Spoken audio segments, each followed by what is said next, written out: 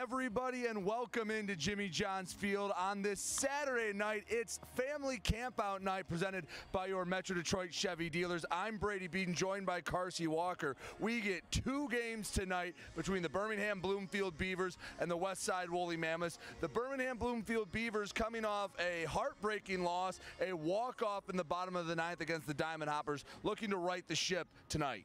Yeah, I mean, we are coming into the part of the summer where it is anybody's ball game for who takes the lead and gets a bye all the way to the championship here. So you mentioned the standings, and at this point in the season, I don't think you could ask it to be any more competitive. Right now, the Utica Unicorns, the Carsey Walker-led Utica Unicorns, tied amongst the top with the West Side Woolly Mammoths, but the East Side Diamond Hoppers and the Birmingham Bloomfield Beavers just one game back. So with both games tonight, if the Beavers get a sweep, it would be a through a two-way tie with them at the top. What's the mentality like coming into a doubleheader, especially such a key one as you start to get to the later part of the season? You know, you try to be one of the rare teams that can take 2 mm-hmm. uh, a lot of time when you look at our doubleheaders or across professional baseball in general, it's really hard to take two in a row from right. one team.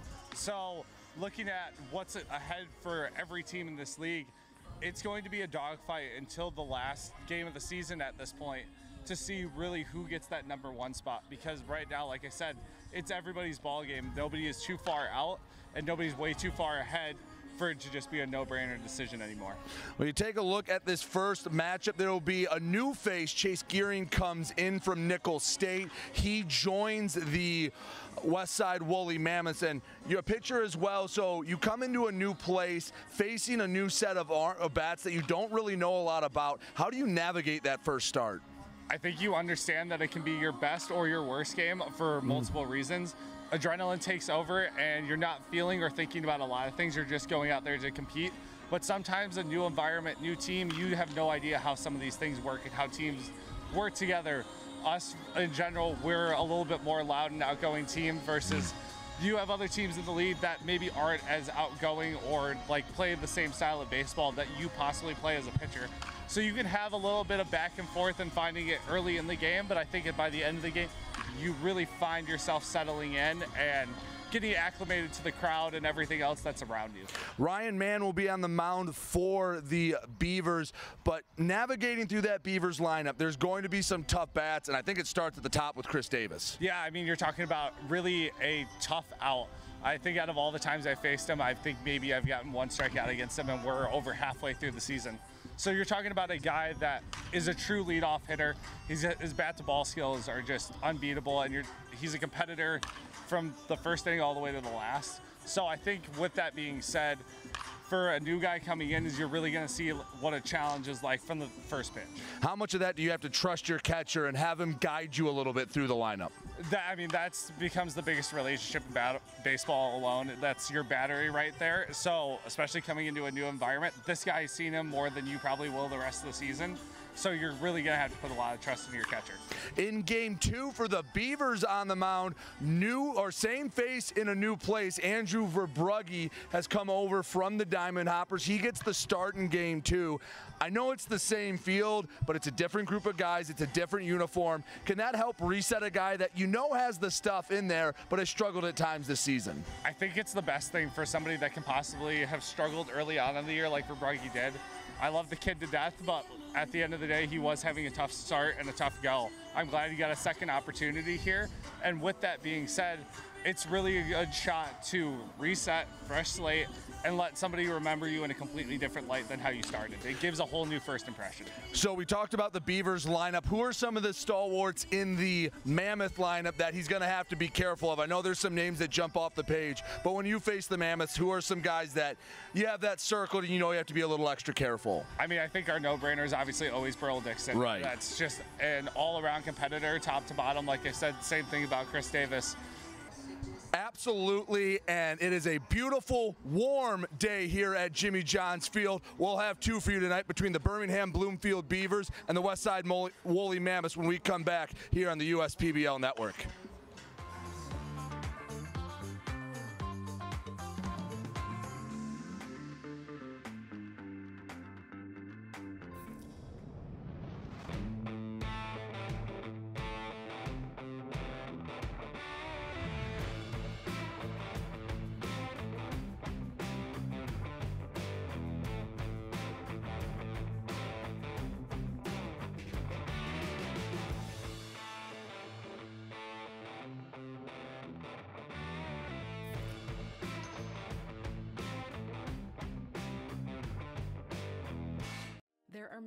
Things you can rely on in this world, like a sunny day brightening your mood, your mom baking the world's best apple pie, and never a dull moment in running your business. And when it comes to time consuming HR tasks, you can rely on TriNet. TriNet can handle payroll and taxes, employee benefits, and more, so you can stay focused on attracting and retaining the best talent. With TriNet, you don't have to grow it alone.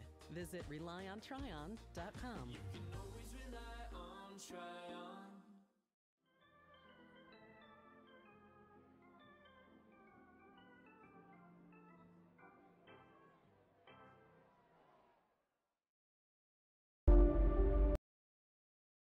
Back here on the USPBL network, getting ready for the first of a twin bill between the West Side Woolly Mammoths and the Birmingham Bloomfield Beavers. Brady Beaton alongside Carsey Walker. Before we get into it, let's take a moment to thank all the sponsors that make this broadcast possible. Your Metro Detroit Chevy dealers, Ascension, Belfor. Budweiser, Dave and Buster's, DTE Energy, Fifth Third Bank, Jarbcom, Jimmy John's, Macomb Community College, McLaren Macomb, McQuaid Heating and Cooling, Plumbing and Refrigeration, Pepsi, Scott's. And United Wholesale Mortgage. Again, a big thank you to everyone who makes this broadcast possible. So we will take a quick look at the game time weather. Carsey, beautiful day for baseball. 83 degrees, humidity says only 42%, but it is it is a sticky one out there today. Yeah, no kidding. It it is quite humid out. The ball should be jumping off the bat. Well, we will have the starting lineups and first pitch when we come back. When we have the West Side Woolly Mammoths taking on the Birmingham Bloomfield Beavers here on the USPBL network.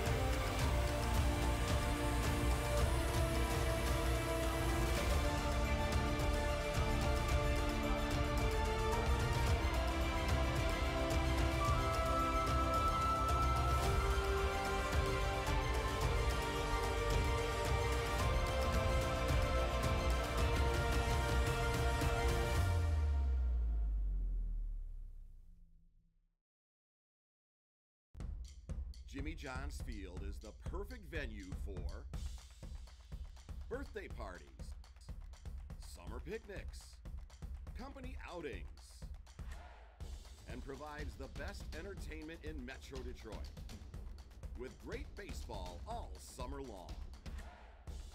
Spend your summer nights under the lights at Jimmy John's Field in historic downtown Utica. Yo, we gotta clean this place up. What's up? So we gotta clean this place up. It's a mess. Coach, the house is a mess.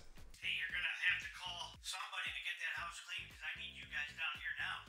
Who can we call? Well, the company that does all the suites and company offices is Dawn to Dusk Cleaning Service. What's their number? 586 932 4090. Give them a call.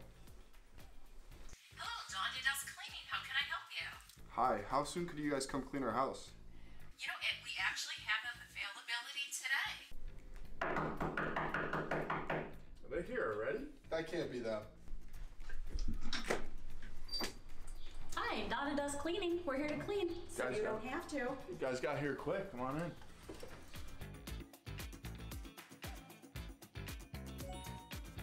This looks unbelievable. Wow. Crystal clean.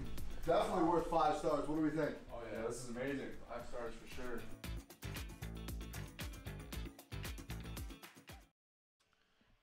Back here on the USPBL network, getting ready for the first of a doubleheader between the West Side Woolly Mammoths and the Birmingham Bloomfield Beavers. This is how the West Side Woolly Mammoths will bat the road team. They will start with the DH Ward Hacklin. Jordan Hussein bats second at short. The ever popular Burl Dixon in center field batting third. Fox Liam in the cleanup spot in the left.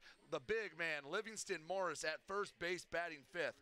Dravion Williams Nelson in right field batting sixth. Alex Garbisic batting sixth, seventh rather at the hot corner. Zach Beadle behind the dish batting eighth, and Colby Seltzer rounds out the lineup at second base. Chase Gearing on the mound for the West Side Woolly Mammoths.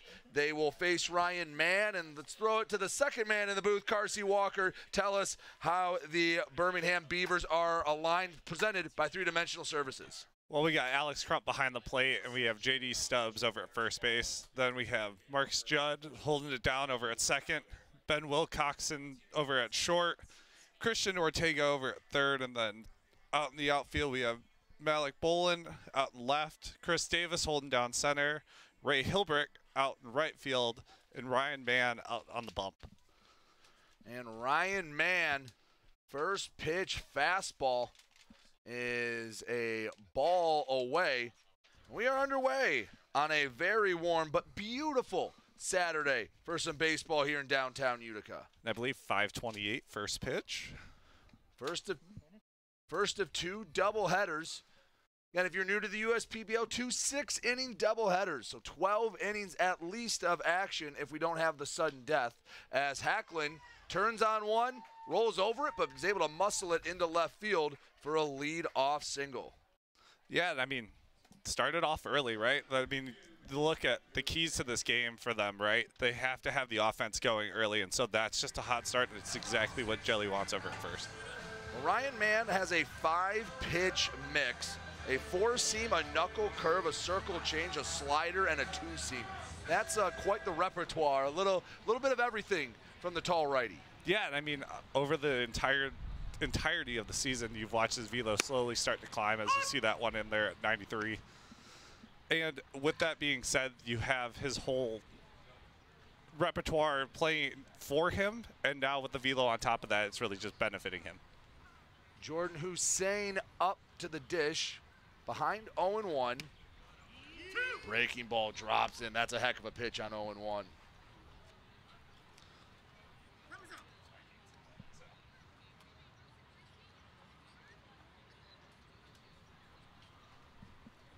1. Oh and 2 to Hussein. Man comes set.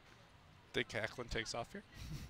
Well, he's been dancing around at first. The 0-2 is fouled straight back. Won't do it again. Yeah, I'll be intrigued to see what he goes here. Jordan really is aggressive at the plate, but also has a great eye. So I'll be intrigued to see if he goes off speed early here and uses most of the repertoire, or if we stay away from it and stay to just two pitches here in the first inning. So man, looking for that put away pitch.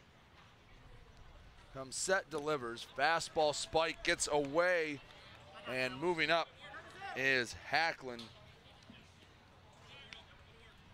Well, may not have been a straight steal, but he did get to second. He did move up. That'll go in the book as a wild pitch as man spiked it. And you mentioned something about only using a couple pitches. When you have a five pitch mix, how much of that do you want to show the first time through the order, and how much are you saving that for potentially the second or even third time you see a guy? Yeah, I mean, for me, I'm a three, maybe four pitch guy. Depends on how you want to classify it. Oop. Ground ball over, man. Charging Judd throws to first, and Hussein retired, but he does move Hacklin up to third, so a sac fly situation for Burl Dixon. Yeah, and that, I mean that right there is the benefit of staying only a couple pitches here early for Ryan. I mean, you are able to get your out there, but maybe you're not able to get the punch out and lessen some of that damage of moving Hacklin over to third just because we aren't using as many pitches early. Burl Dixon, a tall, flashy lefty, has a high batting average, has a high on base. He can put it in the gap, he can work a walk, he can do a little bit of everything for the Mammoths in the three hole. Yeah, and that's your five tool guy right there, and he's in the perfect spot to be doing it right here. three hole guy, just really trying to work a strong AB and really trying to just get ahead early for his pitchers.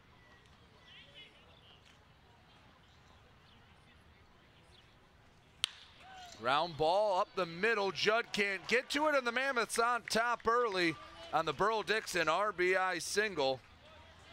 Yeah, just like we said, right? I mean, trying to get ahead early, that's the one big kicker for the Mammoths offense in general, has been scoring runs early in games and really giving their pitchers a shot to work.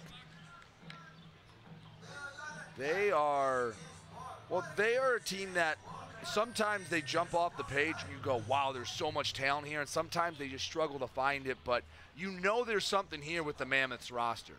Yeah, and I think it's like we talked about earlier in the pregame is it's anybody's game, right? So you look at professional baseball as a whole and you're just waiting for the offense to do what it's supposed to do. It's professional baseball. Do you have guys with a ton of power and a ton of ability? So it's just really about putting it together as a team is what creates a successful team throughout the season. Well, you mentioned getting off to a hot start. Truer words could not be spoken as Dixon heading to second, and he's going to be caught in a pickle. He thought he had man sleeping. They run back, and Dixon will be tagged out. Second straight night, we've seen someone try to steal exclusively on the pitcher, and he gets caught stealing. And that might kill a little bit of the momentum for the Mammoths. Yeah, I think he thought he was playing Madden out there. He kind of tried to hit a little spin move out there, but Well, you knew he was caught, and he had to throw a Hail Mary. But you mentioned that the Mammoths getting off to a hot start. In a sixth inning game with this doubleheader, th- these numbers will become so much more important. Well, but when the Mammoths are trailing after just the third inning, they're 0 and 7. Yeah. When they're leading after the third inning, they're 10 and 1. So they don't blow a m- lot of leads, but they don't come back from a lot of deficits as well. The first three innings of a game are almost exclusively what decides a game for this for this squad. Yeah, and I think that just goes along with empowering or really giving your pitchers room to work. As anybody knows, is if you get ahead early, it makes it very hard for teams to come back. And so when they're able to do that, the stat line shows. Fox Liam up to bat with nobody on. Takes a healthy hack at the 2 1 fastball. Hums in at 92. Yeah, and I mean, it's Fox doing what Fox does. He's trying to do damage here at the plate, and he's really trying to once again extend that lead and make sure that they can win through these first three innings. I have to imagine the approach changes a little bit with one on and one away to now nobody on and two outs. Now you can maybe swing a little more freely. Yeah, I think you're trying to extend the inning, but also you are trying to do damage. He's in this four-hole spot for a reason, so he's trying to act on that. Stays alive. The fastball, 94 on the gun. That was on the black away. That's a tough pitch to foul off. Yeah, that's that's got to be feeling a little bit faster than 94. Man, just so tall and lanky. That pitch has to get on you in a hurry. Liam waits on the 2 2. Misses low and in. Count runs full. Yeah, and I mean, you're talking about 95 right there, down and in. I mean, uh, it's a Triston McKenzie build and almost the Triston McKenzie repertoire too when you watch him pitch. Man, looking for that put away pitch. Missed up the ladder, and Liam works the two out walk. Yeah, I mean, I think, you know, with the way that his velo and his pitches play, is he's got to be confident enough to throw stuff over the plate and not be scared of, hey, weak contact up the middle like the hit that he gets up to Burl. It's got to be a game of staying aggressive and make guys get themselves out. Hitting's a lot harder than pitching, even though sometimes when you're out there on the mound, it feels like you're just out there on this island alone. First pitch, a swing and a, and a foul tip from Livingston Morris. Take a look at some of the numbers for Ryan Mann in 32 innings of work. Not a big strikeout guy despite the high velocity. 23 strikeouts in 32 innings. Also doesn't walk a lot, only 11 in that span. Yeah, and that goes with really going after guys. Obviously, for him, I feel like he would want to see the walk count just a little bit lower and see those strikeouts start to rise more. But the velo going up has been a recent thing. He slowly just gained it throughout the season.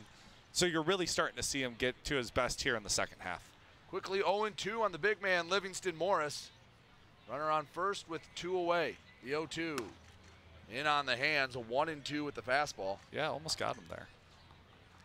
I mean, that's a big man up the plate. There is a lot of human to have to avoid on the inside part of the plate. Sight has has him down at I believe about six foot five. The one two wave and a miss. We'll put a pin in it. The off speed had Morris swinging out in front. Ryan Mann gives up a couple singles and a run. West Side Woolly Mammoths on top. We head to the bottom of the first here on the USPBL network.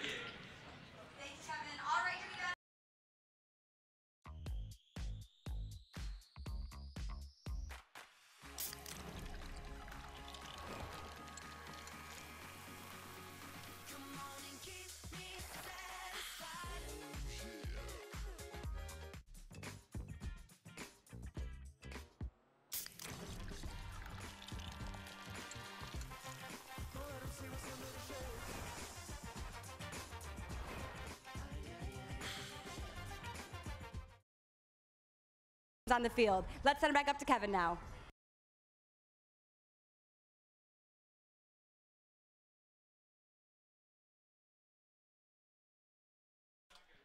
Back here on the USPBL network, 1 nothing Mammoths already. As the Birmingham Bloomfield Beavers coming up to bat. Let's take a look at the starting nine for the Beavers in game number one. The ever dangerous Chris Davis leads off in center field. Rudy Ramirez, the Wayne State product, the designated hitter in the two spot. JD Stubbs is the first baseman batting third. Malik Bolin in left field in the cleanup spot. Batting fifth, the right fielder Ray Hilbrick. Christian Ortega is at third base batting sixth. Marcus Judd at second batting seventh. Alex Crump behind the dish batting eighth. And Ben Wilcoxon at short batting ninth. Obviously, Ryan Mann on the mound for the Beavers. And they will face one of the new faces in the USPBL, Chase Gearing. And behind him, Carsey, how are the Mammoths aligned tonight, presented by Three Dimensional Services? Yeah, over at first base, we have Livingston Morris, Colby Seltzer over at second, Jordan Hussein over at shortstop, Alex Garbasic over at third, Fox Liam out left, Burl Dixon out in center, and Dravium Williams Nelson out in right field. And behind the dish, you have Zach Beadle, and on the bump, like you said, the newcomer Chase Gearing. And that's a pretty nice outfield to have as a pitcher. If you're going to ease into this league, I'd like to have those three guys patrolling the outfield. They can take away a few hits. Yeah, I mean, they're one of the most frustrating outfields to play against on just the other side, just because it feels like anything in the air, it's getting caught. Like, I've watched Burl just make, I mean, week one, a highlight diving play that we thought was a no doubter. And I don't I still don't think that will be beat as play of the year. As Chris Davis comes up to bat, a whopping 370 batting average. Leads the league in batting average. One of the guys at four home runs in the league. He hits for contact, he hits for power, and he's a leadoff man for the Beavers. We talked about it in the pregame show, but it bears repeating. Yeah, I mean, you he's doing it all right now. I couldn't as a friend of his, I couldn't ask to see somebody succeed more than him, but he is the most frustrating person probably in this league to pitch against right now. Fastball just catches that outside corner for strike two. One and two to Davis, the lefty. Waits, Gearing delivers. Tried to go that same spot, maybe stretch it out a little wider. Ball two, count evens up. Yeah, and I mean, right here, this is where you've really got to put the work in as a pitcher. He's really got to try to do his best to put Chris away here. The 2 2 fouled off. As a pitcher, if you get a call that maybe think, ooh, that was maybe a bit outside or a bit high, try to stretch that, see how far they'll give you off the plate or above the letters. Yeah, I think as the game goes on, you start to test those limits. The first inning's always touch and feel. You're always getting familiar with umpires. Obviously, we don't have the same relation that catchers do with Right. them of knowing where the zone's at. So I can only take where my eyes are seeing it. Mm-hmm. So trying to stretch just becomes such a like it's the artwork of trying to paint corners. Seventh pitch of the initial at bat for the Beavers. Have to do an eighth. Third straight foul ball from Chris Davis. He's battling here early on. Yeah, and I think we talked about this in the pregame show as well. I talked about his bat to ball skills just being something different. And this year he's really come in. I mean, the 370 average speaks for itself, but when you watch him just foul pitch after pitch off, it's oh, Strike three called. Thought it might have been away. Home plate umpire says caught the black. Backwards K and Chase Gearing. First batter he faces in the USPBL gets the punch out. Yeah, and I, I mean that's exactly I'm sure how we wanted to start it. I mean, there's no better feeling than starting the game off with the punch out. Has to feel good just to get that first one out of the way, and it settles you in a little to the game, doesn't it? Yeah, I mean, especially with such a long day. I mean, you have two games going on. It's it's really just eases you into the rest of this, knowing that you can possibly go all six, depending on where your kind of pitch count is. And to strike out a guy like Chris Davis, first batter, got to help the confidence a bit as Ramirez jam shot over to third. Garbisic picks it up, throws over to Morris, two up, two away in the home half of the first. Yeah, and right now he's just rolling through. He looks eased in, he looks settled. It's going to be interesting to watch once he gets into trouble how he possibly reacts if that moment does come. JD Stubbs trying to put a little pressure on Gearing. He's only thrown 10 pitches to retire the first two batters. Stubbs hitting just a bit over 260, trying to keep this inning alive. Puts it in the air, first pitch he sees. Liam camps underneath it, brings it in, and 11 pitches for Chase Gearing to get out of the first inning. We'll head to the second. 1 0 Mammoths here on the USPBL network.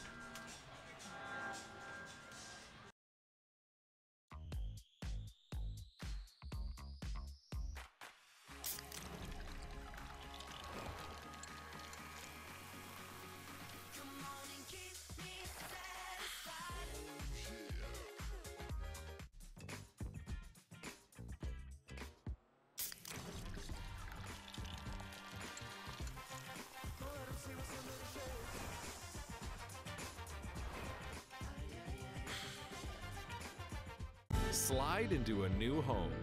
Work with a local mortgage pro who works for you. Get a cheaper, faster, easier home loan. Find a mortgage broker near you today at findamortgagebroker.com. You hear about the promo that Jimmy's John's got going on? Five off 20? How they pulling it off? Magic? You got David's Copperfields in there?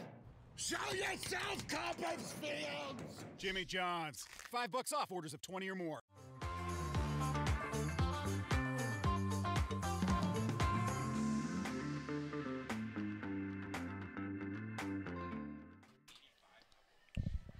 Couple of fans settling in for 12 innings of action today. Game one of the doubleheader here at Jimmy John's Field. The Mammoths struck first in the top of the first. They will send up six, seven, eight in the order. Dre Williams, Nelson, Alex Garbasek, and Zach Beadle do up. Brady Beaton alongside Carsey Walker and Ryan Mann gave up a run in that first inning, but didn't give up much hard contact. Yeah, and I, that's what I was just gonna say. Is it's not hard contact. He got to beat a little bit on the ground, but I don't think that's anything to discourage the confidence. I think he needs to go out there and keep pitching his game and just trust his stuff. Dre Williams Nelson comes up to bat. He's one of the newer faces here in the USPBL, and I have to say, in his short time here, he's at least caught my eye. He's hit pretty well, and he's shown a good glove in the field. Is the first pitch missed, and they said he held up ball one. Wow. I mean, I, from here, it looked like you went around, but I don't think that we necessarily had the best viewpoint. And you're a pitcher. You're gonna. You're always gonna side with the pitcher. You're never gonna give the batter the benefit of the doubt. I can't do that this season. I know all these guys too well to give them. one and one. Nelson in just a small sample size, hitting 286. Breaking ball misses low. I mean, he's really bending that thing in there today. It looks like he's really got all of his pitches working for him so far. I think we've seen mostly just the fastball and the curve, but it looks dialed in. Fastball at 92 misses away, but Dre Williams Nelson only 14 at bats to this point. Had a couple of RBIs, had a game winning RBI a couple games ago. I'm going to make a name for himself. Spent some time in the Angels organization as we have time called. Oop, and I think we just heard off the mic there that that was a pitch clock violation because he didn't actually grant him time. Oh, all right. So Dre Williams Nelson gets a Free pass. With the biggest bat flip I've ever seen on a walk right there. He almost got that to the dugout. Well, there's that's a long way. So it's not he's not trying to pimp something. He just has to really throw it to get it to the dugout. And I and I still don't know how to write that it's a pitch clock. Do I draw a little clock next to my base on ball in the in the scorebook? I feel like that works. We'll see your we'll see your drawing skills up here today. Oh, they're see not how many good. Of those we get. I, I never had fine motor skills. First pitch to Garbasick is a fastball. That's why when I played football, I was a lineman and not. I wasn't a, a receiver or any of the skill positions. It was brute. Tried tried to do brute force. I trust you with the rock. Runner on first, nobody out. Ball gets away from Crump, and just like last inning, the wild pitch moves the leadoff man into scoring position. Yeah, and I think at this point, Ryan really just needs to take the time here, slow the game down, just control what he can control, and just go from there. I think right now, some of these moments, I, I can speak from experience, you let the game speed up on yourself, and that's when everything starts to stockpile, and you see some of those bigger innings happen. Maybe a little bit of frustration from the pitch clock walk. Uh, I mean, last inning it was a weak single as Garbasick, nothing weak about that one. Lines one He's into left. at home. And Dre Williams Nelson comes in to score 2 nothing Mammoth. They're seeing the ball well. Garbasick with the RBI single. Yeah, and I mean that's that moment right there, right where a pitch clock violation kind of comes back to bite you. That's where it's the nuances of the game really Right. start to take over, and this is sometimes the repercussions of it. Because without that, I mean, a year ago, that walk may not have happened. That could have ended up being a punch out or just an out in general. And the second straight inning, a single or a walk, then a wild pitch moves him into scoring position. Scores, you can argue, because of that wild pitch. Yeah, and I mean that's where you've got to have your conversations with your catcher and really figure out, hey, if I'm missing in one spot or another, what what's the adjustment I need to make here going back out for my next half because that's what's going to be able to keep you and your team in the ball game. Zach Beadle up to bat. He's struggled at the dish, average in the 100s. Trying to find his way out of it. Fouls a second pitch away, 0 and 2. Yeah, and those are two healthy hacks right there. I mean, he is really trying to do damage and just keep adding this lead before they get to that third inning mark. And in such a short game, only six innings for the doubleheader. If you can get, you know, a three-four run lead in the second inning, that's that's pretty healthy, and you're feeling pretty good. You just got to finish out basically four more innings. Yeah, and I think the one thing I realized looking at those stats about them being ahead or behind going into that third inning or after the third inning is I think the Mammoths have played a solid amount of doubleheaders this year. So they've played a lot of these shortened games, so that stat line gets a little bit skewed because now the third inning's halfway through the game instead of a third of the way through. Right. Beadle strikes out. His check swing went around. So one on, one away. Colby Seltzer to the dish.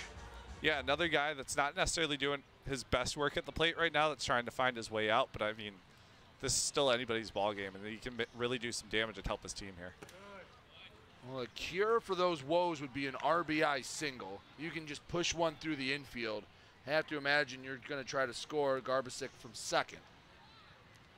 Yeah, I mean, him at the dish right now, you've just got to keep it as simple as possible. You've really just got to try to stay true to who you are and not try to be somebody else that you're not. Despite the low batting average, still has an OBP. It's at 250, but when you're not hitting the ball, at least you're working walks and finding your way on base at least some of the time. Yeah, and I think that's what you notice the higher you move up in levels throughout, whether it be college, professional baseball, whatever it may be, is watching how guys' tastes get better. There's that swing and miss element that's not there anymore. Ground ball to Wilcoxon. He looks Garbasick back to the bag and is still able to retire Seltzer. Two away, and Ryan Mann has bounced back fairly nicely after the RBI hit. Yeah, I mean, that's exactly what you need to do, right? You need to go and you need to get two guys out and really give yourself a shot, put guys away, and also get your confidence back. I Right. mean, you have a pitch clock violation, a wild pitch, and then a hard hit ball to left that ended up scoring a run. You have to get yourself mentally back there because right then it just feels like the game's completely out of your hands. Ward Hacklin back to the dish, led off the game. Rolled over one, but got it in between third and short. Looking for his second hit of the day. 0 1. Mann holds the ball at the belt. The kick and deal. Ooh. Just missed, maybe a bit high, but not a bad pitch for Mann. Yeah, and I think that's you have to figure out where your umpire's at. Uh, some days that's going to be a strike, and other days it's just not. And also the, the the mound here is slightly higher than people realize, and it doesn't necessarily look like it if you're watching the broadcast right now. Right. But that thing is a mountain out there, and so getting downhill and like those pitches that feel like they're belt high are actually coming from a higher release angle than you are used to or realize, and especially when you're as tall as Ryan is. That thing is coming straight downhill. Slow off speed had Hacklin on his front foot. He tried to hold up, he just couldn't keep the weight back any longer. Yeah, and I mean, for a guy that's sitting low to mid 90s right now, that's able to just come back and just throw 73 past you right there, I mean, that's the world of difference. Now the mental game. Do you come you come back with something soft, or do you bring the heat or try to get it by Hacklin? Two balls, two strikes, runner on second. We are in the second inning. Flare to right. That gets down for a base hit. Garbasick around third. He strolls on home. And Ward Hacklin with a nice piece of two out, two strike hitting gives himself an RBI and a 3 0 lead for his Woolly Mammoths. Yeah, and I think that's where pitchers can get themselves into trouble sometimes. Is you just try to be too fine. You're trying to do just that little bit. You saw that big swing and a miss on the first one. Then he just happened to give him too much over the plate right there, and you gave him a chance to really put a ball into play.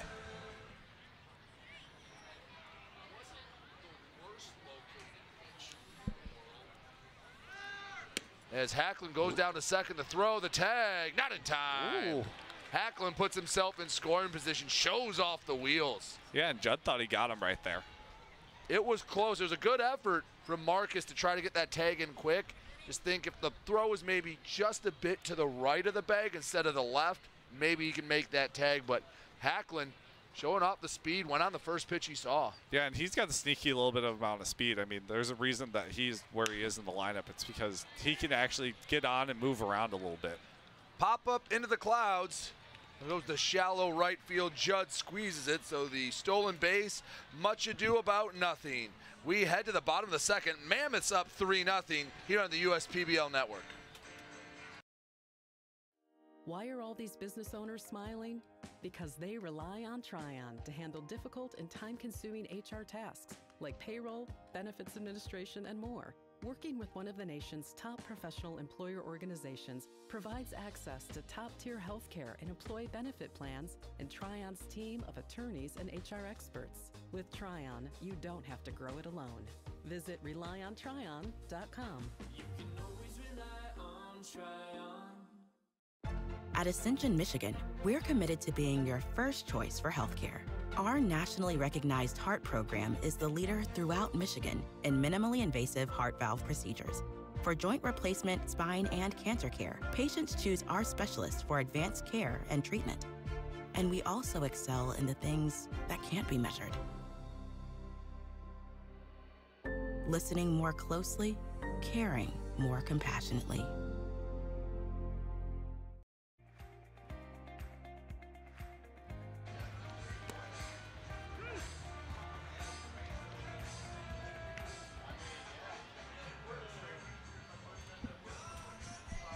Three nothing. Taylor Jelniak's crew is rolling early as the Birmingham Bloomfield Beavers send up Malik Bolin, Ray Hilbrick, and Christian Ortega. Try to cut into this league, but Chase Gearing has to instill a little bit of confidence knowing you have a three-run cushion to work with. Yeah, especially when you this is, game is cut down by a third. Is he only has to get through a few more innings. Like he really just has to be solid for the next few innings, and possibly if they hand it off to the bullpen, since it's his first start here, give the bullpen a chance to just shut the door and keep the game going. So Gearing comes to us by way of Nicholls State, where he spent three seasons. Was at Saginaw Valley for one, all the way back in 2019. But the last three seasons spent down at Nicholls State, and he threw 49 innings this season. So not a ton of work in college, enough that you can stretch him out a little bit. Maybe you don't have to monitor him as much, at least early on in his pro career. Yeah, I mean, he's got the innings under his belt to go out there and at least be able to handle six if that were the need. But I think he's got enough under him that, and the bullpen is experienced enough at this point in the season that he can go four and hand it off to anybody that they want to really close this game out. Two balls, two strikes to Malik Bolin. Power bat from the right side. Breaking ball, pounded into the dirt, foul. Yeah, I mean, you can pay attention here. Like, we are in that second half of the season, and right now you're just watching him get a heavy dose of off speed. He may not like it as much as he would prefer to get just fastballs fed to him right now from a new guy, but that's your catcher being experienced right here. There's a fastball taken the other way, looked like off the handle. Burl Dixon settles underneath of it for out number one. Four up, four away for Chase Gearing.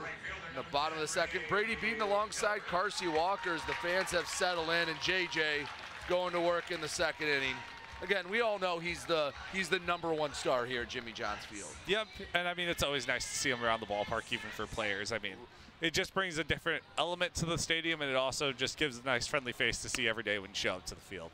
Absolutely. I think last night for the Diamond Hoppers, Whit Hughes was coming up to bat, and there was a big ovation. I'm like, you have a lot of family Come And I look down and I see JJ. I'm like, oh, I like Whit, and he deserves a round of applause, but I know it's for JJ. Yeah, we all know it's for JJ. Ray Hilbrick coming up to bat.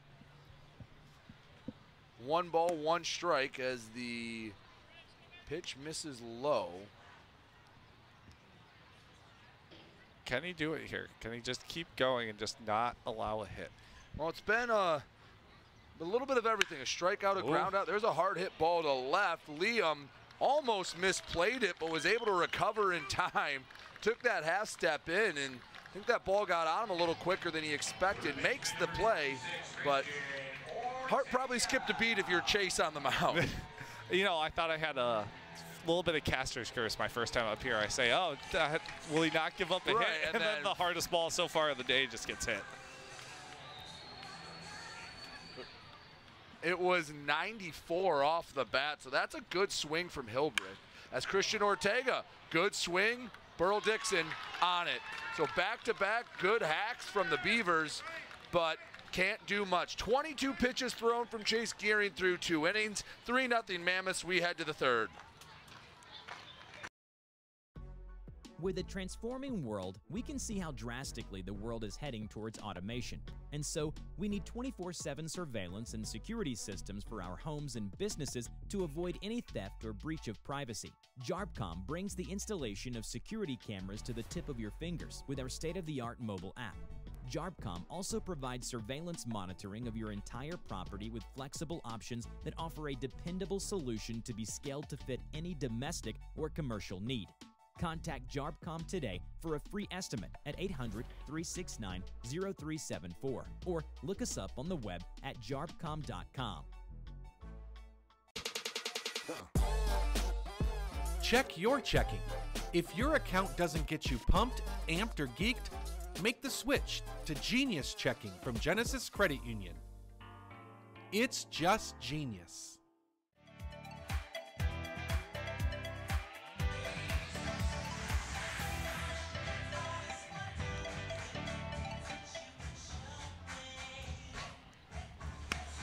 Ryan Mann back out for his third inning of work. Been knocked around a little bit as you see the line score on your screen, trying to settle down and just put a, a goose egg up here in the third, maybe settle the game down a bit. Because, again, six inning doubleheader, there's not a lot of time to settle this down. Yeah, and this is the pivotal inning that we talked about at the beginning of the game. This is where this can be the deciding factor of if the Mammoths win this or if the Beavers can make a comeback here and really turn this into a ball game.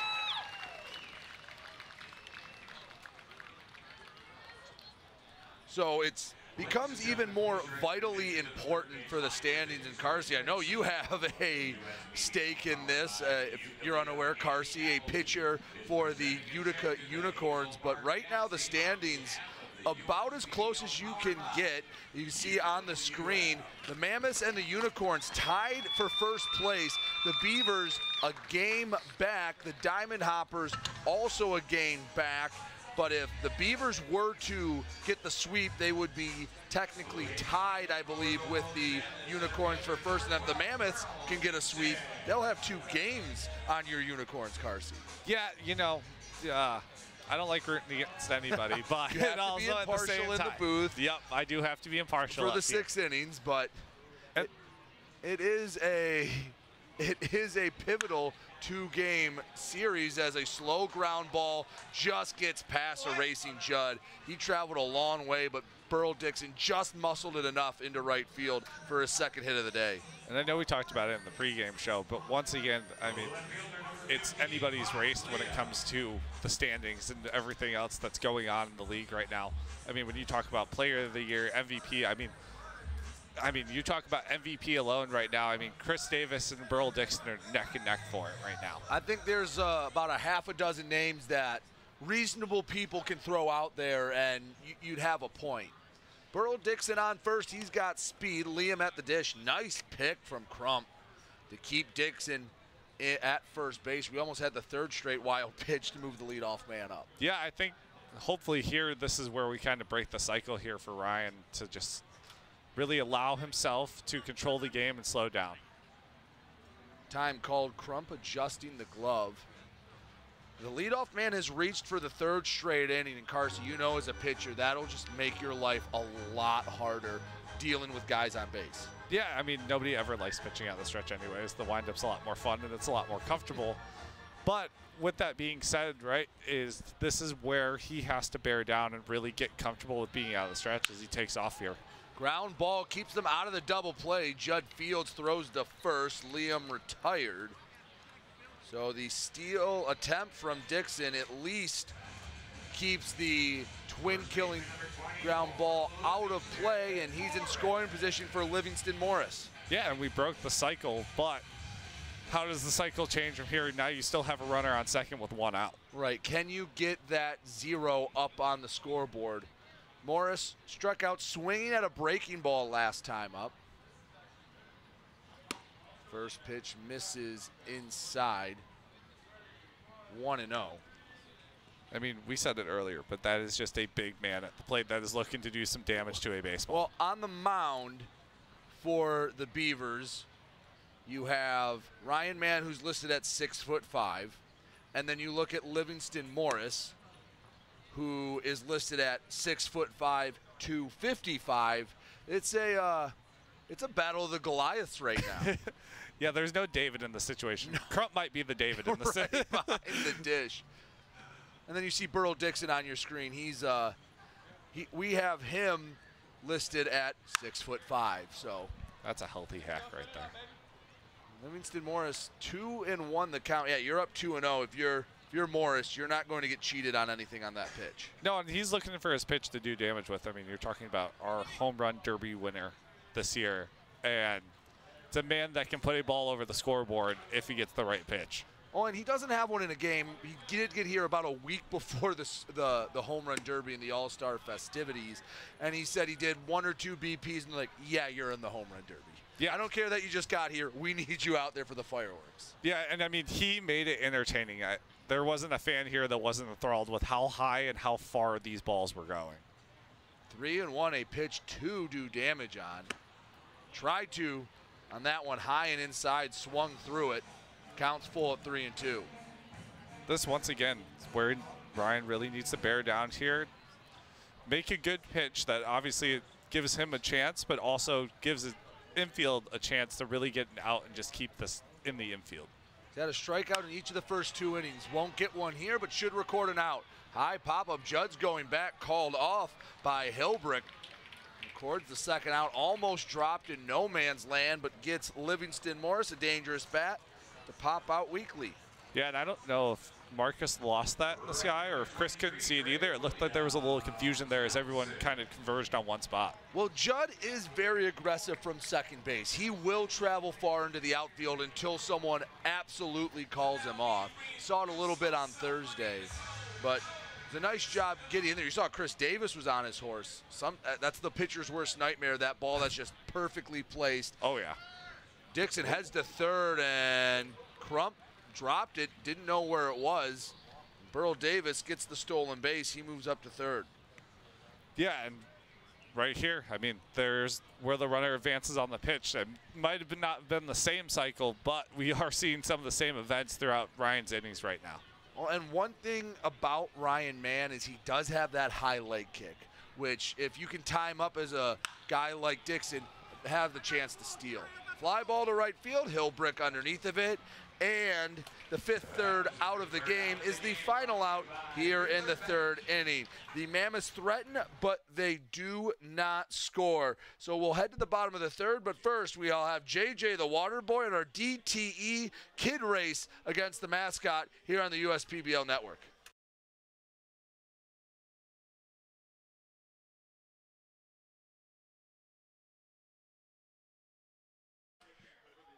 See JJ getting, giving our umpire his water. He is a very good boy, and he's presented by Michigan First Credit Union. Let's throw it down right to Kara for our Kids and Race the Mascot presented by They're holding hands. They're going to help each other out today. Buzz has been struggling in our DTE Kid versus the Mascot race, so we're going to put him out there on second. Buzz, give a big old wave to the crowd. There he is. He's been having a tough time. So we're going to have these two boys step up to first base. Come up behind me right here. All right. I'm to count you guys down. You guys are to take off. Ready? One, two, three, go. All right, quick work out of the gate, but they need your guys' help to get home. Let me hear you guys. There we go. All right, Tanner is slowly getting to Buzz. Here comes Beckett. Oh, Buzz is having a tough time, has to stop and take a breath.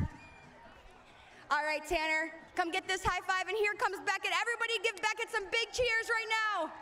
Come on, Beckett, it's a close one today.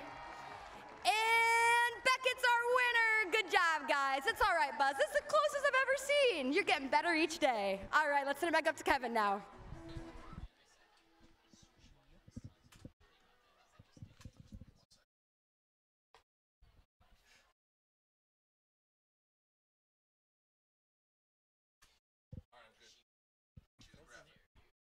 When it's time for baseball, it's time for beer. Two Hearted Ale has been named the number one beer in America for the past four years by members of the American Home Brewers Association. Play ball with the best, Two Hearted Ale, the iconic American IPA from Bell's Brewery. Comstock, Michigan, please drink responsibly. 3 nothing. The West Side Woolly Mammoths on top of the Birmingham Bloomfield Beavers. It's been six up, six down for Chase Gearing in his USPBL debut. And, well, he's made quick work of this Beavers lineup. Marcus Judd, Alex Crump, and Ben Wilcoxon will try to figure him out. Yeah, I mean, he has been lights out on the mound right as far as this game has gone. And I, I think the biggest thing is watching how he mixes his pitches up as he's going along right now. And one thing, it- can work as an advantage or a disadvantage just depending on the day and, and who you are as a pitcher. But having batters that don't know what to expect, it's a little bit of a learning process for them as well. Yeah, and that's always the interesting part, especially when you get into the second half of the season, is when you guys start to roll in, nobody knows what to expect. Judd hits it hard into right field, but Dre Williams, Nelson on a beat, able to stretch out for it. And you talk about a frustrating outfield as Marcus Judd has a tip of the cap. You'll, you'll see a conversation with him in between games. I got a chance to learn a little bit more about Marcus, and we talked about how baseball can imitate life, and sometimes you do things right, and it's not fair, and you should get a better result.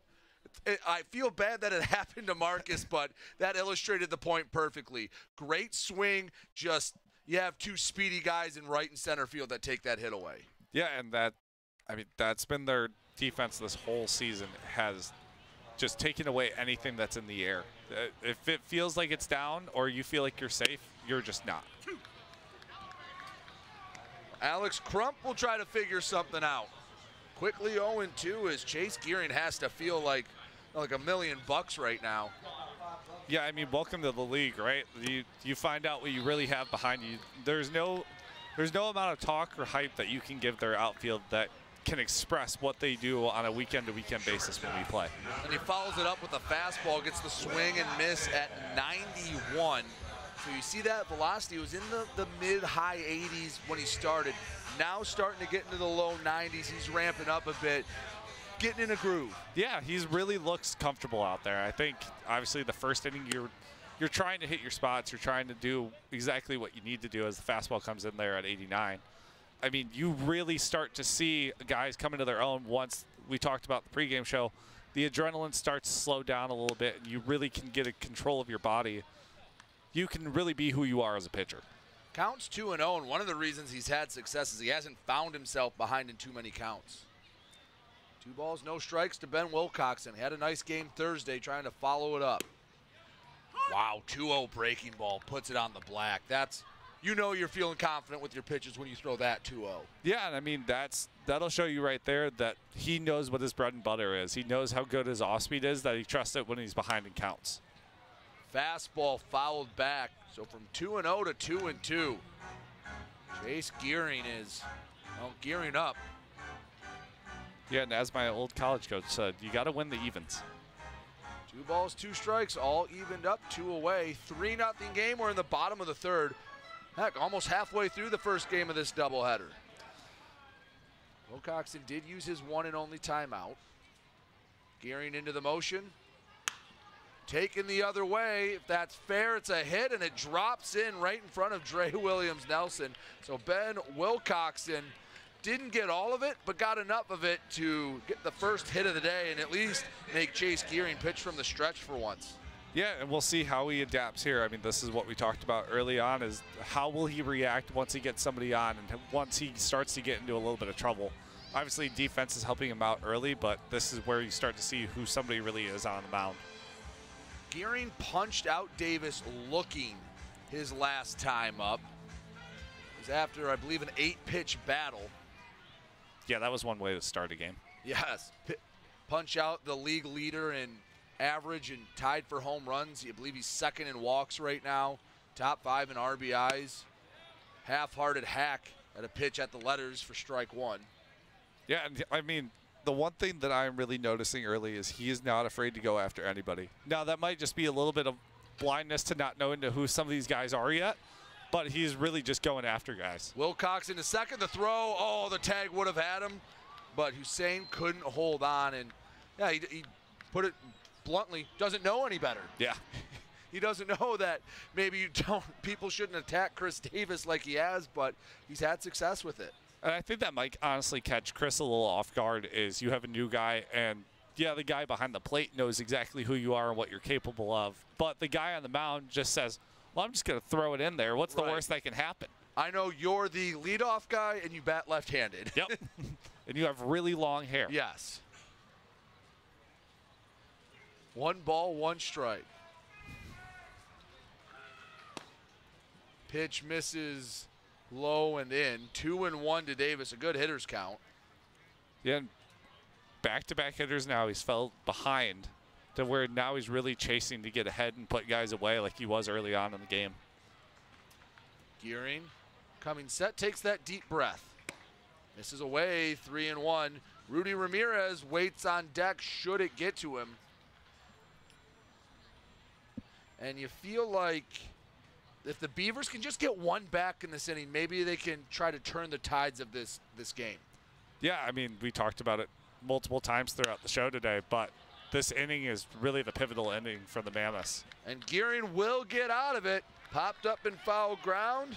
And he gets a man on. Wilcoxon steals second, but he's stranded there. We're halfway through this six inning game. 3 0 Westside Woolly Mammoths on the USPBL network. There are things you can rely on in this world, like your dog being happy to see you, coffee getting you through the day, and the government changing business regulations. And when it comes to navigating those regulations, you can rely on TriNet and its team of attorneys. TriNet can also tackle time consuming HR tasks like payroll and employee benefits, so you can stay focused on growing your business. With TriNet, you don't have to grow it alone. Visit relyontrinet.com. We build, Roads, bridges, wind farms, and pipelines, schools to skyscrapers, our members create monuments. We operate. We're the operators and mechanics behind the advanced heavy machines that move Michigan forward. We maintain boilers and HVAC. Our members run the complex heating and cooling systems that we all depend on. Our training is second to none, and safety is our priority. We are Operating Engineers 324, and we keep Michigan running.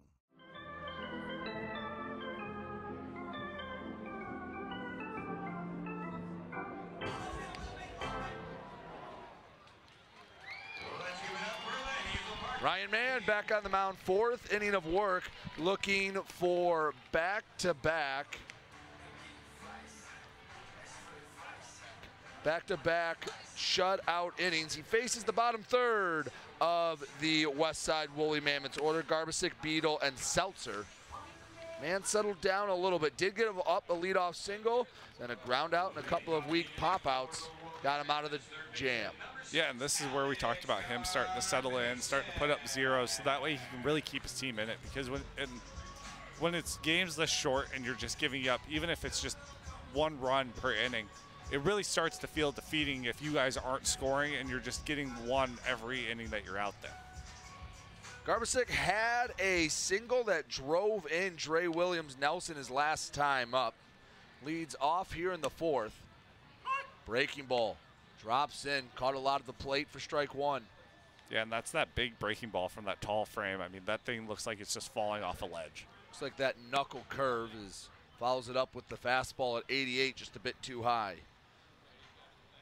Yeah, I mean, I don't know what his exact pitch count is at this point in the game, but this might be the point where we start seeing him get tired. Oh, and pitch count is at 55 today.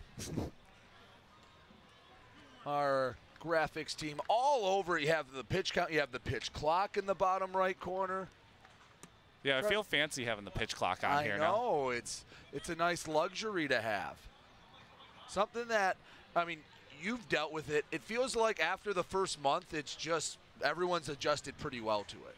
Yeah, I, I think it's always interesting when you hear about it at the big league level when they talk about that guys haven't adjusted to it yet or that it's still some like nuance thing when we're over halfway through the season as a whole no matter where you are.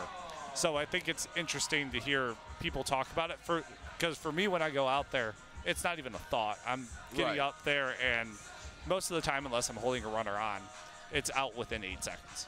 Garbisick works the walk. Second free pass surrendered by Mann. Beadle swings the first pitch he sees, hits a fly ball deep but playable to Hilbrick. Brings it in. One pitch is all he needs to retire the, mam- the Mammoth catcher.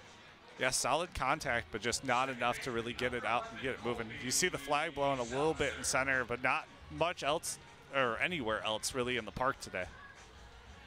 Yeah, we don't usually get very strong gusts. I mean, you, we'll get a little stronger than that as you see just moving a bit, maybe even left to right, but not. We don't usually have those strong winds in any direction here at the USPBL. Yeah, and for a smaller park, I mean, it doesn't necessarily always play like it's as small as it is. I mean, you look at your standard corners, and it's normally 330. Seltzer hit it high, he didn't hit it far. Ortega brings it in, and after the leadoff walk, Mann able to retire the last two is again not a lot of movement, not a lot of wind here on a hot, humid Saturday in downtown Utica. Yeah, and I can't imagine how hot it is out on the mound right now for Ryan. I mean, I've been out there in some of these Saturday day games, and when it is warm, it is warm, and these jerseys feel like they weigh 100 pounds. Well, He's got got a button or two undone, maybe trying to get some airflow as Ward Hacklin comes up to the plate. Two for two, two singles and RBI. He's been locked in in the leadoff spot. Yeah, and it's interesting seeing him in this leadoff spot. Normally, you see uh, Jordan up here in the leadoff spot, but seeing this little switch seems to have done him well. That caught Hacklin. Didn't get him by much. Looked like it caught that tricep elbow area. He reaches for the third time. When Ward was hitting in the lower part of the lineup, usually lower third to start the season, Taylor Jelenkowski challenged him a bit and moved him up to first, second, just to see what he can get him.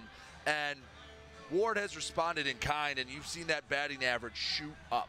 Yeah, he's he's another one. I mean, we've talked about it multiple times, and I know you guys specifically up here have talked about it throughout the season. That one through nine in this lineup is just tough. Mm-hmm. Doesn't matter who it is.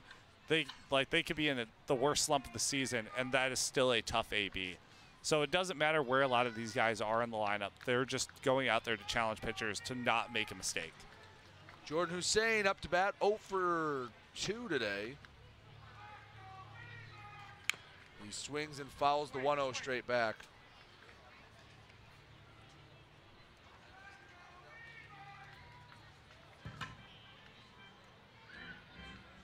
Runner on second, Alex Garbisick. Runner on first, Ward Hacklin. A walk and a hit batter. Ryan Mann trying to work through four as we start to get a little action in the Beaver bullpen. Hussein out in front, fouls it straight back. Yeah, and that's Jordan doing what Jordan always does, which is really just staying on pitches and making it tough for a pitcher to get something by him. He's not a huge swing and miss guy, especially on those pitches lower. He really does a great job of staying on them and making it a tough battle. Looks like Galindo warming up down the left field line. The one-two popped up, perhaps playable. Crump on his horse, and he will catch it on the move to retire the side. A walk, a hit batter does not come back to hurt Ryan Mann. We are through three and a half, still three nothing Mammoths here on the USPBL network. First State Bank is a locally owned and operated business. We're part of your community. At FSBCares.com, you'll find ways that we're making a difference by featuring locally owned and operated businesses, providing access to helpful financial resources, and engaging with community. FSBCares.com is part of our commitment to the neighborhood because strong neighbors mean stronger communities. Where good neighbors do great things. Member FDIC and Equal Housing Lender. The Dave and Buster's method is designed to help you unlearn adulthood and reset our life around zapping stuff and cheering for stuff with your friends. Begin the method today with five free games. You know you want to. We're the financial champion of Michiganders. Whether you're a goal getter or dream chaser, an empty nester, or up and comer, anyone in Michigan can bank with us. Michigan Schools and Government Credit Union.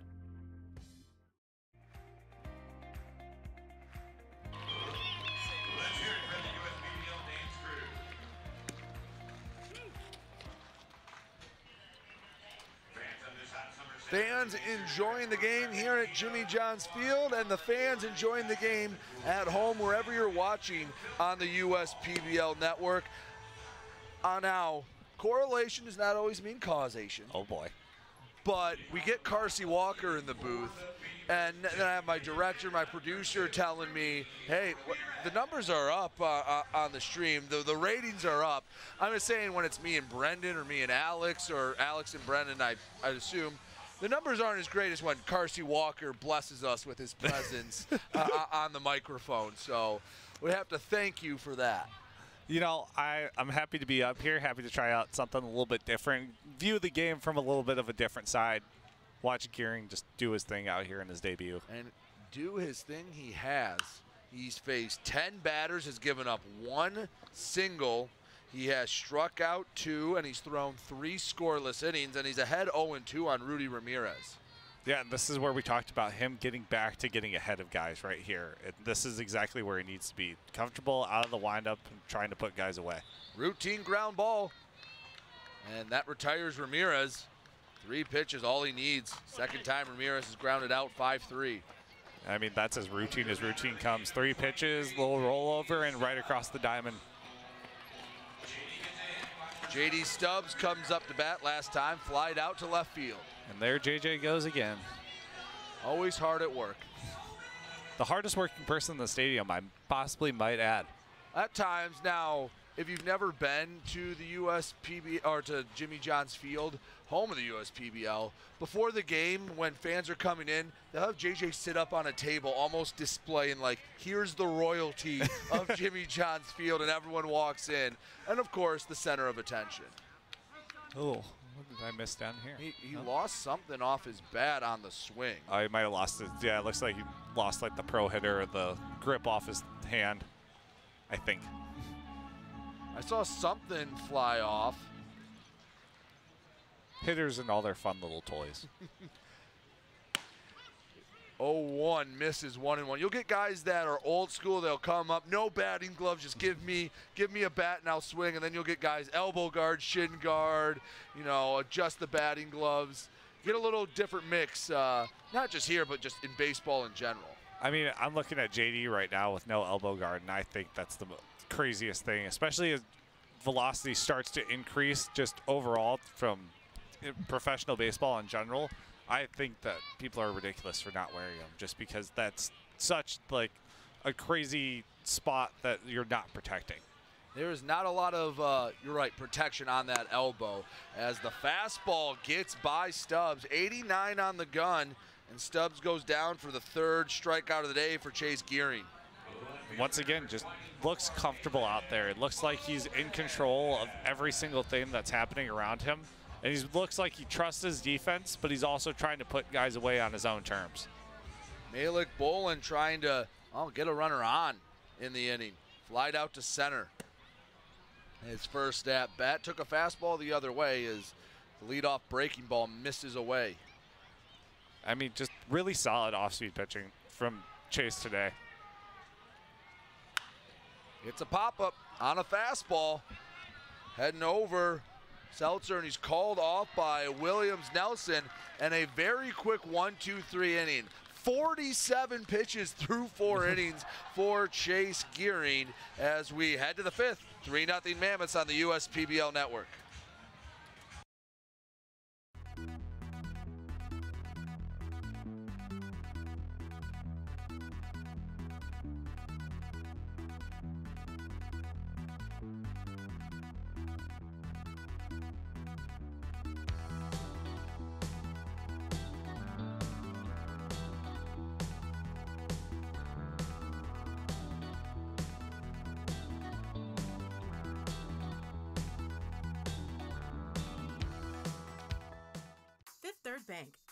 It's a quirky name.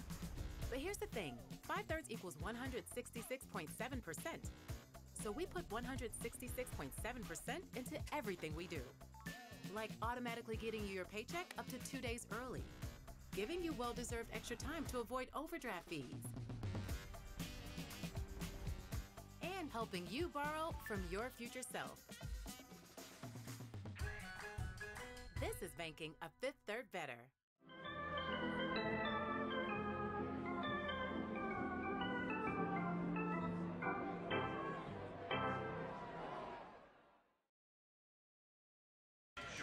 West Side Woolly Mammoths are enjoying this one. They got out to an early lead, and behind the pitching of Chase Gearing, have held that lead. They will send up the meat of their order Burl Dixon, Fox Liam, and Livingston Morris.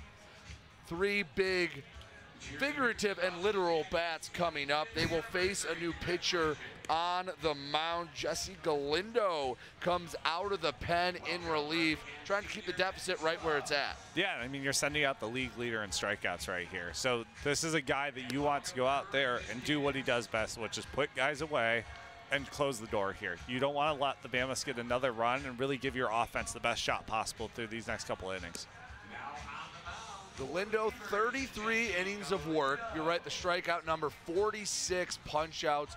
ERA a little inflated at six. He's kept the walks down. That's the good side, is only 14 walks, but in 33 innings, he's given up 41 hits. So it's those numbers don't usually add up. Usually those high strikeout guys get in trouble with the walks, not by giving up contact. Yeah, and usually if you see a lot of contact from a high strikeout guy, it usually tends to be large amounts of extra base hits. You usually see guys with high carry fastballs talking about 20 plus vertical that are really leaving stuff up in the zone and hitters just happen to be on time and balls get out of the park. Galindo batting average against of 299. It's a, he's a bit of an anomaly right now. Again, in the realm of the USPBL, 33 innings is a pretty big sample size, but in the bigger game of baseball, for a scout, 33 innings is not a lot of data really to look at. So if you throw another 70, get to 100 innings, that could even out over time. Yeah, and I mean that's we don't play as many games obviously as a major league season, So our sample size is always naturally going to be smaller, and that's up there. Yeah, Burl Dixon, a tough bat, pops out to shallow center field, and well, that's a good start. Getting one of the most dangerous bats, not in the lineup, but in the league, to pop out on one pitch. Yeah, I think Chris scared uh, Ben a little bit there when he came in. He kind of yelled in his ear. Well, that good for Chris because the center fielder needs to be needs to command and make sure everyone communicates. I'd rather have that than a guy whispering, "Hey, mine, mine." No, yeah, you scared him a little, but you made the play. Fox Liam comes up to bat. First pitch misses. Once again, I mean, we talked about it. Mammoth being literal and figurative. And this is another big guy up at the plate looking to do damage and get his team ahead here by a larger margin. Off speed called strike one and one. Jesse Galindo, he'll come with different arm slots in a five pitch mix. The four seam fastball, the curveball, the changeup, the two seam fastball, and the slider. So he'll mix up the arm slot, he'll mix up the pitches, and that's a reason why he gets a lot of swing and miss. Yeah, and that's, I mean, he's not a guy that's necessarily going to overpower you with speed like Ryan was earlier in the game. However, he is going to come at you at some different angles that a lot of guys don't really see in this league. And that's what's brought that strikeout rate to such a high level in here. Oh, and it, you don't see too many pitchers that utilize multiple arm slots within a game, so it's maybe a little harder for the batter to pick up the ball depending on because you're looking at a different key every pitch. Yeah, and you really see that you'll normally go away, usually in high school, but like you'll see a few trickle through in college. You'll get some guys. I remember there was a guy for uh, Coastal Carolina way back when when they were in the College World Series run that was through out of over the top like a high three quarter and then almost submarine. Yeah, it's got to be tough for pitchers is the or for batters to pick it up. Liam works the walk, his second free pass today, so one on and one away. Here in the top of the fifth, 3 nothing Mammoths over the Beavers. Brady Beaton alongside Carsey Walker as Livingston Morris comes up to bat. A strikeout and a pop out. Yeah, and once again, the, the probably the biggest mammoth of them all. Yes. Up at the plate, looking to really extend this lead, and I think once again the the whole theme of today for the Beavers pitching staff has been not getting ahead and really Right. like getting guys to get themselves out. They, we've gotten behind guys, and now we're just letting them kind of work themselves around the score. Well, both in the count and in the inning. The fifth inning was the first inning where the leadoff man did not reach. It went single in the first, walk in the second, single in the third, walk in the fourth. That puts you behind the eight ball, again, as we talked about, in the inning. Yeah, and I mean, especially when it becomes, a, like I said earlier, a cycle or a pattern throughout the game, it doesn't put you in the best spot to succeed. That's a big hack. Out in front.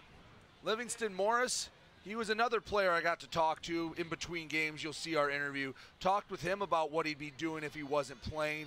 And he was actually very, very talented at another sport. And he told us a little bit about that. Make sure to stick on the broadcast between games to hear my conversation with Livingston Morris. He, uh, He's a big guy, but he is a very gracious guy, and he's very fun to talk to. Yeah, and I know we had definitely had some uh, funny conversations about his possible other jobs if he wasn't Yes, playing baseball. it is a wide range of other jobs. He's a man of many talents. Yes, he is. Two and two. Swings and misses, and Galindo got him with the off speed. So Morris goes down for the second time tonight on strikes. There's one on and two away as Dre Williams Nelson looks for his first hit of the evening. He's walked once and has come around to score. Yeah, and a guy that just looks comfortable when he's at up at the plate. He just fits. He's got the swagger going on. You can see with the shades right there. I mean, it's just a guy that looks comfortable at the plate. Doesn't matter if he's 0 for 4 or 4 for 4. Dre Williams Nelson, when he played in the Angels organization, he played against an up and coming guy you may have heard of, Julio Rodriguez. so he said when he got to play against him, he goes, okay, that guy's different. And then another guy you may have heard of one time down on rehab assignment with him, uh, a young man named Shohei Ohtani. Yeah, who he shared a clubhouse with for a short while. I'd say both of those guys are pretty different. right. So he's uh he's been around some very talented ball players, and hoping to get back into affiliated ball as the 1-1 is a high chopper hit over to Stubbs, throw to first, Galindo covers, and we are out of the inning. Liam walks, but nothing more for the Mammoths. Beavers trying to get on the board, 3-0 here as we head to the bottom of the fifth.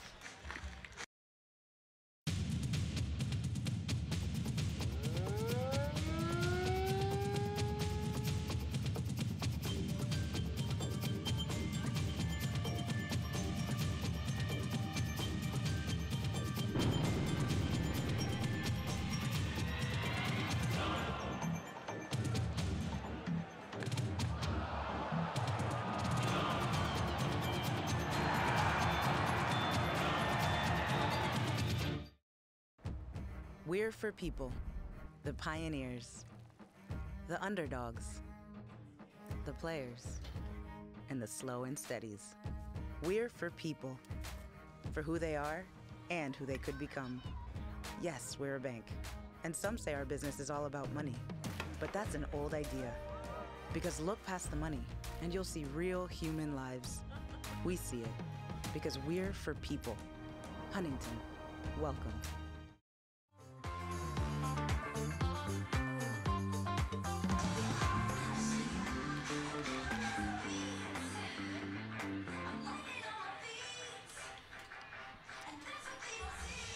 See the suites here at Jimmy John's Field right above us as we sit in the press box as they enjoy this game one of this doubleheader. So fans that come for the doubleheader, you get one, you get to sit for one ticket, you get two games out of it. And the West Side Woolly Mammoths and Chase Gearing are, well, hoping to get win number one and move them into first place. And Taylor Jelenkowski has to be thrilled from what he's seen from his new pitcher. Yeah, and I mean, you talk about fans getting two games for the price of one. Is I mean, you're getting one heck of a game out of Chase Gearing just coming if you're coming for your first time here. Absolutely, he's given up one hit. The Wilcoxon, the only guy to get the hit is yeah. You can see our booth. Uh, th- this laptop is Yeah. Yeah, there's Carson and I on, on the left side of your screen. A little bit of us. Uh, as we try to avoid the the camera as much as possible.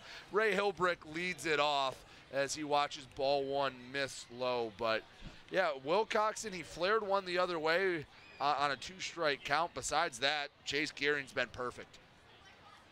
Yeah, and you watch Ray Hilbrick up here looking to do damage, and I mean, that is just a powerful swing out of him. That was probably one of the hardest hit balls off of Gearing so far today. And one of the most impressive things, besides some of the ice cream you can get here at Jimmy John's Field, that pitch count. Here in the fifth, that's pitch number 50. That's uh, it's pretty economical on the mound. Yeah, and I mean, we talk about him getting ahead of guys, and when he was doing that early, I mean, he was as efficient as it came. I mean, it, I think if you take out the one inning where he gave up the hit and had a couple runners on, I mean, I think he'd probably be less than 40 pitches right now with the way he's been pitching. He has been in a zone. Gearing, even the count up two and two to Hilbrick. He did hit it hard, lined out to Liam, almost misplayed it and left, but was able to bring it in. Yeah, and Gearing just looks like he's in control of the zone. It looks like he knows kind of where his edges are. It's not like he seems like he's surprised by any misses from an umpire from where his catcher set up. It seems like he really just understands where the zone is. And a little frustrated right there as he gets, gives up the walk. First walk of the day surrendered by Gearing. So a leadoff man on, and on a six inning game, the Beavers don't have a lot of outs to work with to come back from this three run deficit. Yeah, and like, and two sides of it is one, it's only three runs. The other side, it's three runs. So you have to find either a way to make up for it because it isn't that large of a margin, or you really have to grind out here. And if you're gearing, stay tough because you have room to work with. Christian Ortega lined out hard, but right at Burl Dixon, his first time up. Ball one misses. That bullpen is quiet down the right field line for good reason, but Gearing maybe losing just a tick of the command as he comes back in the zone, evens it at one and one. Yeah, and I think if you're any of the Mammoth coaches right now, is you're putting all your trust in him. He's given up one hit, and yeah, unfortunate that he gave up the walk right there to start the inning, but he's been in control this whole time. I don't think they have any doubt of that whatsoever. Big breaking ball. Started on the inside part of the plate, ended up well outside. Yeah, and that's just, I mean, I said it earlier today, but he is just, mo- everything that he throws is moves a ton. I mean, you can see it just on the broadcast alone. I mean, Yeah. right there, it just blows it by him, though. You get that fastball, comes in at 87. The pitch before looked like a slider type pitch. 15 inches of horizontal break. Yeah, and that's about right where you want to be. I mean, you want to be anywhere from that 15 plus range to really kind of get a hitter off of something because once you get a little less than that, starts to become more cutterish and starts to be a lot more identifiable to a hitter. Fastball blew it by Ortega. Gets the fourth strikeout of the day, one on, one away. Marcus Judd comes up to bat. He had extra bases robbed from him by Dre Williams Nelson his last time up. Yeah, and right here, if you're gearing, you really just want to try to get your double play ball and get out of here and just stay in an economical place, like you said. I mean, we're at 58 pitches right now. Yeah, that's. If he can get out of this without too much trouble, probably will come out for the sixth. As the first pitch to Judd is a called strike. Not the best double play candidate, however. He's got some wheels from the right side. Yeah, no, Marcus can definitely move. I mean, you're talking about a guy that can cover almost the whole right side of the infield on his own at times. 0 1. Fouled away. Uh, basically, Judd's going to have to hit it right at somebody to get at that double play ball. Yeah, I mean, he just gets down the line so fast. I mean, it's just one big blur when he takes off. I mean, he moves so quick. Runner on first, Ray Hilbrick. He worked a walk to lead off the inning. Gearing settles in, delivers. Hilbrick going down to second, check swing. He broke the plane throw way off target. So runner in scoring position, but an 0-2 count to Marcus Judd. Actually, a punch out. Oh, excuse me. Yes, that was the punch out. Egg on my face. Excuse me. it looked like a, a defensive swing where they wanted to give Hilbrick a little bit more time to get to second, but on an 0-2 count, I maybe just fooled Judd, but back-to-back punch outs for Gearing. Yeah, and you talk about gearing stuff moving so much. I mean, it can be so deceiving to a hitter. Could have thought that he was taking a defensive hack, kind of protect Hilbrick from just a fastball and being a straight throw down. That now he was trying to give him a shot, and unfortunately ends up being an off speed, and he breaks the plane. The stretch has not hurt Gearing. Sometimes guys will get comfortable in that windup and switching to the stretch maybe throws them off. Not Chase. He has been, well, unfazed. He's been locked in, and you're right, been steady Eddie the whole way through. Yeah, and I think that's the the most impressive part is you've come into a new environment. Obviously, played at a little bit higher level. You might have been used to some fans in some different environments here. Ooh. I think he got him on the hand there, though. It's hard to tell. I think it hit the I think it hit the arm, then the bat. I think they're going to award him first, but Yeah, I thought I saw the home plate umpire pointing. I'll say if it didn't hit him, Crump did a heck of a job selling it. Yeah. If it didn't, but if that did hit him, that's the last spot you want to be hit, especially if it's on that left hand. I mean, that's that's what he's got to use the majority of the game for him.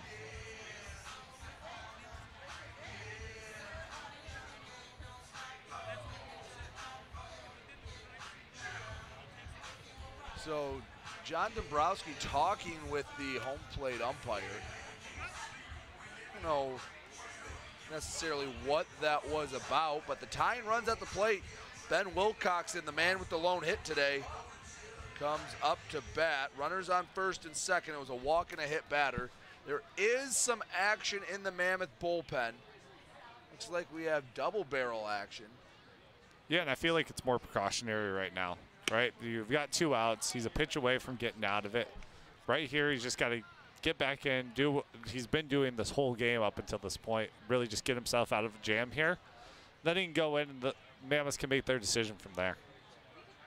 Wilcoxon Fouls that one away, one and one. And obviously, you bring up tying run being at the plate, but this isn't a huge power guy here. Nope. No home runs on the season, only four RBIs uh, on the year, but a guy that his average 268 and climbing.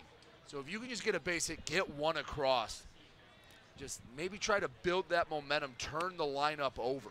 Yeah, and also not a big walk guy either. I mean, you're talking about 22 hits to six walks. So he's not necessarily taking a ton of walks. I mean, you see some guys in the league that have 18 plus walks. And so looking at him, this is going to be a ball that he's going to try to put in play here because he also was the first one to get a hit this game, too. Three and one the count as Chris Davis waits on deck, and I have to imagine this is, could be what the conversation is about. Hey, attack Wilcoxon because you do not want to load the bases with Davis coming up. I know you've struck him out and gotten him to pop out, but that's not a situation I want number eight coming to the plate with. Yeah, and I think the the biggest conversation here is, hey, giving you a breather. Just want you to take that second, process what's going on right now, and let's go get back in the zone because you're once again a pitch away from getting out of it. Hitters more times than not will get themselves out, and from a pitcher standpoint, you've really just got to put something over the plate and let whatever happens happen. Three and one. Runner on second, Hilbrick. Runner on first, Crump. Pitch. Fouled away, counts full. Now you'll have runners in motion. Once again, I noticed him just kind of staying away from Wilcoxon, just staying on that outer half, not letting him get anything to his pull side. So I'll be intrigued to see if he goes challenge pitch here or if we start to see that off speed that he's been trusting all game. Wilcoxon did go the other way for his the lone hit for the Beavers today. Payoff pitch. Just missed that low outside corner. Third free pass of the inning. Tying run on base. Go ahead run at the plate, Chris Davis. Yeah, and you're going to see a coach come out here and have a conversation right now. See exactly what's going to happen here and see if we're going to make a move to the bullpen here or if we're going to leave Gearing in and let him finish his own game right now. Well, the Mammoths do not have a lefty in the pen. And it looks like that might be the end of the day for Gearing. He shakes the hand of Taylor Jelenkowski and well, he is responsible for those three runners, but if the bullpen can help him off, that's a heck of a start to his US PBL career. So when we come back, Hab will be on the mound for the Mammoths. 3 nothing. They try to hold on to the lead here on the US PBL network.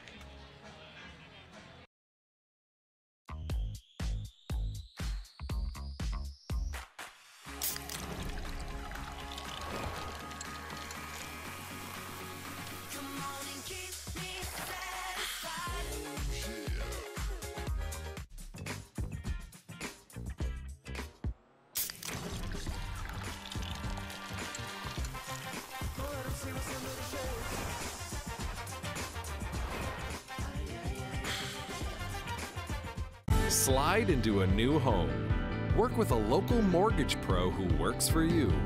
Get a cheaper, faster, easier home loan. Find a mortgage broker near you today at findamortgagebroker.com.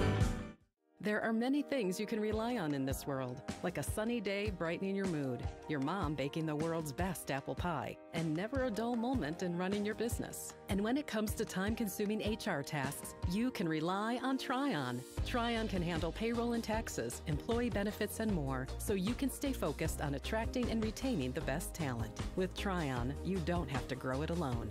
Visit relyontrinet.com. Always rely on TriNet.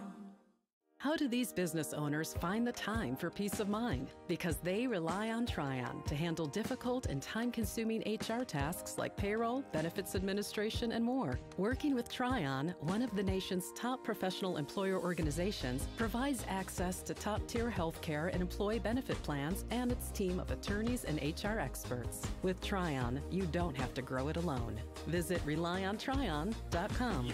Always rely on TriNet.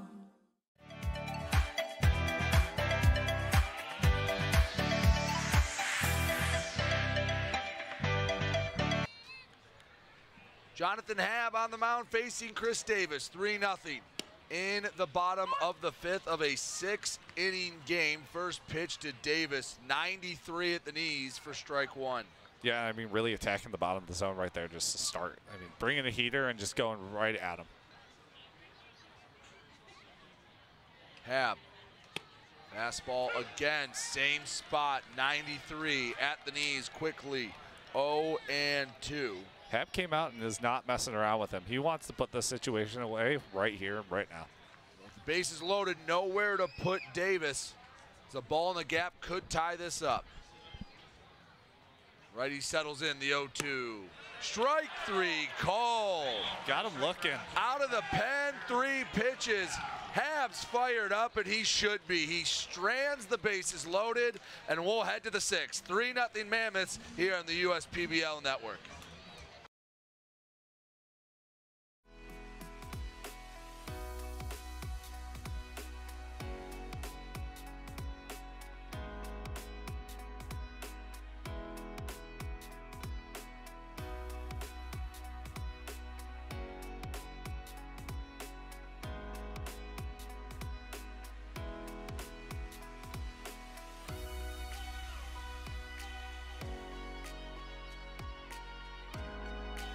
Throughout your life, from big moments to ones well earned, we're your financial guardian angel. Alliance Catholic Credit Union.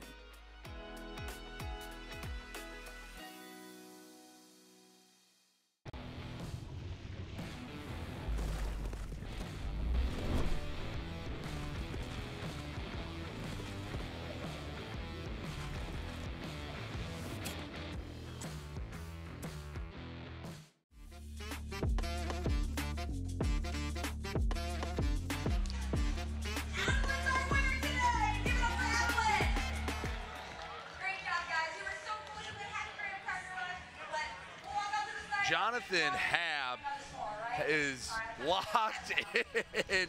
He is focused. He's excited. He struck out Chris Davis on three straight pitches. And I think that was the same look he had on the mound. Yeah, I mean, he is just stone cold right now. I mean, you see just emotionless once he got back in the dugout right there. He knew exactly what he wanted to do and came out and executed to a T. I mean, two pitches when you look at the TrackMan report, right at the bottom of the zone. Stone cold is a good way to put it. I mean, it was 93, 93, 92, living on the edges. That was that was a heck of a sequence to get out of a very sticky situation, a very tough situation. And he came out and he was deadly focused. Yeah, and I mean, now this is where the Mammoths get to do what they've been trying to do all game, which is just extend this lead a little bit more, put the nail in the coffin here in the top of the six. 3 nothing Mammoths as it is the bottom third of the order. Garbisic, Beadle, and Seltzer. Galindo gets the swing and miss on Garbisic, 0-1. Yeah, and I mean, once again, just mixing up the arm angles, mixing up the approach height from where he releases each pitch. Garbisic yet to be retired as he waves and misses at the 0-1. Singled in a run his first time up, walked last time. Yeah, now he takes his time out here, trying to just gather, kind of throw Galindo off of his kind of rhythm that he's on right now.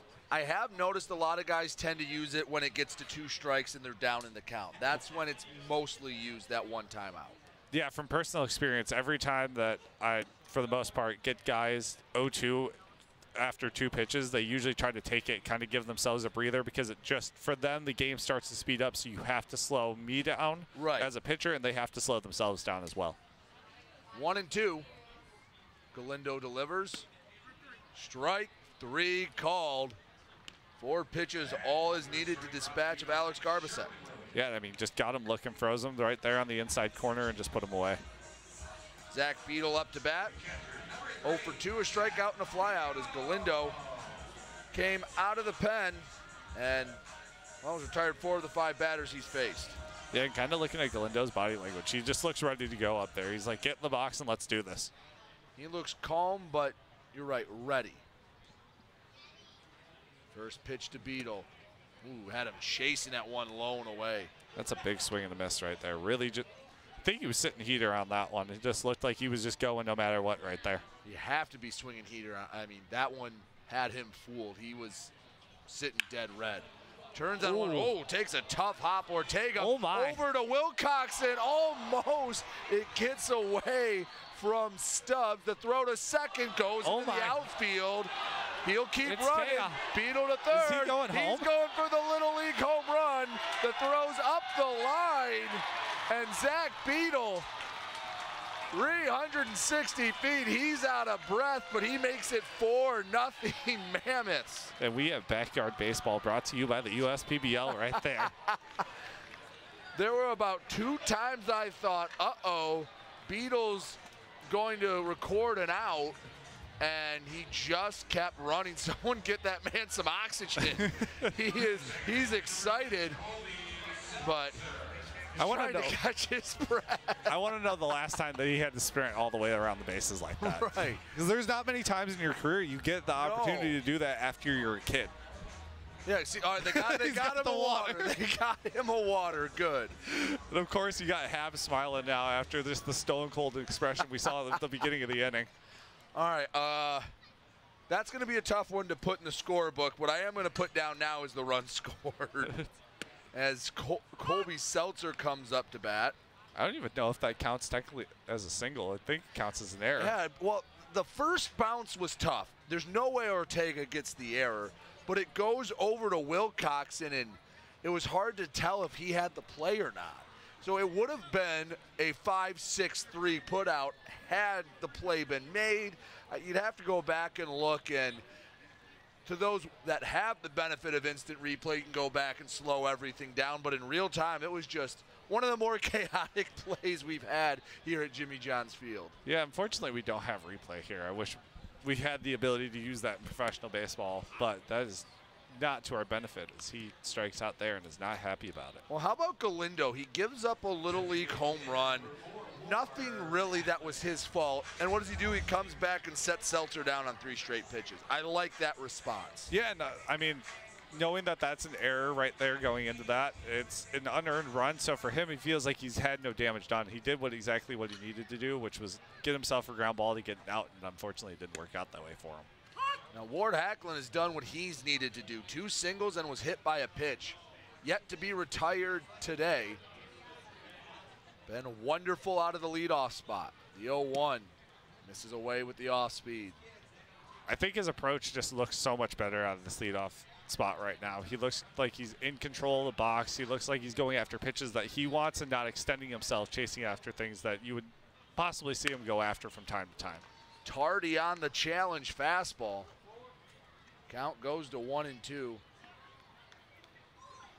Baseball, it, it, it, it's cliche, but it's cliche for a reason. It's such a mental game. So if you can find the right approach for a guy, you can see his numbers go up.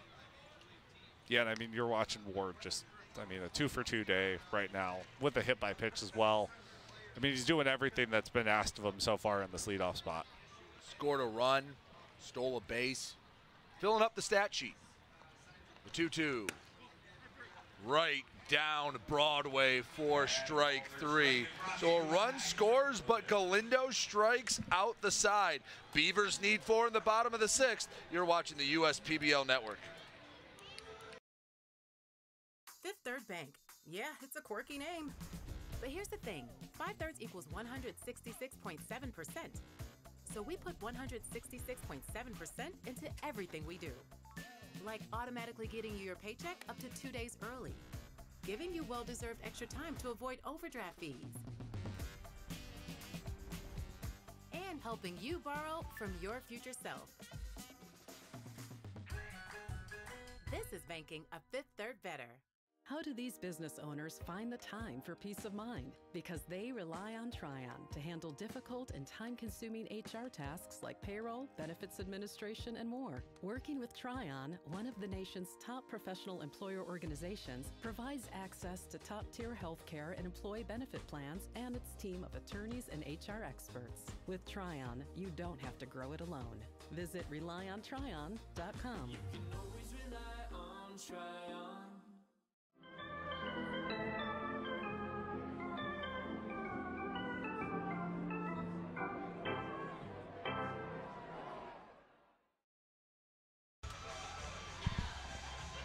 Almost done with game one of this twin bill. The younger fans settled in, and well, it will be up to Jonathan Hab to slam the door on the Birmingham Bloomfield Beavers. A four to nothing lead here in the bottom of the sixth.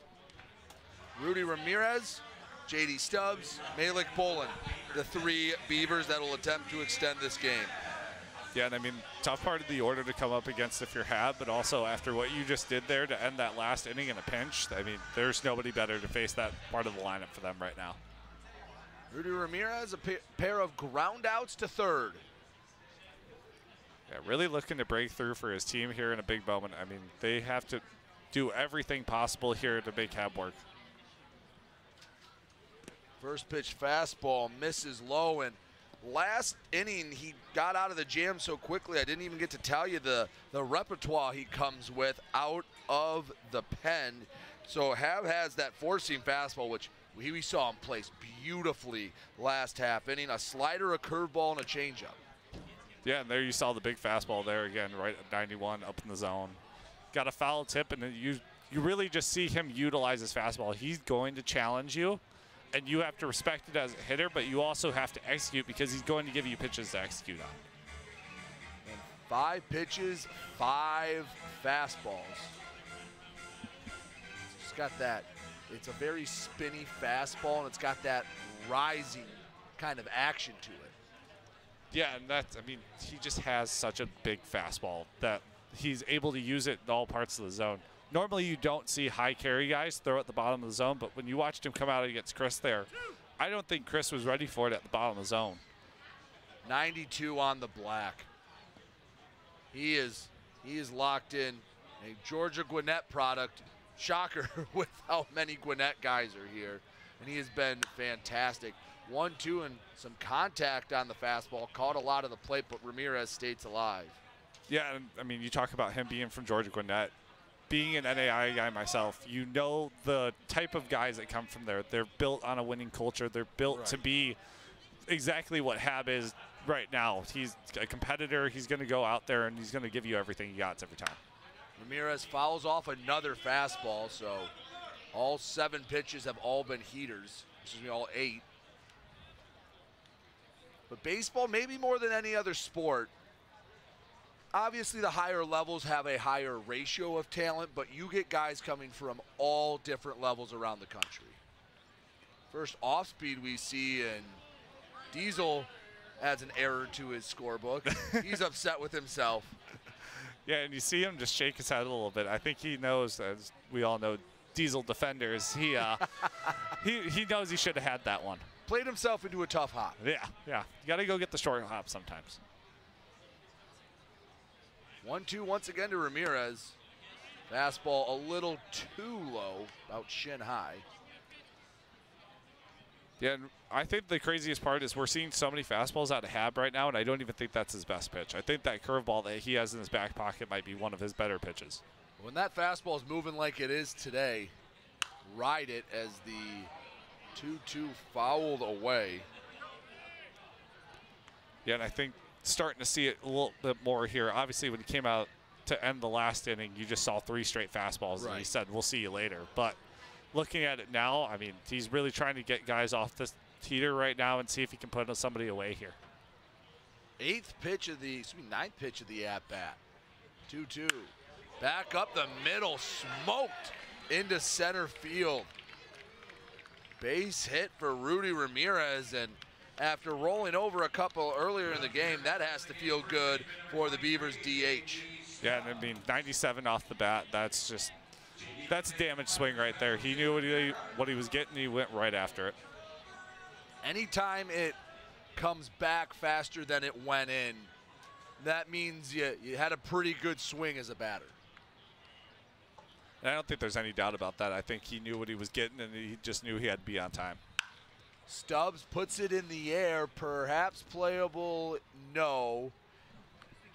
Garbisic knew his own limitations and lived to fight another pitch. Yeah, yep. He he saw where that one was going, and he didn't want to go test the wall. Be curious how they work JD here and see if they work him with a little bit more off speed or if they keep hammering fastballs against him. Well, they can challenge. They're up four, so even a long ball, you still have a two-run lead. So you have a little bit of leeway there. Yeah, I don't think anybody wants the two ball, the long ball added to their uh, stat sheet from tonight. Right, but you don't have to pick the corners and you don't have to be as careful. Obviously, the ground ball and the double play is what you're looking for, and pick off. Oh, and he got him. Ramirez got him.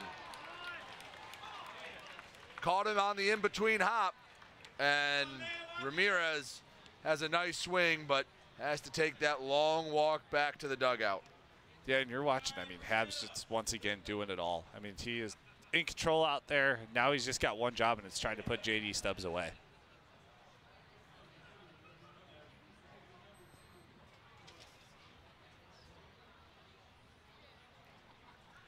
Well, one ball, one strike, and now you can really challenge Stubbs. Yeah. The 1 1, fouled straight back. One and two. And that is a momentum killer. I mean, you get the leadoff man on.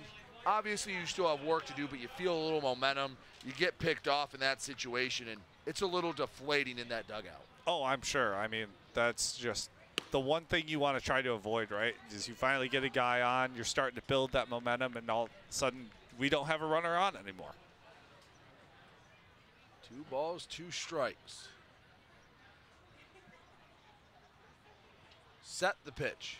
Check swing. yes, he did. He went around, but that might help Stubbs as he reaches on the wild pitch. So a strikeout for Hab, but Stubbs reaches, got away from Beadle. Yeah, and you're watching Beadle right now. Obviously bent over grabbing his stuff, but he was hobbling there a little bit. He wore it, went off that uh, swing and a miss. I think he just got a little bit of him in the thigh there.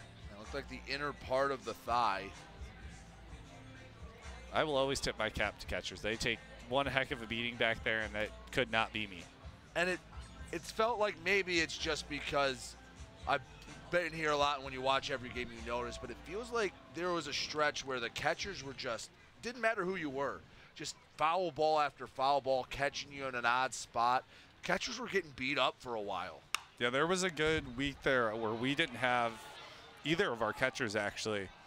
Uh, we had both that were on the IL, and so we were just trying to make something work at that Right. time. Bolin up to bat, runner on first, one away. Trying to pass the baton to the next guy here in the bottom of the sixth. 0-1 misses below the knees, one and one.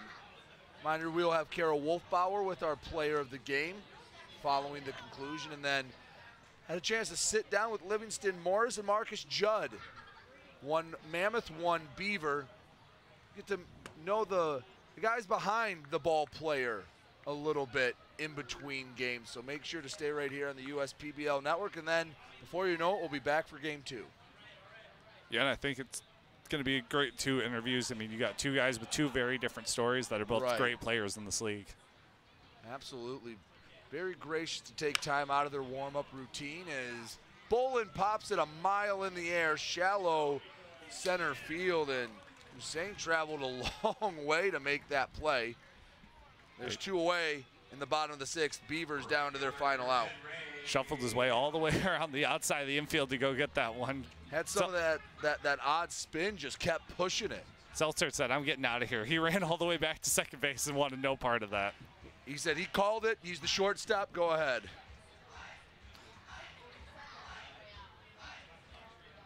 Down to Ray Hilbrick. Lined out and worked a walk. He's had some nice swings tonight. Strike one. 90 on the gun. And it feels when he like when he gets ahead, he's just painting the corners right now.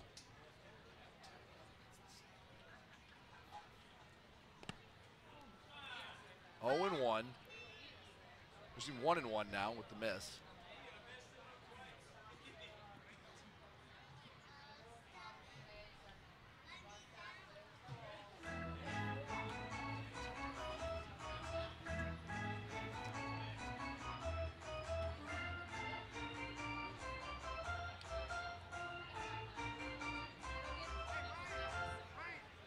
Looks like Hab taking a moment to himself, little discomfort.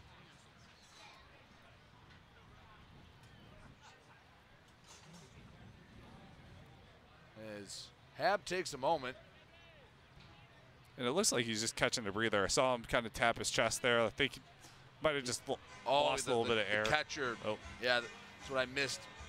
It was Beadle that got caught. Oh, yep.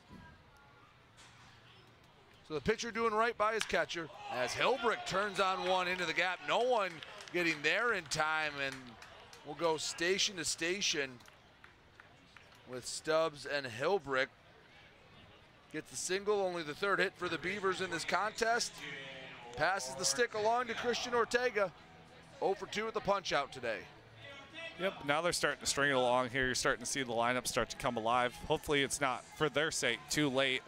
Obviously, if you're Hab, you're just trying to damage control here, trying to keep it as low as possible and possibly keep the shutout put together.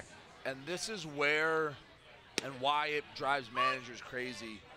Down four runs getting picked off at first is the killer of the momentum because now thinking bases loaded with one away, you're sitting sitting pretty, but have to have a short memory in baseball. There's going to be another game to be played in about 30 minutes. Yeah, and I think that's the toughest part of these doubleheaders is you have to have that bounce back mentality. It doesn't matter if you went 0 for 3 in the game prior; it's a whole new game. You obviously don't get the reset of going day to day, Right. but you have that 30 minutes to look back at what happened and make your adjustments going forward. 1 1, chopper foul. Beavers down to their final strike. Jonathan Hab trying to slam the door. Right here, all you're hoping for is something easy on the ground or just put him away with the punch out if you're Hab.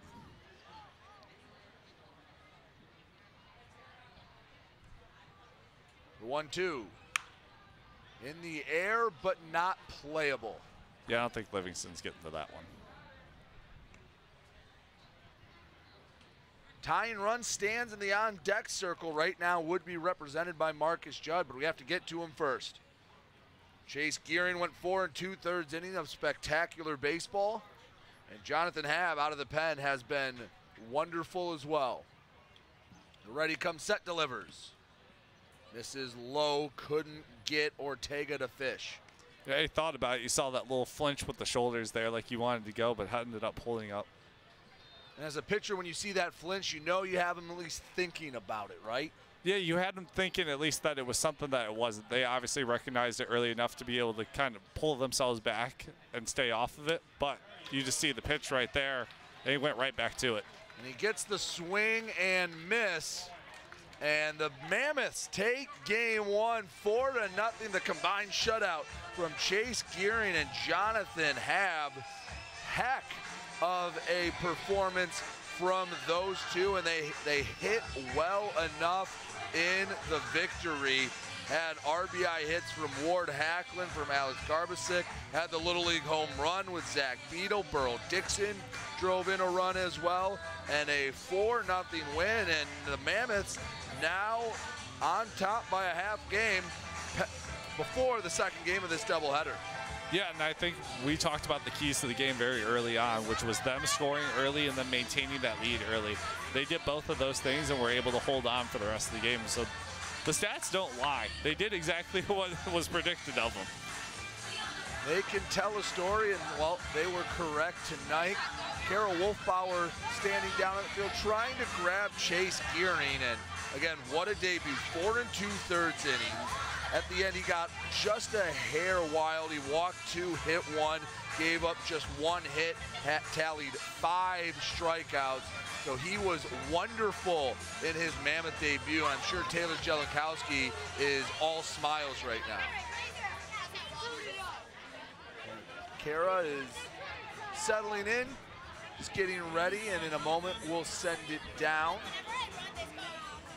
Again, remember, after Kara's interview, we'll send it to the two interviews I had with Marcus Judd and Livingston Morris. Won't want to miss it, and like I said, before you know it, we'll be back here for game two. But a wonderful performance by the righty Chase Gearing. Yeah, I mean, once again, like we said, what a great performance out of him in his debut. You couldn't ask for much more out of him. Nicholls State product, a local boy from Troy. So coming back home and performing pretty well. And let's send it down to Kara Wolfbauer. Kevin. I'm here with our Dawn to Dusk player of the game, Chase Gearing. You just saw him on the mound tonight for the West Side Woolly Mammoths. So Chase, you went just over four innings today with five strikeouts. Now, you are new to the league. This is your first game here with us. So what did you hear from your teammates, scouting report-wise, on how to face off against an effective offense with the Beavers? Um, just trust my stuff, fill up the zone and compete. And um, my guys on defense got my back, obviously. So um, yeah, just really going out there and be myself. Don't try to do anything that you know I'm not used to. And um, after I threw the first pitch, I, I was like, okay, here we go. So um, from there, it was just attack the zone, fill it up, and um, give my team the best chance to win. Yes, and that deep breath worked, only gave up one hit tonight. So it's great to see you out on the mound. Now, he is actually a native of Michigan from Troy, so pretty close by, but went away for college. So what's it like to be back in your home state now playing professional baseball? Um, awesome. Um, I get to have all my family and friends that haven't got to come see me throw uh, in college, so to have them out here tonight and um, um, just a special, special feeling, and to go out and have the day I did. So um, very thankful and excited for, for what's to come. So. Well, congratulations on having a great game today and a great first outing. We look forward to seeing you the rest of the season. Once again, this is Chase Gearing, our Dawn to Dusk player of the game. Congratulations, Chase, and player.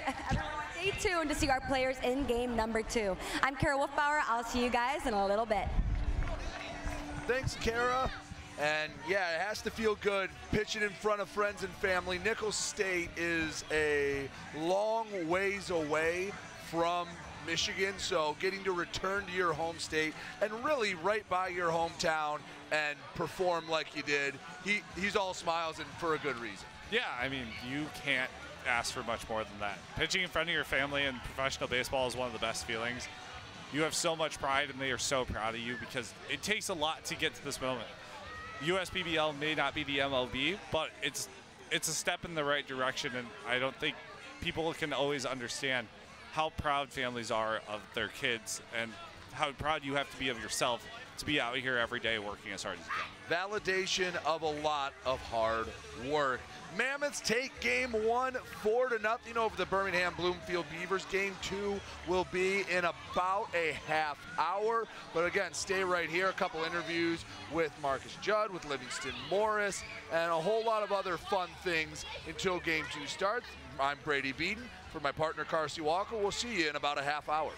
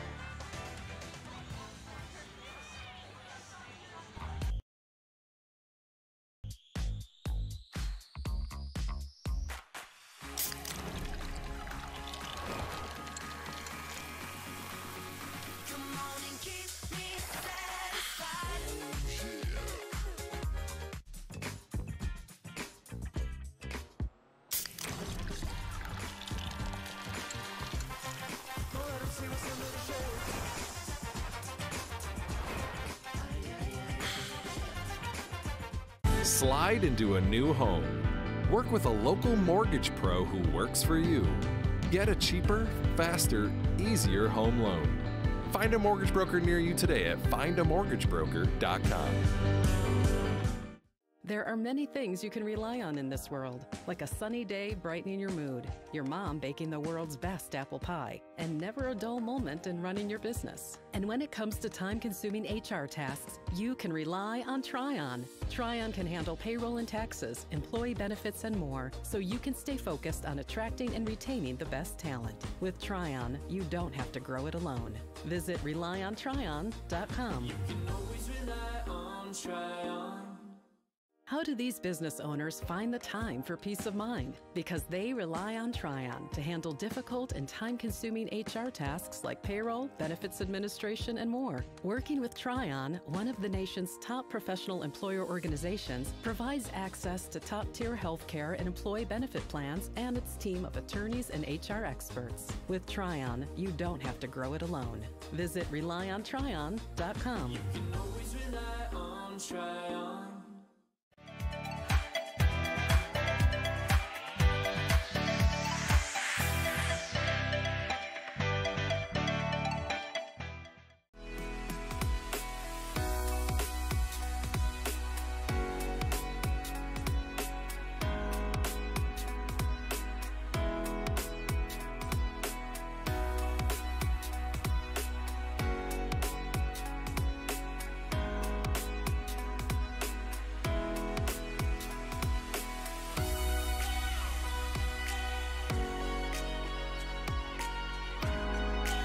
Throughout your life, from big moments to ones well earned, we're your financial guardian angel. Alliance Catholic Credit Union.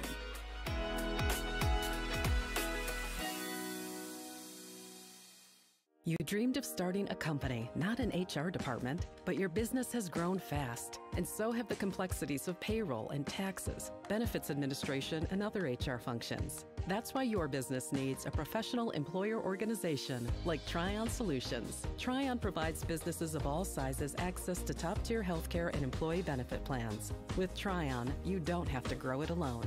Visit relyontrinet.com. First State Bank is a locally owned and operated business. We're part of your community. At FSBCares.com, you'll find ways that we're making a difference by featuring locally owned and operated businesses, providing access to helpful financial resources, and engaging with community. FSBCares.com is part of our commitment to the neighborhood because strong neighbors mean stronger communities. Where good neighbors do great things. Member FDIC and Equal Housing Lender. You hear about the promo that Jimmy's John's got going on? Five off 20? How they pulling it off? Magic? You got David's Copperfields in there? Show yourself, Copperfields! Jimmy John's. Five bucks off orders of 20 or more.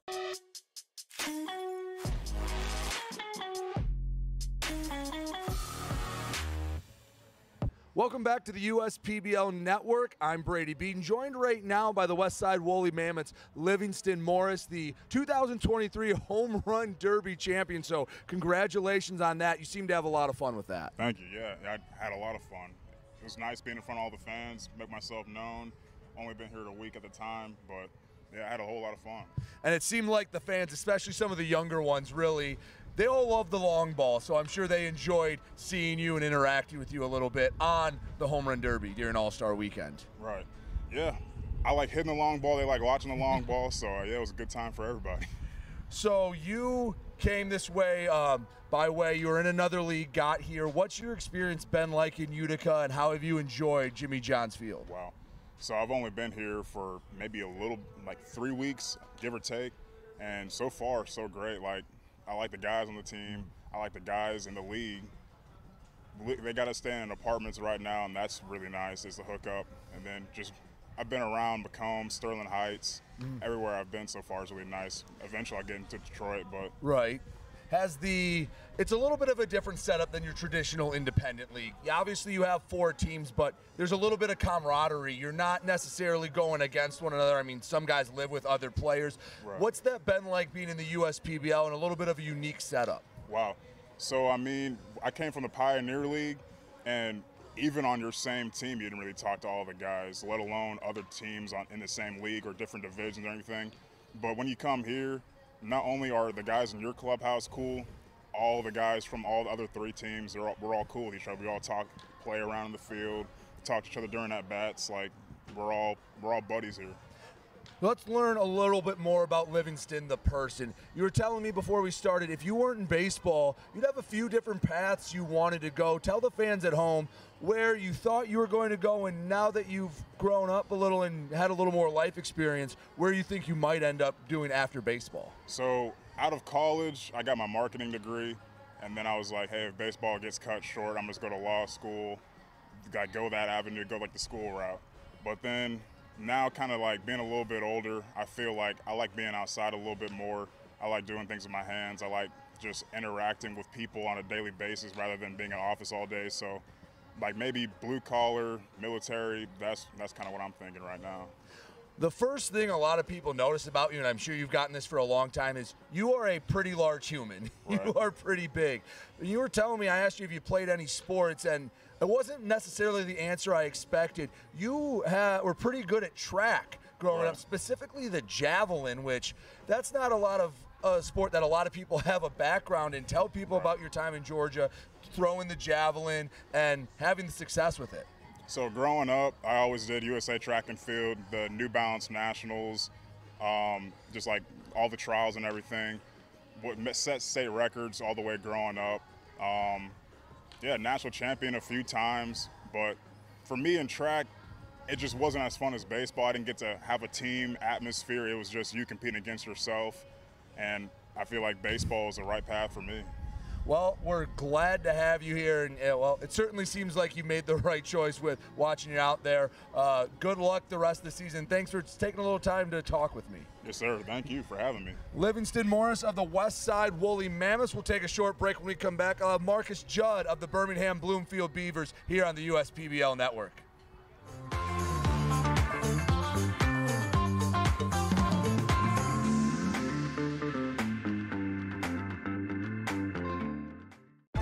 At Ascension Michigan, we're committed to being your first choice for healthcare. Our nationally recognized heart program is the leader throughout Michigan in minimally invasive heart valve procedures. For joint replacement, spine, and cancer care, patients choose our specialists for advanced care and treatment. And we also excel in the things that can't be measured. Listening more closely, caring more compassionately.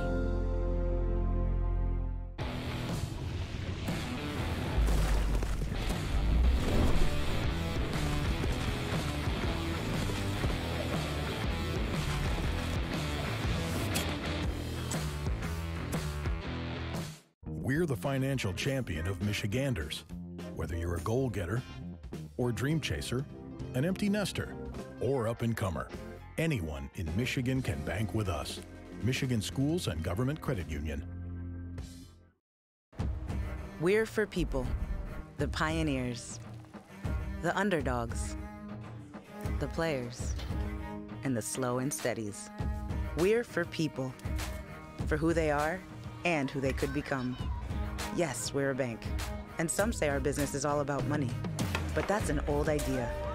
Because look past the money, and you'll see real human lives. We see it because we're for people. Huntington, welcome.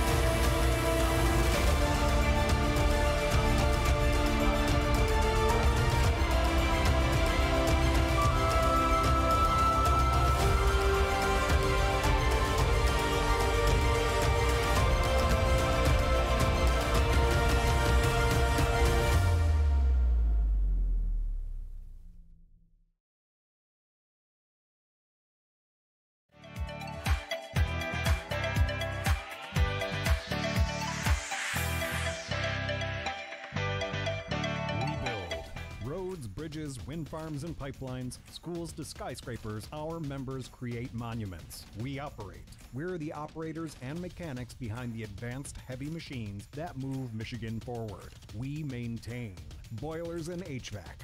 Our members run the complex heating and cooling systems that we all depend on. Our training is second to none, and safety is our priority. We are Operating Engineers 324, and we keep Michigan running. Companies are competing for talent like never before. With the complexities of handling tasks like payroll, benefits administration, and other HR functions, it's easy to see how a professional employer organization like TriNet Solutions makes all the difference. TriNet empowers businesses of all sizes to attract and retain talent by offering access to top tier healthcare and employee benefit plans. With TriNet, you don't have to grow it alone. Visit relyontrinet.com. Slide into a new home. Work with a local mortgage pro who works for you. Get a cheaper, faster, easier home loan. Find a mortgage broker near you today at findamortgagebroker.com. Jimmy John's Field is the perfect venue for birthday parties, summer picnics, company outings, and provides the best entertainment in Metro Detroit with great baseball all summer long. Spend your summer nights under the lights at Jimmy John's Field in historic downtown Utica.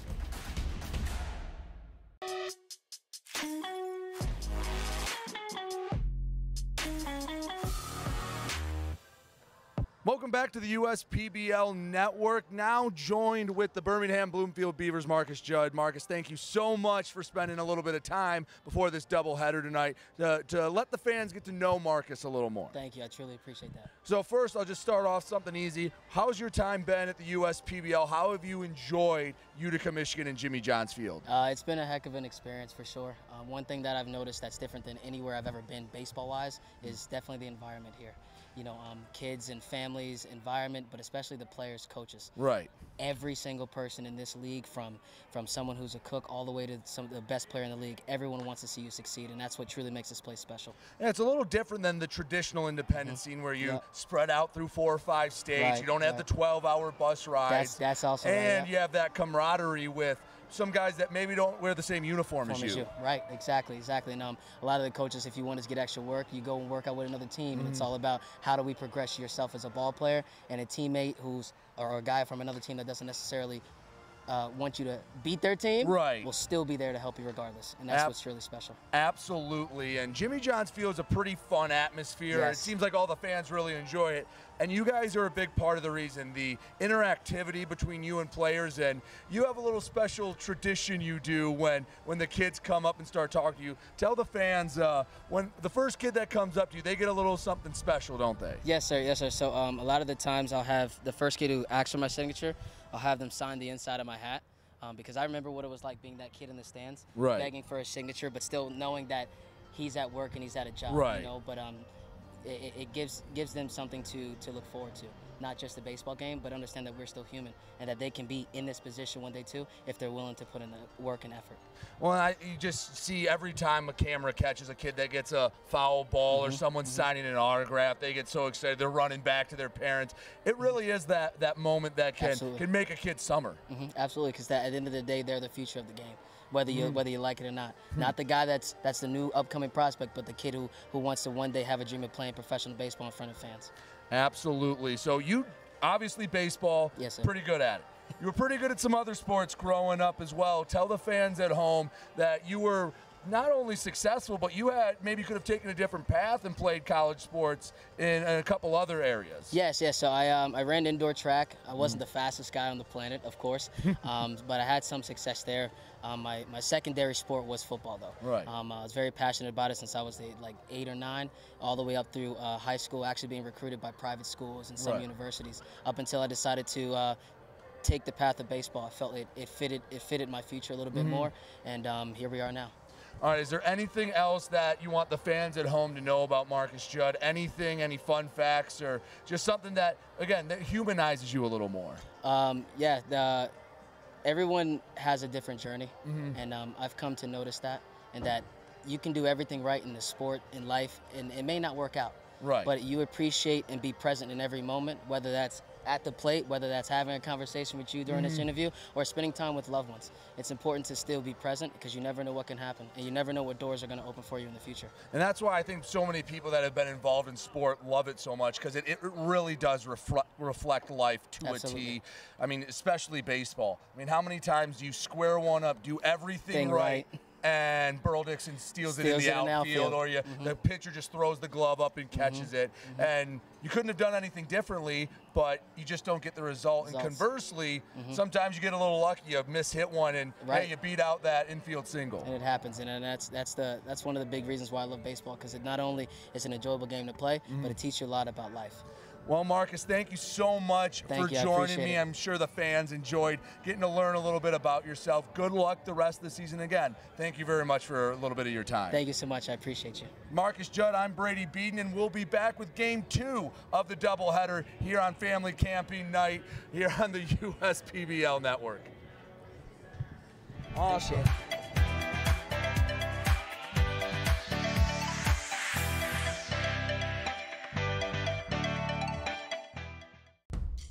Jimmy John's Field is the perfect venue for birthday parties, summer picnics, company outings, and provides the best entertainment in Metro Detroit with great baseball all summer long. Spend your summer nights under the lights at Jimmy John's Field in historic downtown Utica. What are the odds that we're neighbors, where you've known each other our whole lives, and both tear the exact same things in this exact same knee? So an ACL tear is an injury to the main stabilizing structure of the knee. You want a good team around you because then you know that what you're doing is going to help you in the long run. My message to everyone who's helped me, thank you so much because you guys helped me progress so much. Also hearing it from a friend that's went through the exact same thing, I think sort of helps that know that there's a bright side at the end. Why are all these business owners smiling? Because they rely on TriNet to handle difficult and time consuming HR tasks like payroll, benefits administration, and more. Working with one of the nation's top professional employer organizations provides access to top tier healthcare and employee benefit plans and TriNet's team of attorneys and HR experts. With TriNet, you don't have to grow it alone. Visit relyontrinet.com. At Ascension Michigan, we're committed to being your first choice for healthcare. Our nationally recognized heart program is the leader throughout Michigan in minimally invasive heart valve procedures. For joint replacement, spine, and cancer care, patients choose our specialists for advanced care and treatment. And we also excel in the things that can't be measured. Listening more closely, caring more compassionately.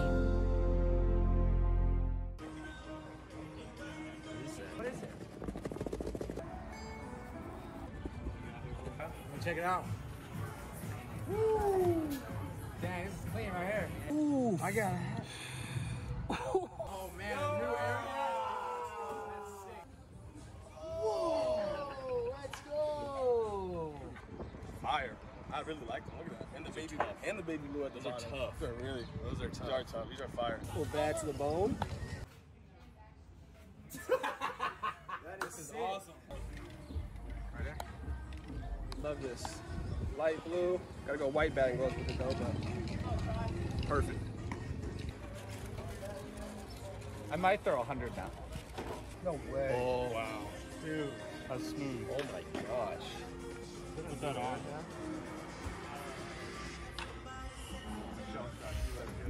I'm ready to go, baby. Let's go. This is nice. What is it? New Era? Yeah.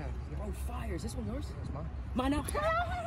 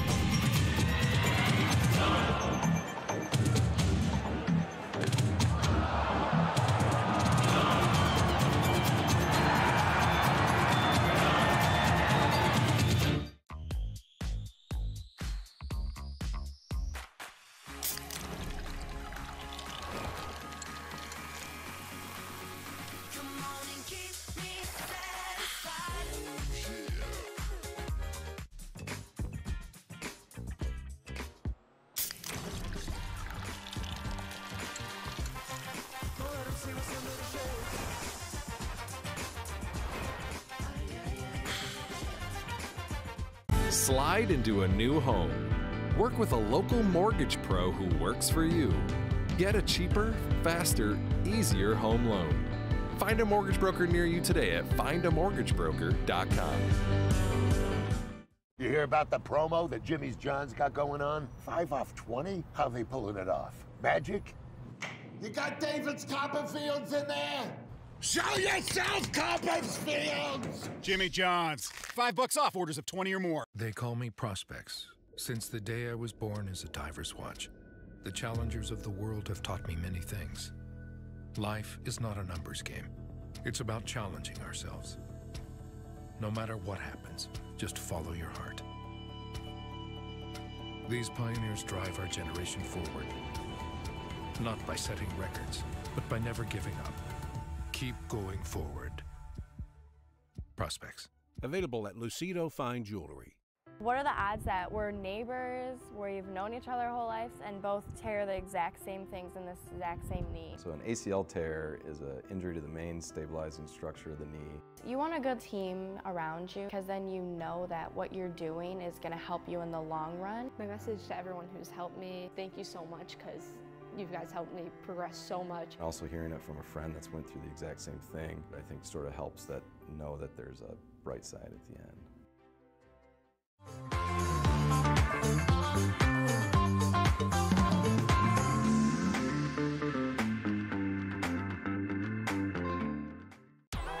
The Dave & Buster's method is designed to help you unlearn adulthood and discover the funner you hidden within you. The you that doesn't think about adult things and stuff. Ashley, I don't want to hear anything about your car registration when we're at Dave & Buster's. Okay. The you you want to be.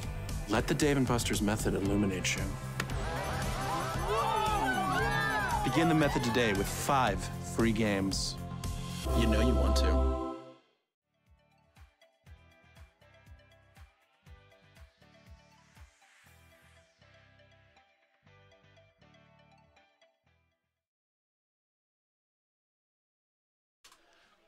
Back here at Jimmy John's Field, game two tonight in the USPBL between the Birmingham Bloomfield Beavers and the West Side Woolly Mammoths. Mammoths got the 4 0 win in game one, now 14 and 12. Let's take a look at their starting lineup for game two of this twin bill affair. Leading off again, Ward Hacklin, he's in left. Jordan Hussein, the shortstop, is at is batting second. Burl Dixon in center field batting third. Fox Liam, the DH, bats fourth. Livingston Morris back at first base, batting fifth. Dravion Williams Nelson still out in right field, batting eight, batting sixth rather. Alec Garbisick at third, batting seventh. Scott Combs behind the dish, he bats eight, and Colby Seltzer, the second baseman, bats ninth. On the mound for the West Side Woolly Mammoths will be Nathan Witt. We'll take a look at him more in a moment. But first, let's take a look at how the Birmingham Bloomfield Beavers will line up behind Andrew Verbrugge, brought to you by Three Dimensional Services. Carsey, how are the Beavers looking in game two? Yeah, we got JD Subs holding down over at first base, Marcus Judd at second, Ben Wilcoxon at shortstop, Christian Ortega at third. Then looking at our outfield, we have Rudy Ramirez in left, Chris Davis in center, Ray Hilbrick in right, and then behind the plate we have Luke Stevenson, and on the bump we have Andrew Verbrugge, who we'll also probably look at shortly. Well, not a lot of changes to be made when you have one batter on the bench, and that was your catcher, so that's going to be the change. But let's take a look at the Ascension pitcher comparison, and Nathan Witt getting the start against Andrew Verbrugge. Let's start with him because he was originally a diamond hopper. Changes scenery, the numbers right there aren't exactly great, but hoping that the new uniform and maybe a different outlook can change his his season around. Yeah, and I mean, it's it's about just really resetting. You have a new team, you have a new jersey, you have a new coaching staff. It's about how different you can be now than what you were prior because now you have the second opportunity, so you have to take full advantage of it. And Nathan Witt for the West Side Woolly Mammoths. Not a lot of innings logged on the season. In fact, this will just be the second game he starts. So hoping to get a few innings out of him. But Andrew Verbrugge starting on the mound as Ward Hackland comes to the plate First pitch called strike. And at game time of game two, 745 as the righty Verbrugge works into the motion. This is in on the hands, one and one. Yeah, I mean, Verbrugge really trusts his off speed when he's on. I've seen him in the past really be able to run it up there with the fastball. So I'll be intrigued to see what he does today. Well, and that's the reason why Verbrugge got the second chance because despite the numbers not being great, there have been flashes where you go, this guy can be a dude. Like, he can be a, a major piece of my pitching staff. But the key word's consistency. Everyone here has talent. Everyone here has the ceiling to get there. It's how often can you bring that to the table? Yeah, and I mean, that's the whole point of this league, right? You try to build that consistency, build that resume to really get yourself to whether it's another independent league or to an affiliate team. You're trying to build that resume and show you can be consistent from start to finish throughout a season. He's had a rougher start, but it's about how he bounces back here in the second half. Bruggy misses with the breaking ball away to Hacklin. Five pitch mix, four seam, two seam fastballs, a curveball, a changeup, and a slider. So a pretty traditional five pitch arsenal. Yeah, and you'll you'll see the difference between the four seam and the two seam. You'll see the four seam has a little bit more carry to it like that, versus the two seam. You'll see a lot more run, and a little bit more diving action to it. That was a challenge pitch to Ward Hacklin, who had a very nice game in game one for the Mammoths. In the win, he went two for three, a couple of singles, a stolen base, an RBI. So a little bit of everything for the leadoff man out of Irmo, South Carolina. Ooh. Just missed the knees. Carsey, I know as a pitcher, you're, you're, hoping that the home plate umpire starts the lawnmower with that one, but instead it's 3-2. Yeah, and as a pitcher, I'm wanting that one every day of the week. I mean, that's it's very close, and especially first batter of the game working this many pitches. That's a great pitcher's pitch. Ground ball to short. Wilcoxon fields it on the waist high hop, throws across the diamond, retires Hacklin to start game number two. And that one didn't sound too good coming off the bat. I might have had a broken bat on that one. Yeah, he, he jammed him just a bit. And that, I'm sure as a pitcher, that feels good when when you hear that sound and you, you basically you get a trophy breaking the bat. I, I want as many of them a game as possible. I'm sorry, hitters. I, I know you spend a lot of money on bats, but I want all of them broken. Jordan Hussein up to bat. First pitch over just above the knees for strike one. Yeah, and fans gotta love a broken bat too, right? Well, I mean, especially when the young ones, maybe the one goes flying and they and they hand it out. that is a souvenir that not many people can say they ever got is, is part of a broken bat. Yeah, it, guys are very stingy about giving them out. And also sometimes it's just a safety reason. You right. get some of these bats that are almost built like slivers or like they're very sharp at the uh, at the tip and you don't want to just hand that out to some young kid and possibly have him run around and hurt himself. Hussein flies out to Davis in center field. Center fielder number 12, Burl Dixon comes up to bat. Been a very quiet first two batters as Hacklin and Hussein retired quietly. Burl Dixon, though, he is not a quiet bat from the left side. First pitch at the knees to Dixon. And Verbrugge really just looking like he's all there right now. Might be the change of scenery, might just be because it's a fresh start at the start of the game. Verbrugge really just looks like he has a lot more field than we've seen over the past few weeks of the zone right now. And he was used as the back end bullpen guy for the Diamond Hoppers. So, again, change of scenery maybe a little change of role, hitting that, as you said, that mental reset button. The 1 1 in the dirt, but at least through the first two batters, seeming all right as you can see a beautiful night right now. Rain may be in the forecast for a short while. Just a bit south of us in Detroit at Comerica Park as I'll have to put a pin in that. Pick it up next inning as Dixon fly ball center field and Davis brings it in for out number three. Andrew Verbrugge gets the Mammoths down in one, two, three in order. We'll step aside as we send it down to Kara Wolfbauer for our fan of the game. Over to Kara.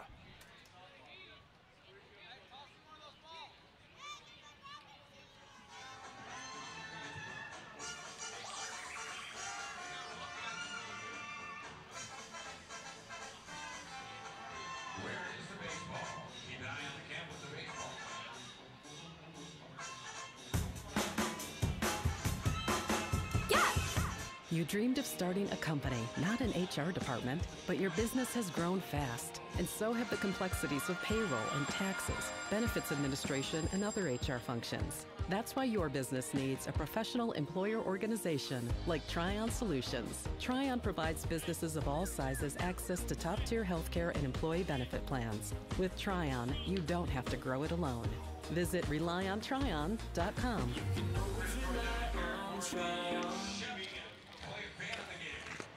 All right, guys, I'm right in front here in section 104 with our Metro Detroit Chevy Dealers fan of the game, John Bonk. Now, his son is actually Nick Bonk, number 16 on the Beaver, so they came out from Chicago to come check him out tonight and catch a game. You having fun so far? So far, so good. Perfect. Now, I know some of you guys are probably upset I didn't pick you as a winner today, but lucky for you guys, if you get out those phones right now and scan the QR code right up there on the board, you can be a winner too. So enter for a chance to win four tickets to our championship game on September 9th, and maybe we'll see you guys there. Thank you so much, John. Thank you, everybody, for listening. Make sure to scan that QR code, and we'll set it back up on Kevin now. Thank you. Coming up to bat in the bottom of the first inning, the Birmingham Bloomfield Beavers game two lineup. Bat leading off in center field, Chris Davis, Rudy Ramirez in left field for the second game tonight. Bat second, JD Stubbs at first, batting third. Malik Bolin, the designated hitter, in the cleanup spot. Ray Hilbrick had some good swings in game one. He's in the five hole in right field. Christian Ortega, the hot corner, batting sixth. Luke Stevenson, the Algonac native behind home plate, batting seventh. Marcus Judd at second, batting eighth. And Ben Wilcoxon is at short, rounding out the order. And we'll go to the defense in a moment as Chris Davis comes up to bat. Chris Davis didn't have a great game numbers wise in game one. Looking to bounce back as Witt takes the mound for the West Side Woolly Mammoths. Nathan Witt, the 6'4", 230-pound Goodrich native, came here by way of Michigan State University. And I think the first thing you think of when you see Nathan Witt is velocity. Yeah, I mean, first pitch of the game, 94 miles an hour. Debatably almost the hardest pitch we've seen all day. 2 0 is a couple of 94 mile per hour pitches miss up high. Davis and a good hitter's count early. And that's the thing you'll see with Witt is a little bit of struggle with command as we're seeing right now as he falls back 3 and 0. But the upside is the velocity and the stuff is plus plus. Now where he's fallen and gotten himself into tr some trouble where we see it on the ERA is just that he sometimes loses the zone entirely. So hoping he can bounce back here and start this off as he finds the strike finds the strike zone. You look at his numbers through the season, just 12 and a third innings of work, so very small sample size. Walked seven, so you want that number down a little bit. Struck out 11, the batting average against 196. As the fly ball to center field is deep, but playable for Burl Dixon. He goes deep into the gap, making it look easy, and Chris Davis is retired. Anything looks easy for Burl Dixon.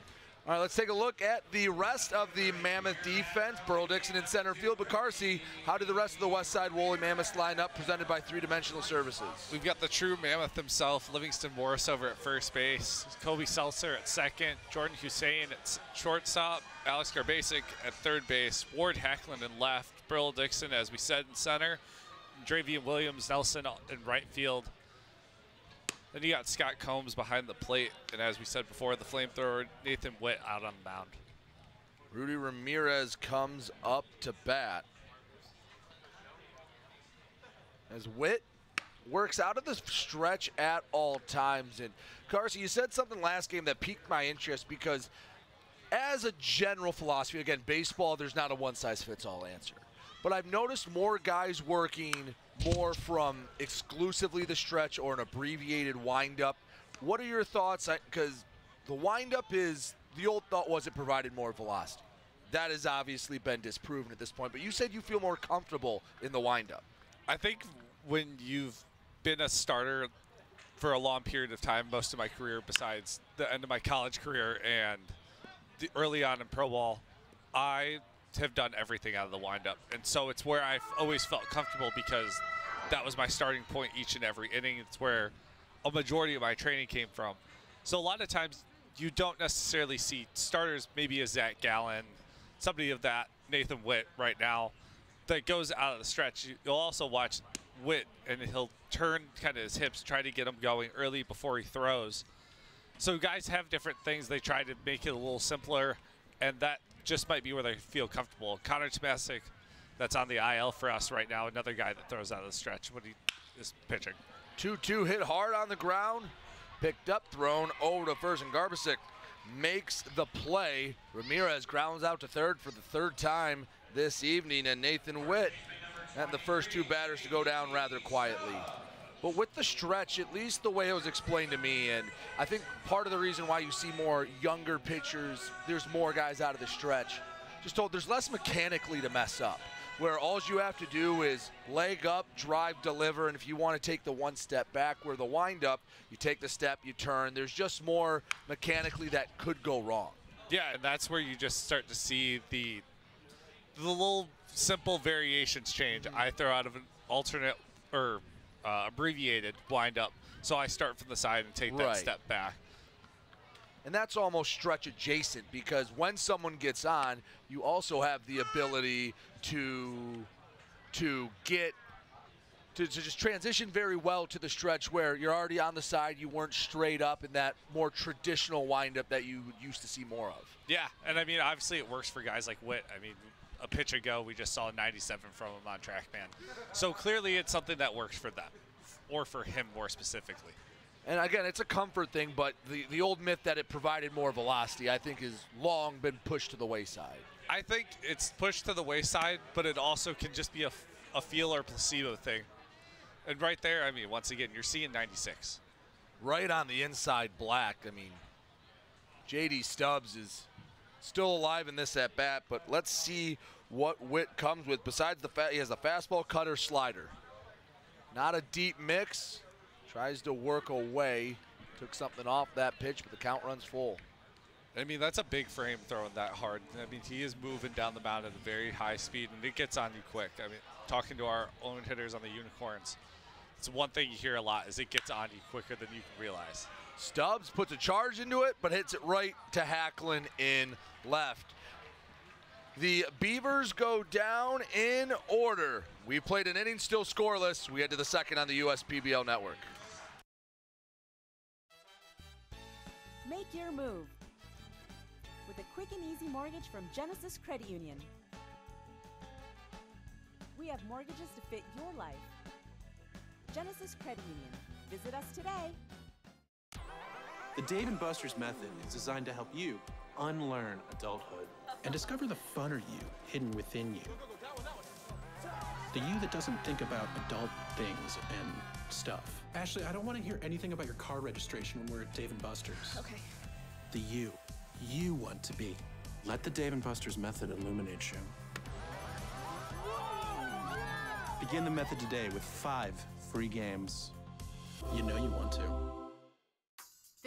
Extra Time helps you do you better. So kick back and relax. You have extra time to avoid overdraft fees. Fifth Third Extra Time. This is banking a fifth third better.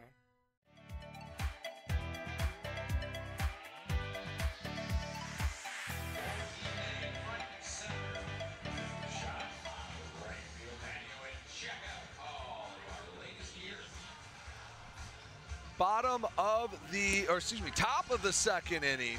Let's get that right. As Andrew Verbrugge comes back on the mound. And Verbrugge had a very smooth first inning. It was ground out, fly out, fly out. He'll face Fox Liam, Livingston Morris, and Dravion Williams Nelson. The middle of the Mammoth order here in the second. Yeah, that, I like what I saw from Verbrugge early on. Saw him attack the zone more. You saw him be a little bit more commanding of hitters. And he would it looked like the Verbrugge we've seen here in years past. I think that's the the big upside for him is you watch and you start to see that vintage Andrew Verbrugge that has been here for two years. The veteranship of him start to show. Brady Beaton alongside Carsey Walker.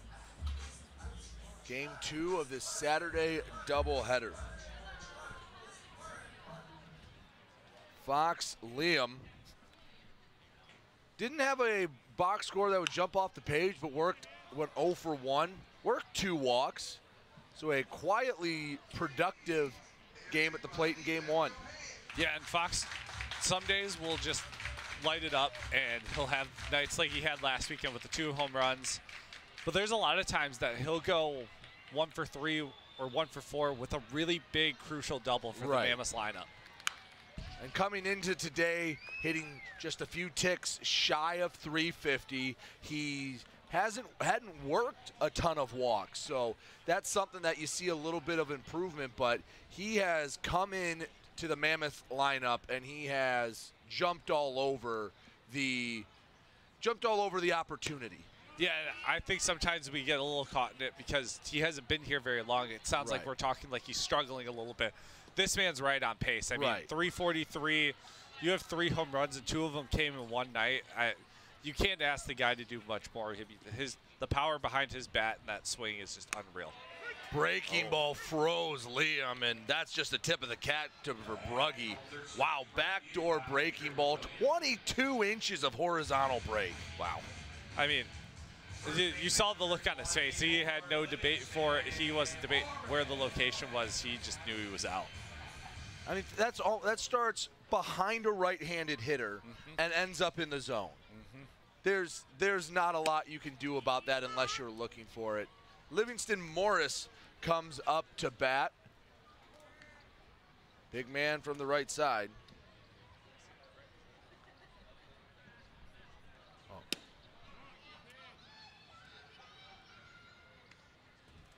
One and one to Morris.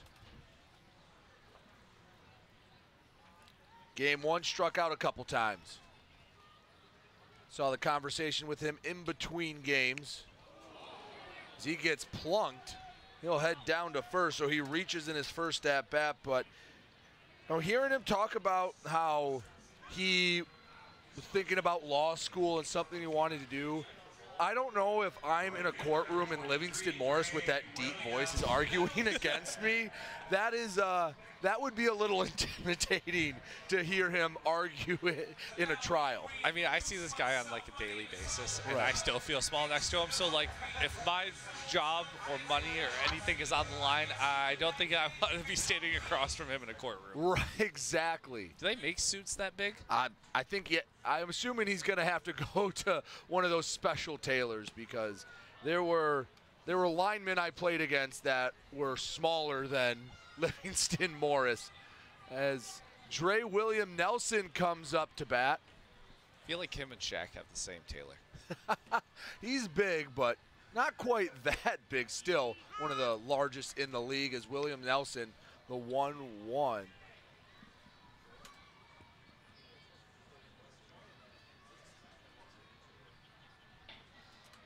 One ball, one strike. Called strike on the outer part of the plate. One and two to Dre Williams Nelson.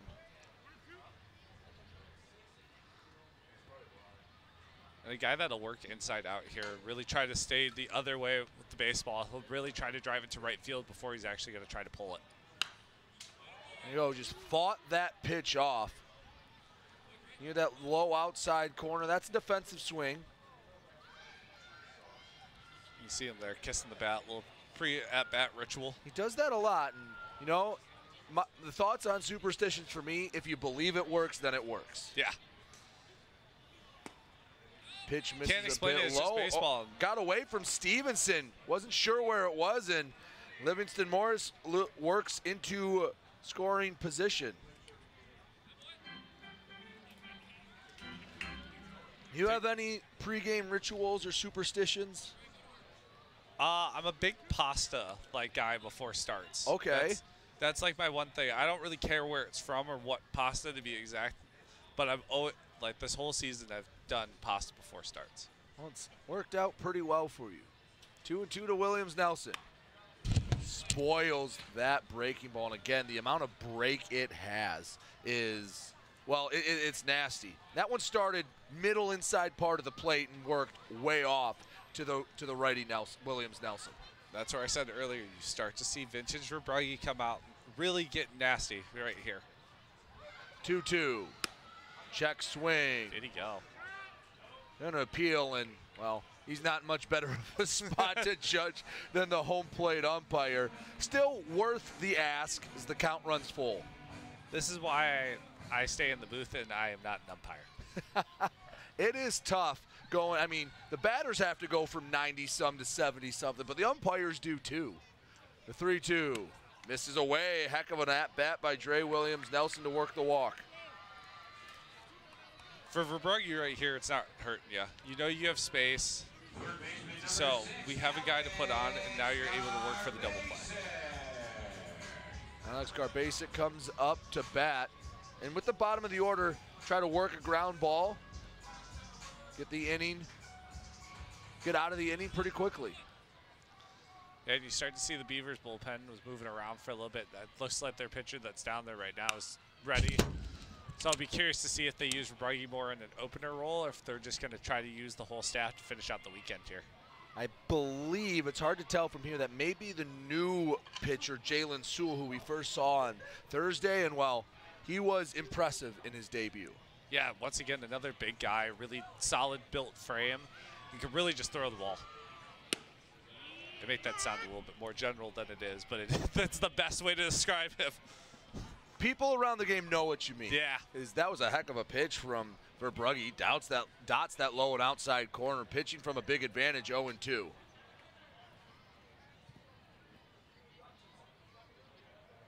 The 0 2. Way outside, easy take for Garbasic. See, now for Verbrugge, you really just have to get back into the zone and try to get yourself out of this. You can make one pitch here, get your two outs to get off the field and if this is your last inning, go out in a very ha happy and high note. 34th pitch coming up. Are you thinking ground ball or are you thinking strikeout in this situation? Right here, if it's me, I want the strikeout, but I know from a team perspective is you want the double play, and I don't think they'll be able to get either of those. Can't get Garbasic at first, just too slow of a roller. Swinging bunt loads the bases. It was a hit batter, it was a walk, and it was an infield single. And the Mammoths are threatening in the second. And the big fella was moving. I mean, he got down there quick. That was a slow ball off the bat, but he still had a shot there for a second. Hit it high, hit it slow. Don't think he could have bounced it any better getting that spot. Yeah, and this once again is a key spot for the Mammoths. They have to try to score before the third so that way they can retain that lead going into the second half of the game. Again, the numbers Carsey is referencing. The West Side Woolly Mammoths, the first three innings have been a big decider, and obviously in a six inning game, that's going to draw even more importance. 11 and 1 when leading after three, 0 and 7 when trailing after the third.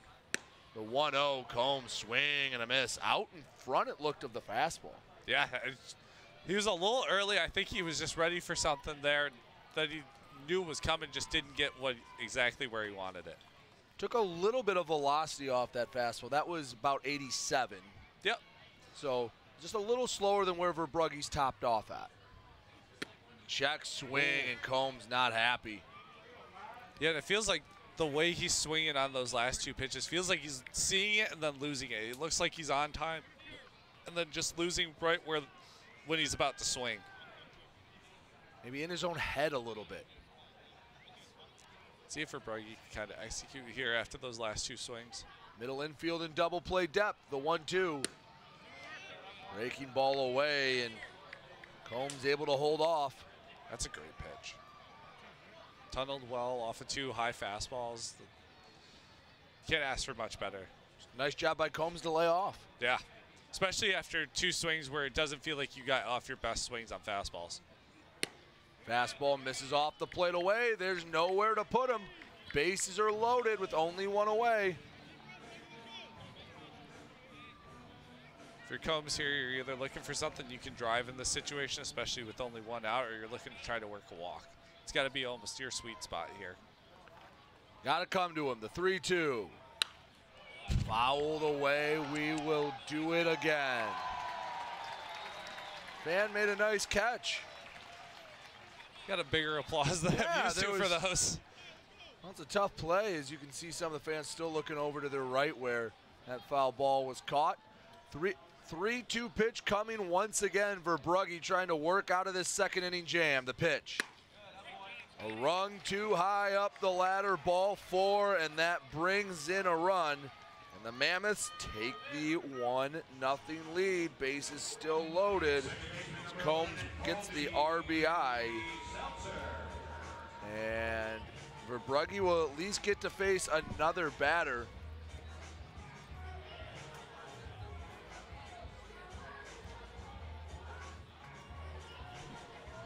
Wilcoxon even comes up to give a little word of encouragement to his pitcher. As there is a Beaver in the bullpen. That is that is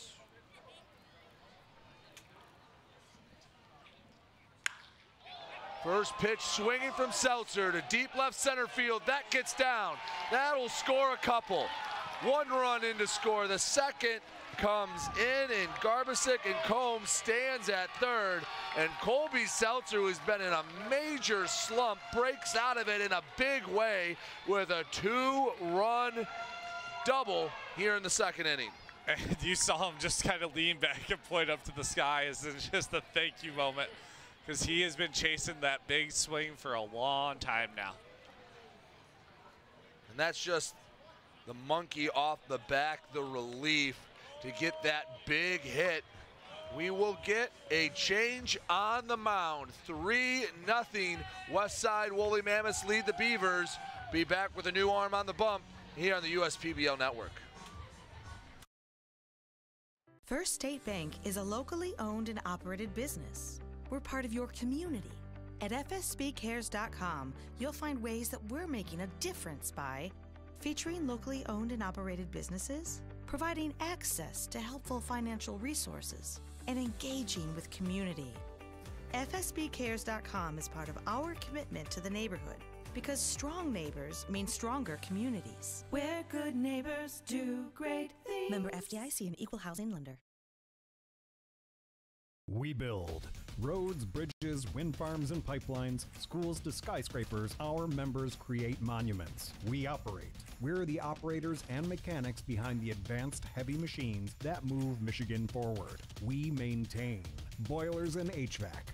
Our members run the complex heating and cooling systems that we all depend on. Our training is second to none, and safety is our priority. We are Operating Engineers 324, and we keep Michigan running. We're for people, the pioneers, the underdogs, the players, and the slow and steadies.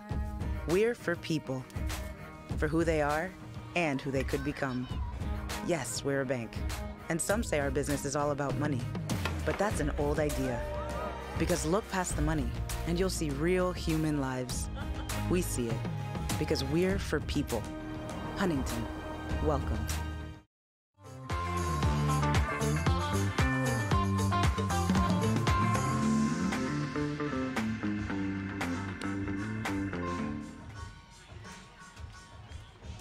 Jalen Sewell on the mound for the Birmingham Bloomfield Beavers.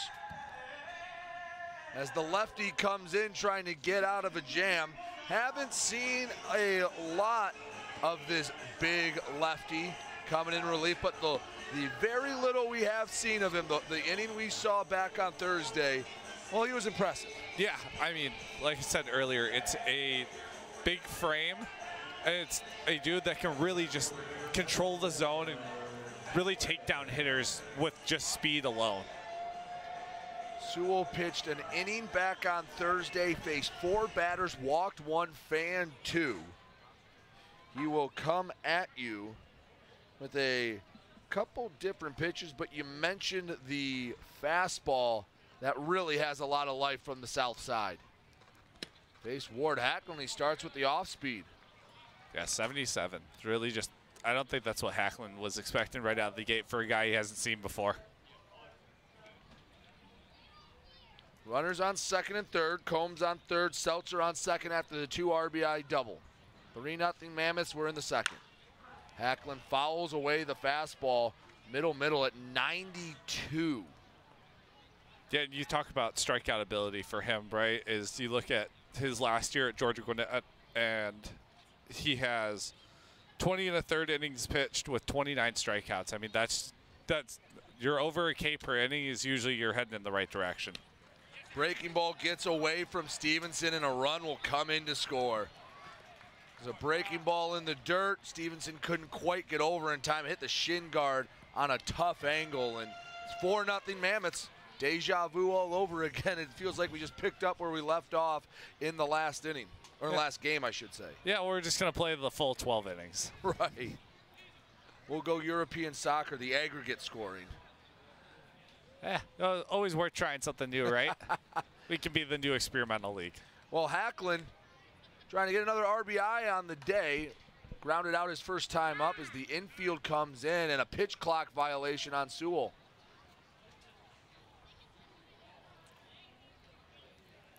Again, it usually seems it's the newer guys to the league that have a little bit longer to adjust, but count goes to two and two with the pitch clock. Yeah, and I know NAIA was a little spotty with using the pitch clock properly this season. Breaking ball gets Hacklin swinging two away. From some of my former college teammates, they talk about, hey, sometimes we would have it, and then you'd go to different schools, whether they be smaller or bigger, and umpires wouldn't necessarily be on it because no different than here a little bit. It's umpire ran. Well, yeah, because there was there was a pitch clock implemented, but there wasn't a physical clock there. Correct. So the umpires had to govern themselves, and they have so much to think about. It was not consistently enforced. I know at least at the NCAA D1 level, I believe next year every institution is required to have the physical clock that you see in center field that you will see behind the plate here at the USPBL. Yep, and I know a lot of Power Fives moved this year to have the full clock, so that way they were already ahead of kind of the terms with it. I never saw any execution though of whether like if they were with outside of the time limit, so I never saw any pitch clock violations. Right. It was kind of a transition year, at least in college, with regards to that. So, should be the last year that really you see any sort of transition for new guys coming into the league. And obviously coming in with runners on, if you're Jalen here, you just it the pitch clock can get away from you if it's something you're not used to. Now you're just chasing whatever, like you're more focused on the hitter and less on the pitch clock. Jordan Hussein, the hitter, counts one and two, misses way away and heads up base running from Seltzer. He didn't even think about going. He knew he was getting that Jimmy John's bounce off the short backstop. Yeah, and that the dimensions of the field really are built differently. You're not getting a rounded backstop. You're getting it built squared off, and so you have these pads running along the back. And luckily for Jalen, it hit the pads and it kind of killed it. So that way Luke was able to go get it. And it was a fastball too, so it didn't have any funky spin to to careen in any random direction. The 2-2 wave and a miss. Put Hussein in a knot and Sewell does a decent job cleaning up the mess he inherited. But the Mammoths score four, two of which came on the Colby Seltzer 2 RBI double. We head to the bottom of the second. Beavers chasing four here on the USPBL network. What are the odds that we're neighbors, where you've known each other our whole lives, and both tear the exact same things in this exact same knee? So an ACL tear is an injury to the main stabilizing structure of the knee. You want a good team around you because then you know that what you're doing is going to help you in the long run. My message to everyone who's helped me, thank you so much because you guys helped me progress so much. Also hearing it from a friend that's went through the exact same thing, I think sort of helps that know that there's a bright side at the end. That's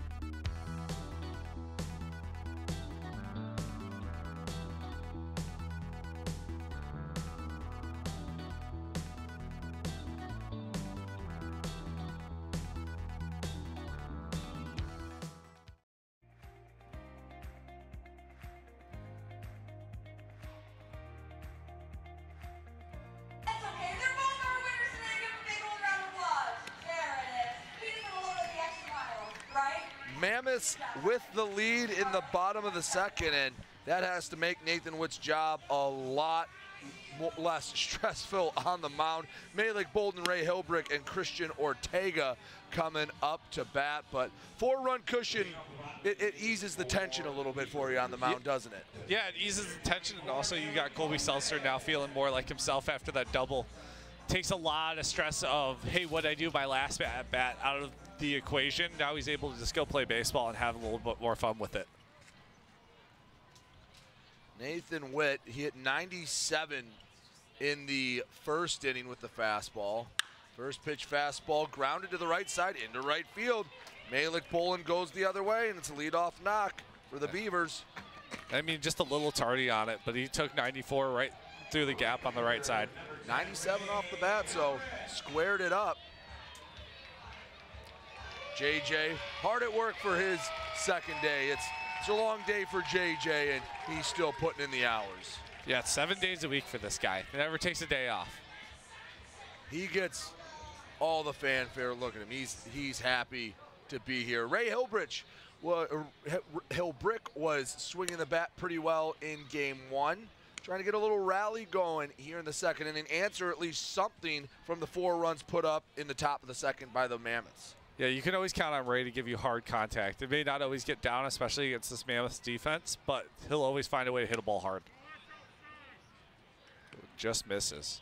2 and 0 to Hilbrick. And if you're Wit, don't want to give the Beavers any momentum. You want to, this is a step on the throat type inning and really try to keep them at bay. Yeah, we're getting close to that third inning, and as we've talked about multiple times throughout the broadcast today, that is the pivotal, pivotal inning for the Mammoths, so they really have to keep their lead here. Two and one. Runner on first bowl and getting a big lead as Hilbrick hits it hard but foul over the bullpen and left. If he can straighten that one out, he could have extra bases. There's a couple young fans run running battle for that ball. Somebody's getting a nice souvenir to take home today. May not be a broken bat, but we have a souvenir. Well, that's a hard-earned souvenir. two balls, two strikes. Witt comes set, deals. Just missed on the outer part of the plate. Stone cold take by Hilbrick. Count goes to three and two. Yep, and there's our fan running off the ball. He's counting off how 3-2 many he's pitch. got. Pitch, swing and a fly ball to left field. Hacklin sizes it up, ranges to his left, and brings it in for the first out here in the second. Yeah, and I think he just missed his pitch right there. He's right on it, able to elevate it a little bit, just not the exit velo that he needed, and I don't think he got all of it like he wanted to. Brings up the third baseman, Christian Ortega. Runner on first with one away, and Carsey, even if the Beavers can get one back this inning, you have to feel like, okay, we've calmed the waters a little bit. Yeah, I think one will really help as there's a single up the middle. It's a nice swing from Ortega. Put it, took it back from where it came. Now there's two on for Luke Stevenson. But yeah, you can push across Bolin, and at least, hey, all right, we can chip away at this lead, and we can make the comeback and pair that up with maybe a scoreless top of the third, and now you feel like you're trying to take the momentum back. Yeah, and we talked about it last game as well. Is if you were able to chip away at any point, you really start to do some damage because these are closer ball games than they may feel like at the time. Stevenson fouls it away. Average isn't there, but some of the power numbers for this catcher are. He had two home runs early in his USPBL career. He's a college showcase guy out of Elon. And we know we got some pop in that bat. Yeah, he's when he gets a hold of it, it goes, and there are no doubters. Both of the home runs that I've seen him hit so far this season have been just absolute no doubters. One of them was dead center, and the other one was a backside home run for him. I mean, both of them cleared by a large margin. So Stevenson grounds it foul. So again, his, his batting average is 156, not what you want. But of the five hits, three doubles and two home runs. That's, I mean, you look at the the slugging percentage, and it's third on the team. Yeah, and it'll show you, like we said, I mean, when he puts it out, it's by a large margin. So he shows you that the power is there. The consistency may just not be there yet. And once again, he's one of our newer guys, came in in the college showcase. So he's got time. We still have the whole month of August for guys to really try to pad their stats here before the end of the season. Swings and misses. So this time Stevenson set down on strikes, two on and two away for the second baseman, Marcus Judd. And everybody in the league's favorite person, Marcus Judd. He has a very outgoing personality, but you saw in the interview, also a very humble individual and, and understands the, the bigger picture, but one of the most outgoing and eccentric guys in the league. Yeah, you saw it in the interview as he talked about. Puts it on the ground up the middle. One second baseman grounds out to another, and a bang bang play at first as Seltzer is able to gun down Judd. Beavers threaten but do not score. We head to the third, 4 0 Mammoths here on the USPBL network. Companies are competing for talent like never before. With the complexities of handling tasks like payroll, benefits administration, and other HR functions, it's easy to see how a professional employer organization like TriNet Solutions makes all the difference. TriNet empowers businesses of all sizes to attract and retain talent by offering access to top tier healthcare and employee benefit plans. With TriNet, you don't have to grow it alone. Visit relyontrinet.com. First State Bank is a locally owned and operated business. We're part of your community. At FSBCares.com, you'll find ways that we're making a difference by featuring locally owned and operated businesses, providing access to helpful financial resources, and engaging with community.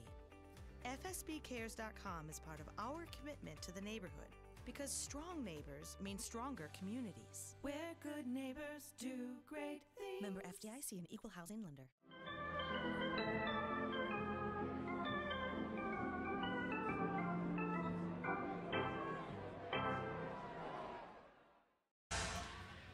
Fans sticking around for game two of this doubleheader. They might stick around after the game as well. It is the family campout night presented by your Metro Detroit Chevy dealers here at Jimmy John's Field. There will be a movie, and some fans will be staying the night here at the ballpark. Yeah, I spend enough time here, so I don't think I'll be staying over tonight. But I I am a little envious of the kids getting to camp out, watch a movie on the field, and kind of enjoy the, the stars on, on the sky. Some of those fans sitting out in right field, enjoying the, the view from the hill, which always seems to be one of the more popular hangout spots here at Jimmy John's Field. Yeah, you gotta love being able to sit out there. A little bit cheaper seats, but you get to take Right. a blanket out there. You get to still enjoy the atmosphere, enjoy everything that's around you still. It's always the we've nice part about the stadium as well, Right. too. We've seen a we've seen a few balls get hit out to the hill, especially some of those lefties can really get a hold of them. And then if you get a ball, you hope to get them signed. And that young fan, I saw a couple signatures on there. Yeah, I think I yeah. There's a solid amount of the team that's on there. Burl Dixon leads it off for the Mammoths here in the third inning. It'll go Dixon, Liam Morris. So, again, three big bats, but Jalen Sewell has been up to the task. Wonder if he has a Burl Dixon autograph. That might be worth something someday. You know, he is one guy that um, I did get his Diamond Dynasty card playing MLB The Show. I got a Burl Dixon one, and I'm like, oh, so Burl Dixon, he, he's big time. the, the 0-1 misses away, one and one. Did you get it like while he was here? Yeah, I got it like a couple a month ago. Oh wow. Yeah, I got. I was like, wait a minute, I know him. We should get all the USPBL players and then we'll be the show. I feel like that's how that should work. Two and one to Burl Dixon. Flied out to center field his first time up. Uh,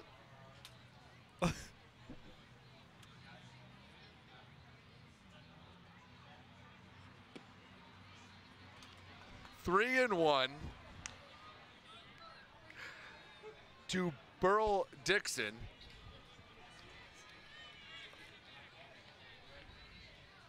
Oh, we love our director, Gibby. He does a great job behind the scenes. the 3 1 big swing and a miss from Burl Dixon. And Jalen Sewell, we need to give him the, the attention he deserves because he's come in and he has been throwing some very solid pitches. Struck out the, the two batters he faced. As yeah, some fans bragging about their time at the ballpark. As Sewell trying to punch out one of the league's league's best in Dixon. I saw the Voodoo Ranger on the phone. That's top quality beer that, that we sell here. That's a top quality pitch from Sewell. Third punch out in a row. His stuff is is uh, is electric right now. Yeah, he's really got the swing and miss factor. He really had the big breaking ball going at the end of last inning to get out of the gym, and you saw it again there. Brings up Fox Liam.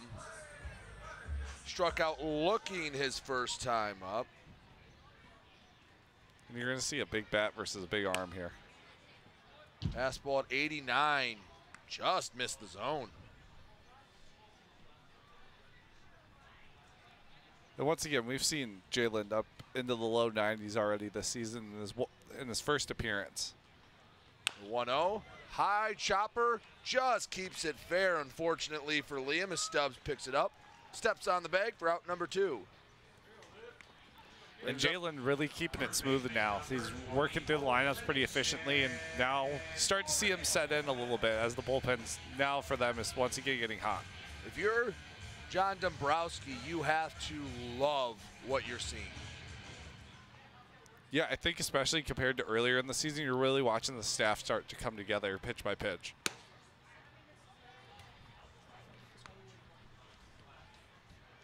Jalen Sewell.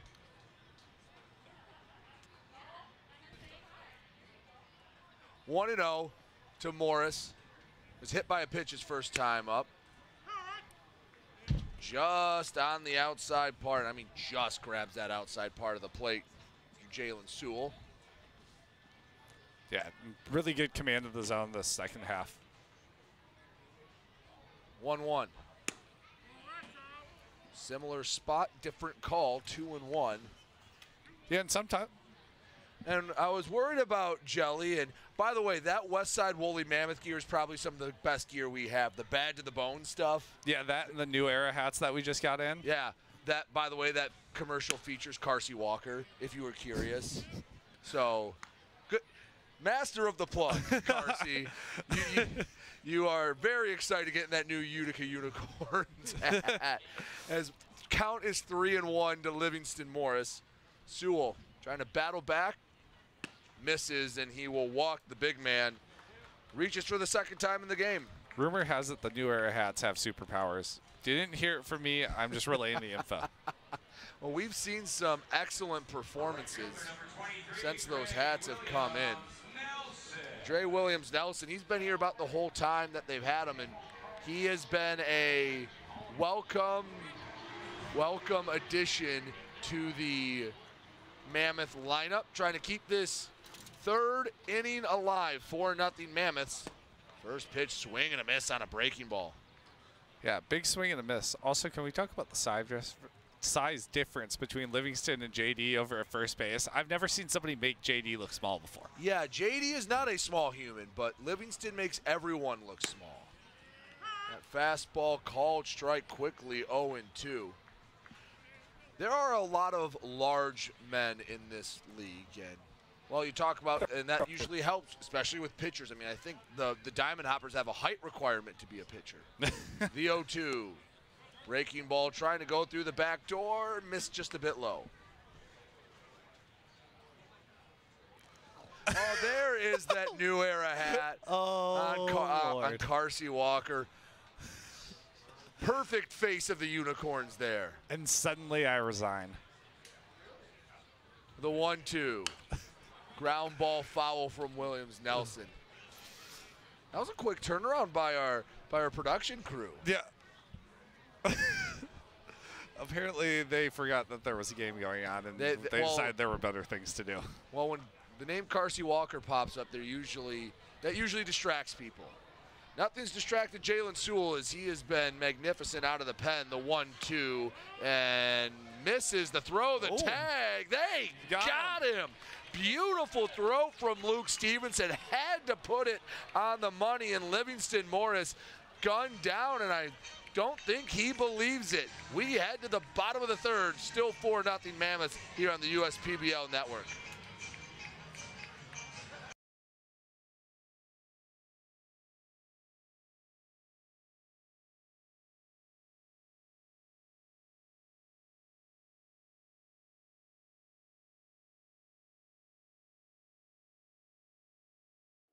Why are all these business owners smiling? Because they rely on TriNet to handle difficult and time consuming HR tasks like payroll, benefits administration, and more. Working with one of the nation's top professional employer organizations provides access to top tier healthcare and employee benefit plans and TriNet's team of attorneys and HR experts. With TriNet, you don't have to grow it alone. Visit relyontrinet.com. Slide into a new home. Work with a local mortgage pro who works for you. Get a cheaper, faster, easier home loan. Find a mortgage broker near you today at findamortgagebroker.com.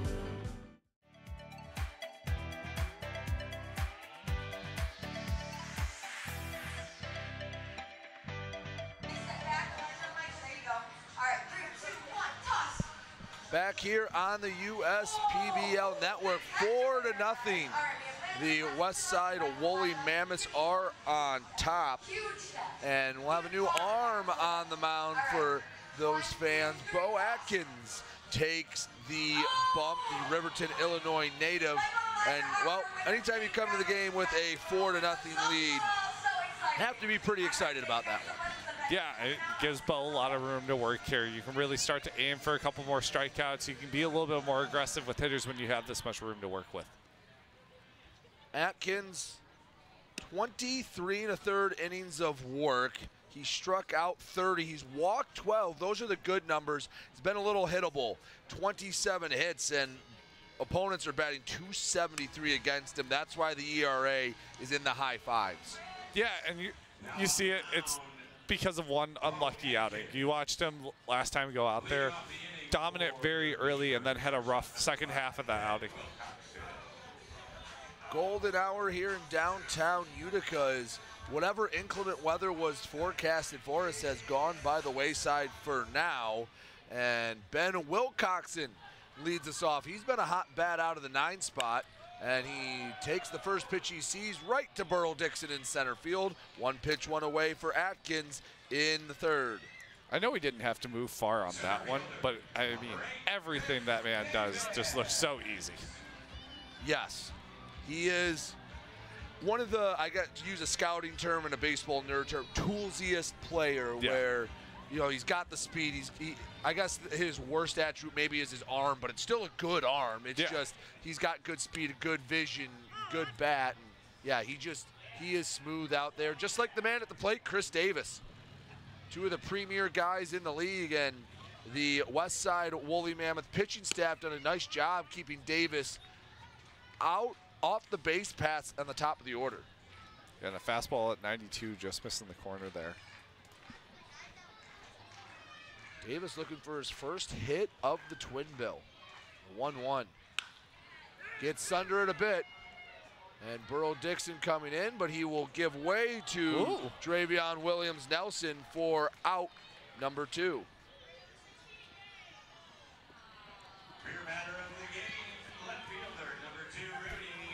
And they're getting a nice little laugh out of it. Trey almost tripped, tumbled, and fell over, but him and Burl got a good laugh out of it there at the end. Oh, that, they're, they're pre- some pretty upbeat guys. Rudy Ramirez comes to the plate. Grounded out to third his first time up. A, a few rogue Rudy chants are coming from the stands.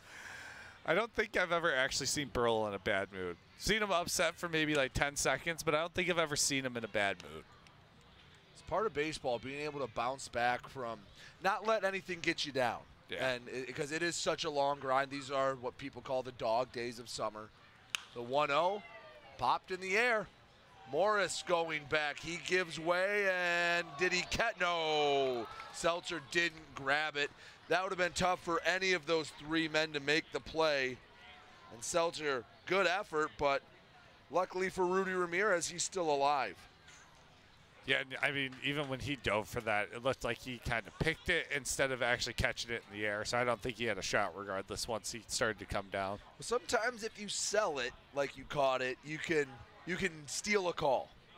And I know at least in some other sports they will teach you make the umpire or make the official tell you no. Sell it and make them go no no you didn't catch it get back out there. Yeah, it's all about acting. You got to have a little flair for the theatrics. And I'm sure you hate as on the mound as a pitcher when there's an inside pitch and the guy tries to sell that it hit him. Yeah, I don't run into many of those anymore, but when I do, they do make me laugh nowadays. Or the one did it hit the bat? Did it hit the forearm? We had that in the in the first game. We weren't Yep. sure what it hit. And I think it did hit the forearm, but yeah, you got you got to sell it too. Yep, I've had a few of those this season where they're just the controversial one that runs up and in. Sinkers kind of take off on you a little bit, hits the knob of the bat, but nobody can tell the wiser. Ooh, wanted to go. Just missed that high inside corner. Mears has fought off a couple tough pitches here. Two balls, two strikes, two away, nobody on in the bottom of the third. Atkins delivers. Missed below the knees, three and two. Yeah, big pitch right here. Try not to allow anybody on this half inning. 3 2 from Atkins. Check swing. Oh, did he? Did he go? Yes, he did. Atkins gets the punch out and sets the Beavers down in order. We head to the fourth. The Mammoths leading by four here on the USPBL network.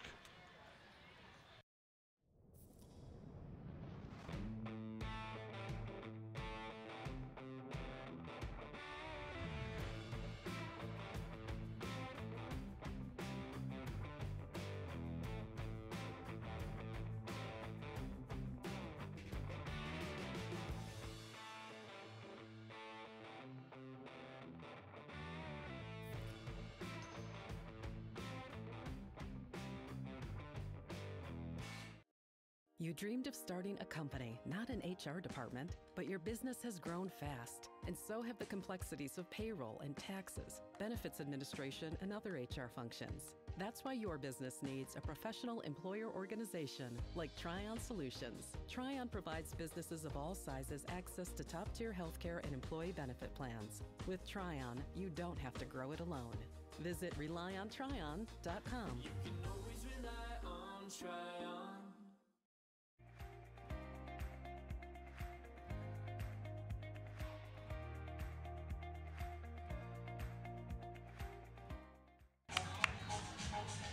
Brennan Cox on the mound here on a beautiful night in downtown Utica. The lefty taking the reins from Jalen Sewell. So one strong lefty to another, and Brennan Cox comes in. Had many strong pitchers throughout the USPBL, and well, early in the season, guys were getting picked off left and right. Our opening day matchup, Jake Wazinski and Kyle Bischoff. Well, if you weren't there for opening day, you didn't get to see Jake again, and you got one more chance to see Kyle before they were both signed by the Minnesota Twins. Yeah, I mean, both electric arms.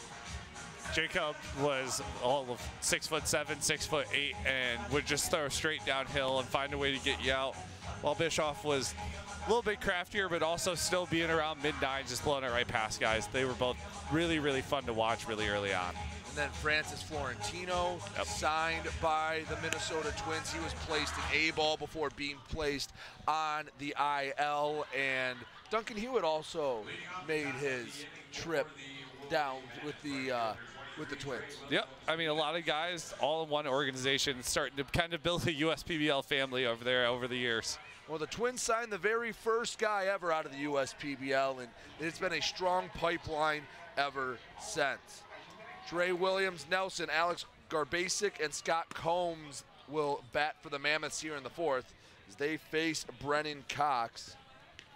Yeah, the first pitch missing just a little bit high. Cox won't blow you away either. He'll just mix it up here. Has a three pitch mix the fastball, the slider, and the circle change. So one that goes straight, one that breaks to the left, one that breaks to the right. All you need if you can throw all three well. That's very true. Sometimes the best pitch is just a strike. There is a strike two on a swing and a miss. Two very big swings, may I add. Brennan Cox, he's been in Southeast Michigan his whole life.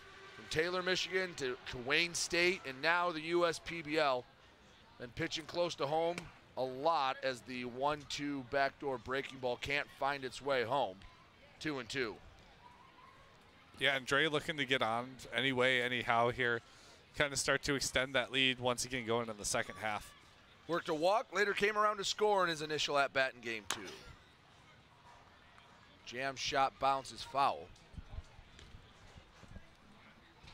Yeah, once again, just working. Like I said, he'll try to go to the right side of the infield or the outfield. He'll keep his chest over it and just keep fighting. He's one of those guys that has more power going inside out than he will pulling the ball. After time was called, Cox working back in. Comes set the pitch. Bounces it high. Is it fair? It is. Williams Nelson didn't know where it is. Oh, no. Stevenson lost at the throw to first, but it got Williams Nelson, and he is a bit perturbed. He didn't know where the ball was. I don't know if he thought it hit him at first, but Luke Stevenson, in a chaotic situation, kept with it and got the out. I think right here, as the Mammoths as a whole, is you've had two unfortunate calls between that and then the uh, Livingston getting thrown out at second there to end the last inning. Is you have to just remain calm, know you have a lead here, and try to secure just the win. You don't have to do too much. Don't try to do any more, any less than you've been doing from the start.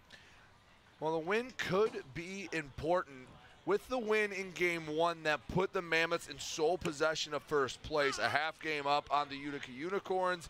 Another win here puts them a full game up as we end the weekend. Carsey Walker, a pitcher for the Utica Unicorns, as Garbisic inside out the pitch into right field for a one out single. Yeah, our basic two for two now today.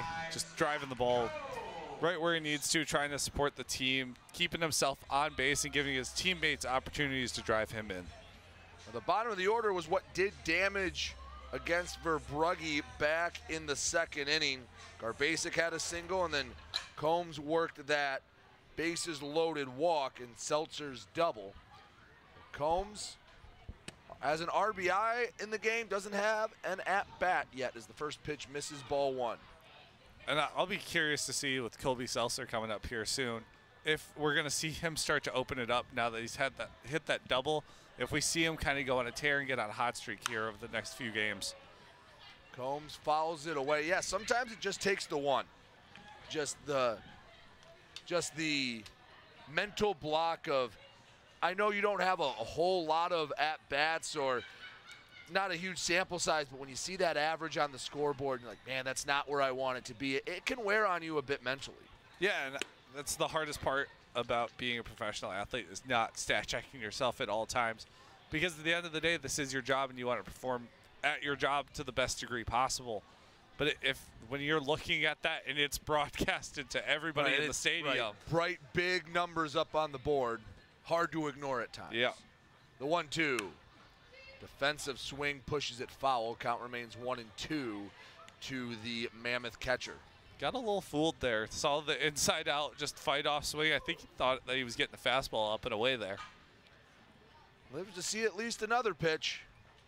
Had a- Basic on first. Had a little away. bit of a smile on his face there for a second about it. Able to hold off that inside pitch. Count goes to two and two.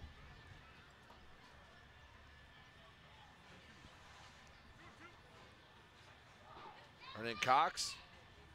Love a double play ball right here. Get him out of the fourth. The lefty delivers. Right on cue. Wilcoxon Oh. to Judd to Stubbs and to the dugout. The Beavers go. They get the double play. Ends the fourth, and they'll look to cut into this Mammoth lead. 4 nothing Mammoths. We head to the bottom of the fourth on the USPBL network. We're for people, the pioneers, the underdogs, the players, and the slow and steadies. We're for people, for who they are and who they could become. Yes, we're a bank. And some say our business is all about money. But that's an old idea. Because look past the money, and you'll see real human lives. We see it because we're for people. Huntington, welcome. They call me Prospex. Since the day I was born as a diver's watch, the challengers of the world have taught me many things. Life is not a numbers game, it's about challenging ourselves. No matter what happens, just follow your heart. These pioneers drive our generation forward, not by setting records, but by never giving up. Keep going forward. Prospex. Available at Lucido Fine Jewelry.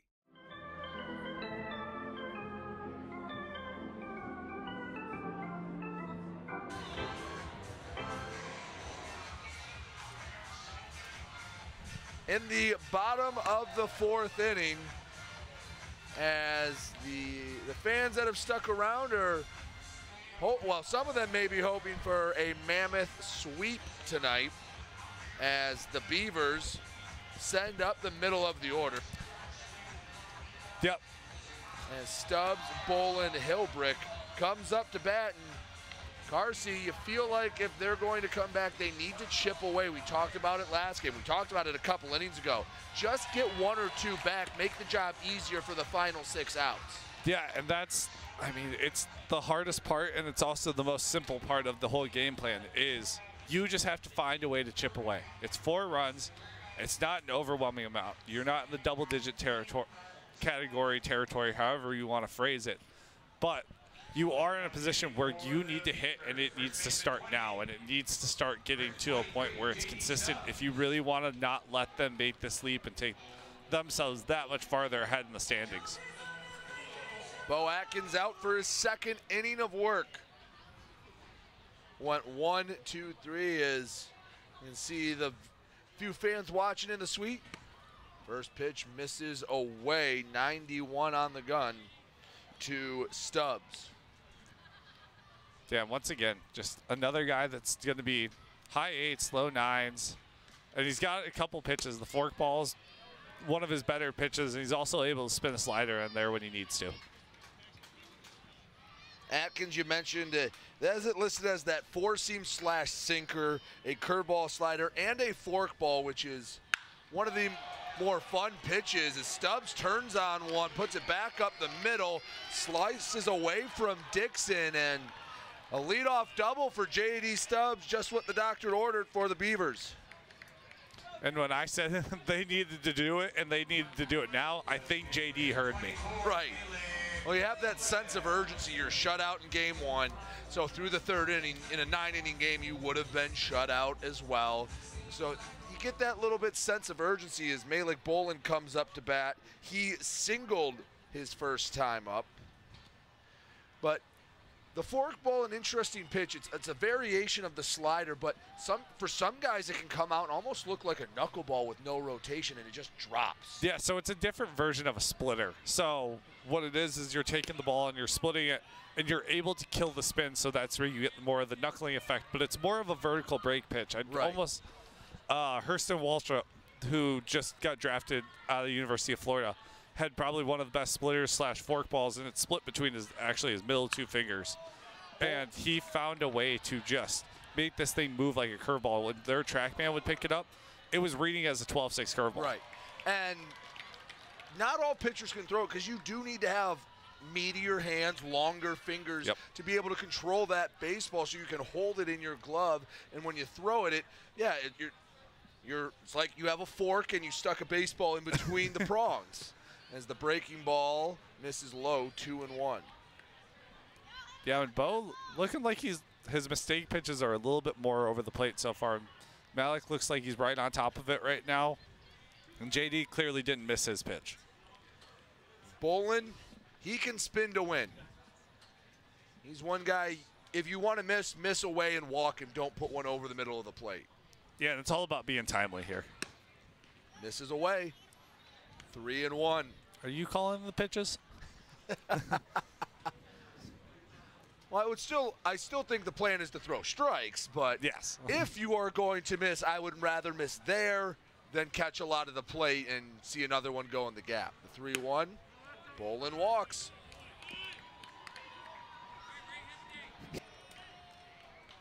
Hilbrick comes up to bat, two runners on, and the Beavers have threatened at various points in the game. You take a look at the line score for tonight.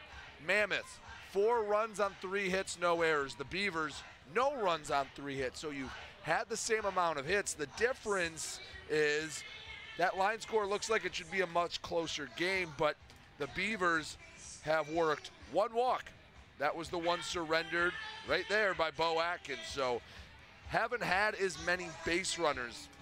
This is just the, for the Beavers here in the bottom of the fourth, it's just the 14th batter coming to the plate, while through four innings, the Mammoths have sent 17 to the plate. More guys to the plate, more opportunities to get guys on, and more opportunities to get guys across. Yeah, I think it's the biggest thing that you you have to pay attention to is how many free bases have the Beavers really given the Mammoths. It's not like they're sending 17 guys up there because they're hitting around. Right. They are just getting free base after free base because they're putting up quality at bats that are getting them on base. Fly ball, center field, deep but playable for Burl Dixon. Settles underneath of it. And Out. JD's not even thinking about it. Oh, he, he wanted to at least try and force a throw, but no. JD Stubbs was had no intentions of going to third. First out of the inning, the flyout. Christian Ortega comes back up to the plate. Ortega, one for one this game. Had a little bit slower start to the day earlier today, but it now really finding a way to get on base. And hopefully, for their sake, he can come up, put a ball in the gap here, and hopefully score a run, if not two. Ortega came from Tusculum College where he flirted with hitting 400, ended at 385, and came in and he's been hitting the ball well for the most part in his first couple of games. Uh, was, I believe, two for four back on Thursday. Has a hit here in game two of the doubleheader. Yeah, and another big frame. It seems like everybody knew that keeps coming in. The scale just keeps raising and raising. Well, I will say, whenever it seems like guys gotten hurt or signed, it doesn't matter what team it is. Whoever they bring in doesn't just, you know, fill the gap, right, you're a band aid. They have come in and they have succeeded and they have elevated the team. Yeah, I mean, we've been lucky enough to have quite a few of those. The guys that we've picked up throughout the season have been nothing short but great for us. A lot of them mostly being pitchers, but they've come in and continued to do their job week by week and game by game. That last pitch, a beauty to get Ortega swinging and missing. 14 inches of horizontal break, 12 inches of vertical break. That's moving a lot. Yeah, nope, that's moving exactly where it needs it to. And obviously, we saw on the screen a lot of big swing and misses. Everything that Bo seems to be throwing right now, starting as a strike and really getting that deception to where it falls out of the zone and hitters have no chance. Luke Stevenson up to bat, a strikeout victim in his inaugural appearance tonight. Check swing, no swing at a heater at the letters. Inaugural. That's a good word. Thank I like that. I get paid for words. JD Stubbs at second, Malik Bolin at first. First two runners were aboard. Last two runners have been retired. Stevenson has the pop. If he could find a gap, could cut into this lead. A little late on the fastball, 90. The bottom of the thighs fouled away for strike one. Again, Luke's a guy that'll go down and get it. Speaking from experience, I've seen him go down to the bottom of the zone and really be able to turn on a baseball or drive it backside. Two balls and a strike. Atkins settles in. High and in, ball three. Marcus Judd waits on deck. Should Stevenson get aboard, the speedy second baseman have a chance to get a high pressure at bat. Chance to put some runs across. Atkins delivers. Big swing and a miss. Stevenson had bad intentions with that swing. Swings through it for strike two. I think this is what you're really about to see is competitive pitch right here because obviously you can see the catcher saying, come on, bring it right here. Let's get it done. Runners will be in motion with the pitch. The 3 2 fouled straight back. 89. That was right in the zone, and Stevenson battles. And obviously, full count, two outs. Runners are moving on the pitch, so anything put in play here has a chance to score two. Right. Just get it through the infield. You're guaranteed to score one. Exactly. Find any sort of gap or down the line, almost certainly scoring the second runner Bolin from first. The 3 2. Ball four. Stevenson gets aboard. Works a long at bat, gets the walk, and the bases are juiced for Marcus Judd. Yeah, I'm looking to see. Well, yeah, we don't have a ton of movement down there, but I do see somebody down in the Mammoth bullpen down There's the an right field line. jersey warming up. Warming up. It looks like a right-hander, but that limits it to every single reliever in the Mammoths bullpen. yeah, there's only a handful of lefties that are in this league, and we've seen two of them today. Judd turns on one, hits it high and far, but foul. Oh, he was just out in front. It was 85 off the bat. Straighten that out, and oh boy, Marcus Judd feeling pretty good as you see right there. It is Cole Coughlin, the TCU product, getting ready in the pen. Another guy that's got just a mean game face. Yes, he does. And we'll get a violation, I believe they got Atkins. See what the scoreboard goes up with. There was a pitch clock violation of some sort. No, 0 2. We're going to give it to Judd.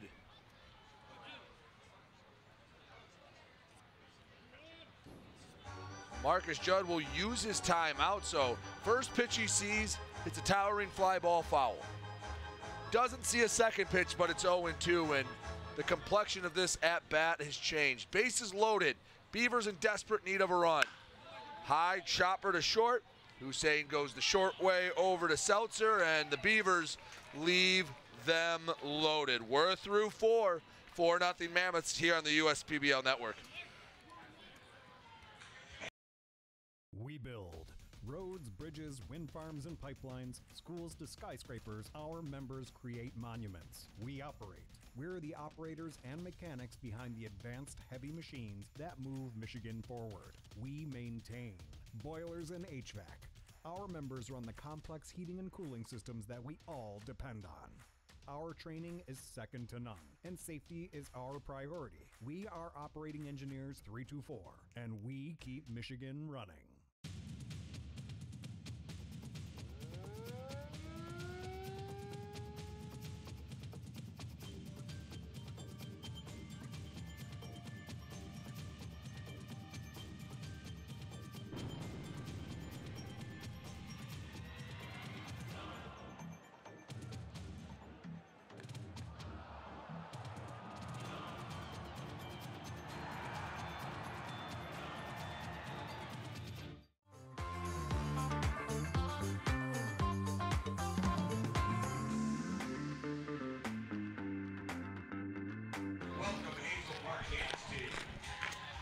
Young fans enjoying the game here at Jimmy John's Field. It is four to nothing. Westside Woolly Mammoths. Esposito, the lefty for the Birmingham Bloomfield Beavers. The Port Washington, New York native to South Carolina, and he is a lefty that has some some pretty sick stuff for the Beavers. Yeah, a little bit smaller frame, not very tall. I believe 5'9", 5'10", but he can bring it. We've seen him up to 95 so far this season. I mean, just a guy that can lean back, I can really let it eat. Through 10 innings of work, he has walked 12 guys. He struck out 25. Yeah, there was at one point that I think he had only not struck out about two guys he faced through his first, I think, five or six innings. He has that electric stuff, and when someone may be looking for a late inning guy, someone in organized affiliated ball, wants a back end bullpen guy, a lefty that can bring it and can miss barrels is someone they're going to look for. Yeah, I mean he he is the definition of that. He has the mentality for it. He has the mindset, and he's going to go right at you, and it's up to you to hit the mistake. It will be Colby Seltzer, Ward Hacklin, and Jordan Hussein that'll be looking for the mistake against Michael Esposito, trying to extend their 4 0 lead here in the top of the fifth. It was 4 0 Mammoths in game one. It's 4 0 Mammoths here in game two. And Seltzer, a big reason for that, a two RBI double that brought in a pair. Swings the first pitch he sees, 94, fouls it away. Think Seltzer's feeling confident in the box? I mean, first pitch hacking. Obviously, we're a decent way through the season now, and Esposito has been here long enough to for everyone to know that he's going to come right at you. So if you aren't hunting the fastball, I don't know what to tell you. 95 mile per hour fastball fouled straight back. I do like this approach from Seltzer. He is not backing down. Yeah, I think he has done a really, really good job of staying composed and knowing that, hey, we found kind of our zone and our sweet spot today. So now let's see how far we can push it and really keep doing what we've been trying to do for a couple weeks now. If Esposito can cut down the walks, he will be almost automatic. Opponent batting average is .83. Yeah, if you take the walks out of it, I mean, he's been hands down the most dominant pitcher. Now, granted, that's a big if because yes. control is part of the game as it goes to two and two. But man, Esposito, you can see it there. If you can just hone in that command a bit, that stuff can be elite. High pop up. He won't strike out Seltzer. Judd camps underneath of it. Oh, misplayed it for a second, but the shifty Judd gets underneath of it for out number one. He knew he had it. He just had to make sure that you knew he had it. Right. A little flair for the dramatics. Ward Hacklin comes up as the lineup turns over. 0 for 2 today, ground out and a strikeout. Yeah, not maybe the second game that he wanted after a hot start to today. I think you went three for four, if I was correct, in the first game. But then, you know, it's baseball. It's going to have its pitfalls. It's also going to have its highs. Hacklin was two for three, but reached base three times. A couple of singles, an RBI, hit by pitch, a stolen base, and a run scored. He oh. filled up every statistical category possible. 0 and 2 to Hacklin. Yeah, that's usually a term reserved for basketball, yeah. where you fill up the stat sheet. But Ward Hacklin filled up the stat sheet. Not a lot of zeros anywhere on that box score. Behind 0 and 2 to Esposito. It's popped up right side of the infield. Stubbs brings it in as he straddles the line for out number two. Yeah, Esposito just missing barrels right now. Seems like the contact's there and everyone's seeing it well, but they're just missing it. And he doesn't have a large arsenal of pitches. Four-seam fastball, slider, and changeup. And when you're a late inning guy, you need two pitches that you can rely on to to just get you through three or four batters in most scenarios. Yeah, and he tends to more times than not live off the four seam and the slider. And that's Fastball. usually if you see the slider. 95 got it by him. Well, and the greatest closer of all time through one pitch. Mariano Rivera threw a cutter. You yep. knew it was coming. Yep. Everyone knew it was coming. You just couldn't hit it. Yep. The 0-1. Fouled straight back. Fastball's working. Well, we see him go up and above 95 tonight. As a pitcher, how much do you think about velocity when you know you have pretty good stuff and that number pops up every time? I don't think you think about it as much, but there's certain moments like this where he's 0-2 here, and it's can I reach back and get that next one? Breaking ball, low to one and two, maybe trying to change the eye level, set up that high here. Yeah, and it seems like Jordan's on it a little bit more, just really staying there, battling, kind of fighting off those two strikes, fouling him, staying right where he needed to be. I think he was just trying to get off, like said, possibly change the eye level. One two to Hussein.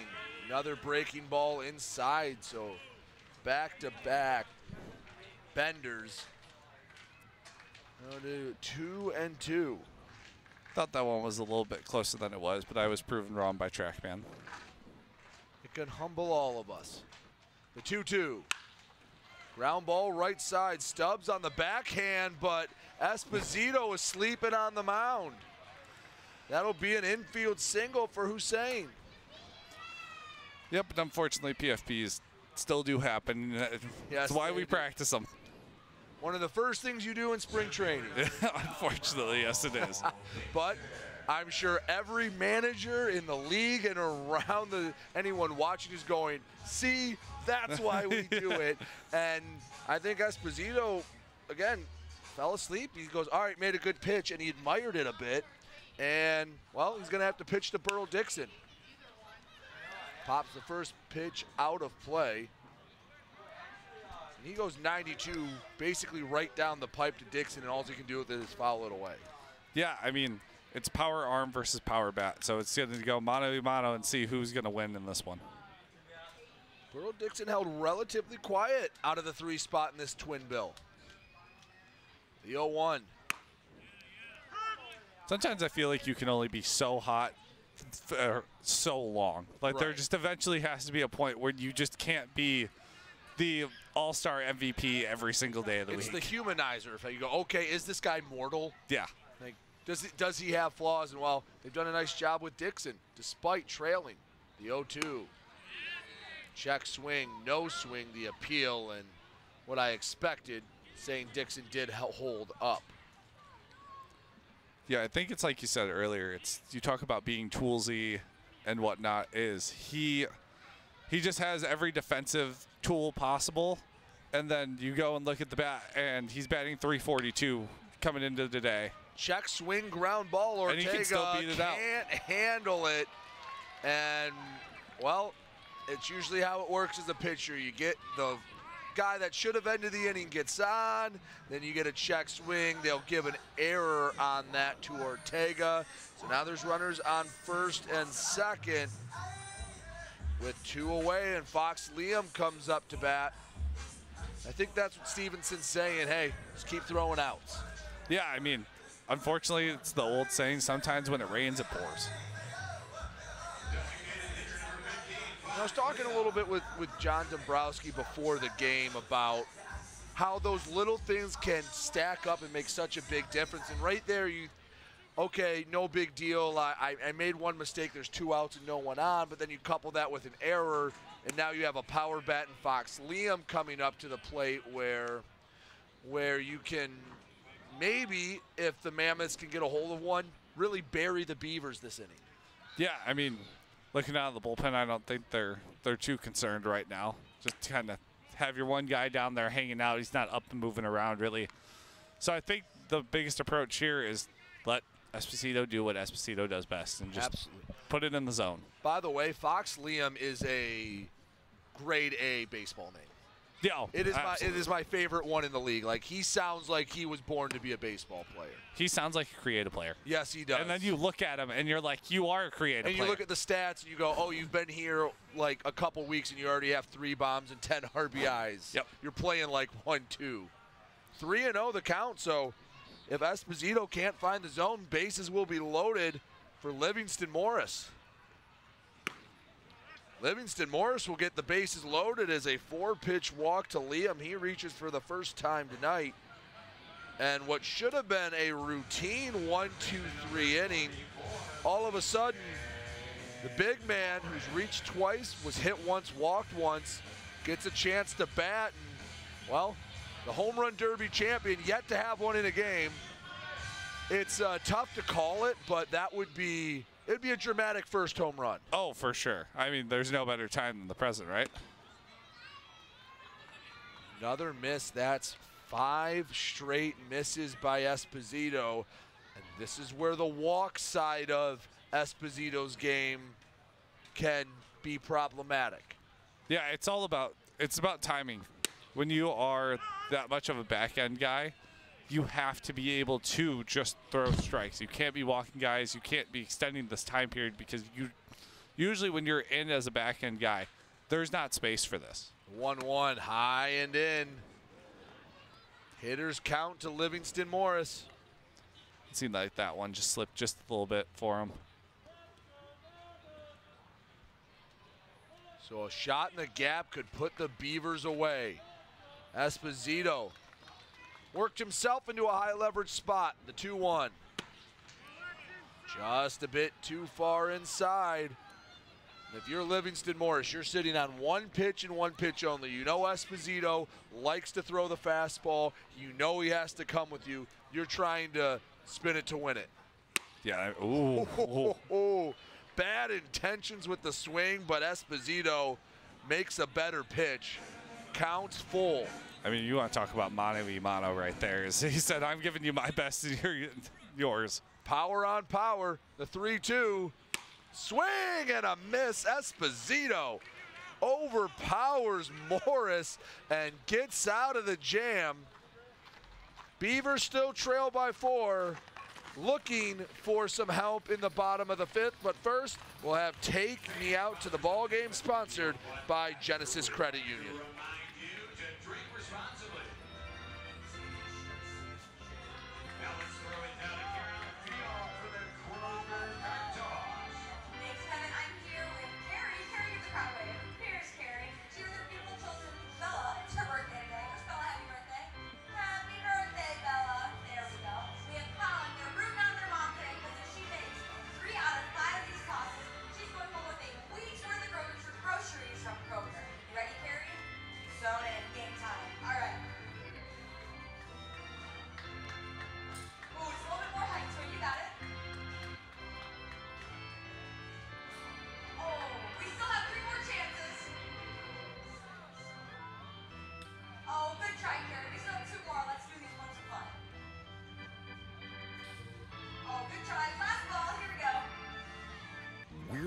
Champion of a goal getter, or dream chaser, an empty nester, or up and comer.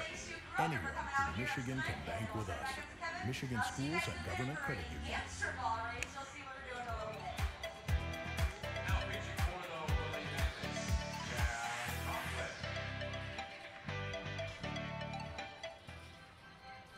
And Brady left me all on my own, so now the booth's all of me.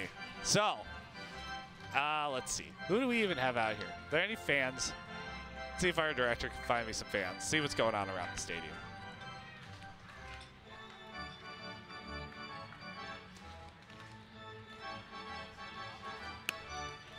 Oh, see some people dancing. Or I think she's, I don't know what's happening in this one.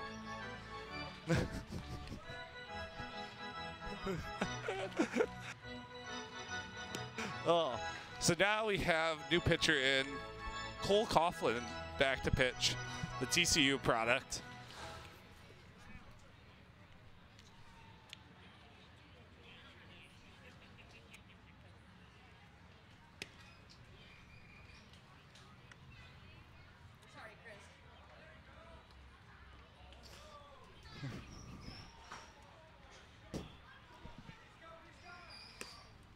Thank you. Yeah. So the sidearm will start us off at the bottom of the fifth. And now Brady's back and rejoined me.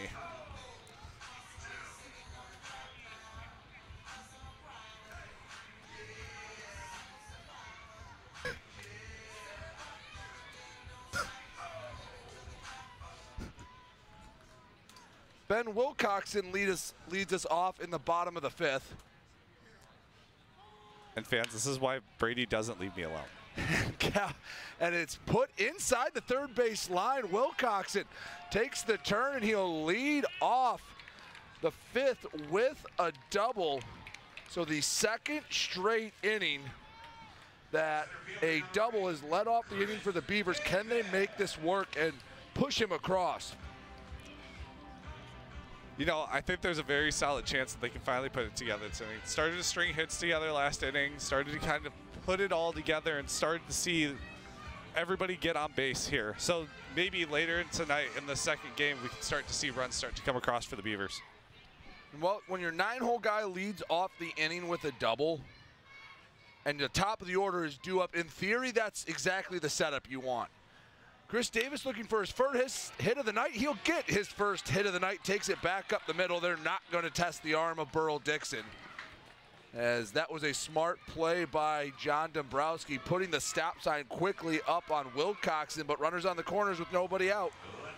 I mean, two on, nobody out. They're clearly seeing Cole Coughlin pretty well to start this bottom half or this bottom half of the inning. And go back to the, just the last half inning. How big is that strikeout from Esposito to keep the lead, the deficit manageable, get the first two guys aboard, and now, hey, maybe a little confidence brewing in that in that Beaver dugout. They're starting to get a little excitement knowing that, hey, they're they're a couple hits away from being right back in this thing. Yeah, I mean, two hits last inning, two hits this start this inning. You're starting to see the offense come alive. Now it's about if they can start really pushing runs across because they now have that energy. And there's been a whole swing in the momentum here.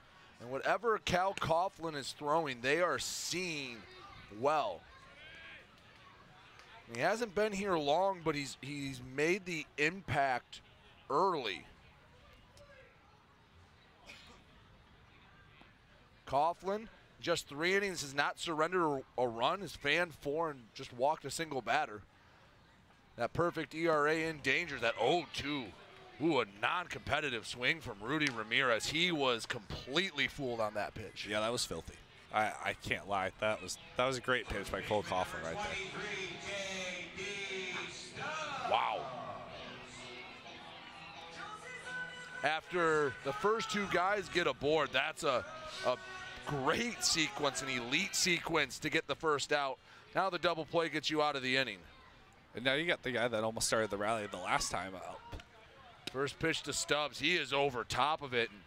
Well, I think Coughlin settled in a bit. Yeah, I mean, it's early. You go out there and you just try to get stuff over the plate so early is sometimes it helps hitters because you're just trying to get over the plate and they're able to drive pitches.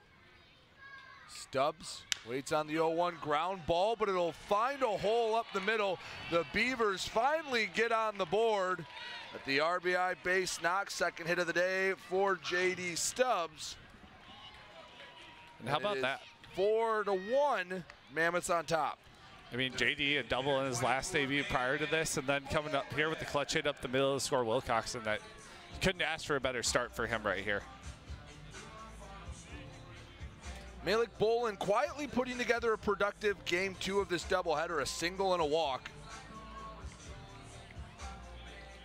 Yeah, another power hitter that could really do some damage here if he gets his pitch. First pitch misses 1 and 0. Because in one good swing of the bat here, we have a tie ball game.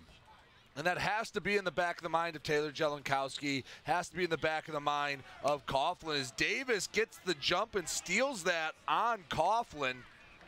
Now another run 90 feet away. I mean, talk about the speed of Chris Davis that just didn't even give Scott Combs a shot to throw him out there. That's a situation when you're stealing, you better be right. You're starting to rally in the fifth, essentially the eighth if it's a nine inning game. If you get thrown out, you better.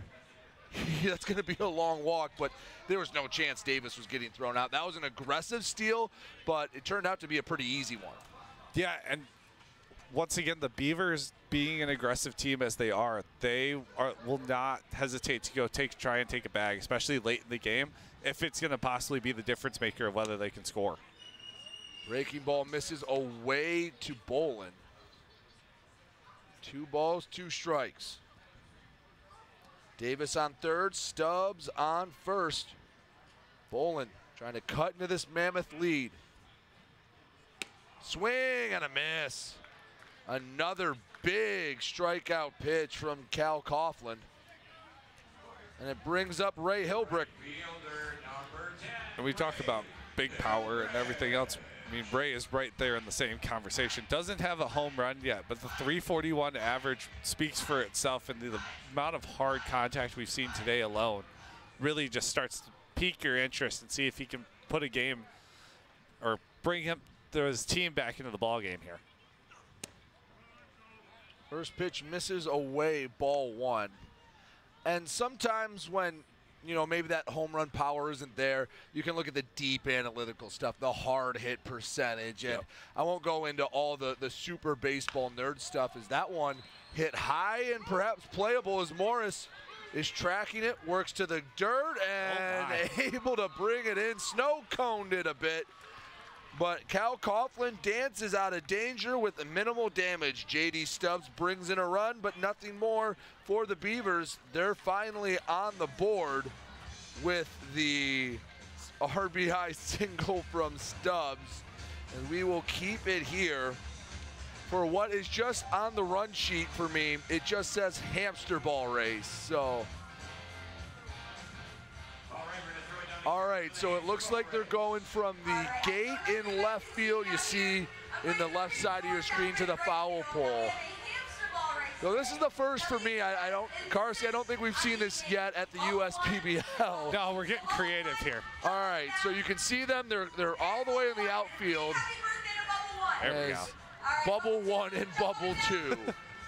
I, apparently it's Bubble One's birthday, so happy birthday, Bubble One. Brady, who do you think wins in a race in this between you and I? Between you, me, and you? Yeah. You.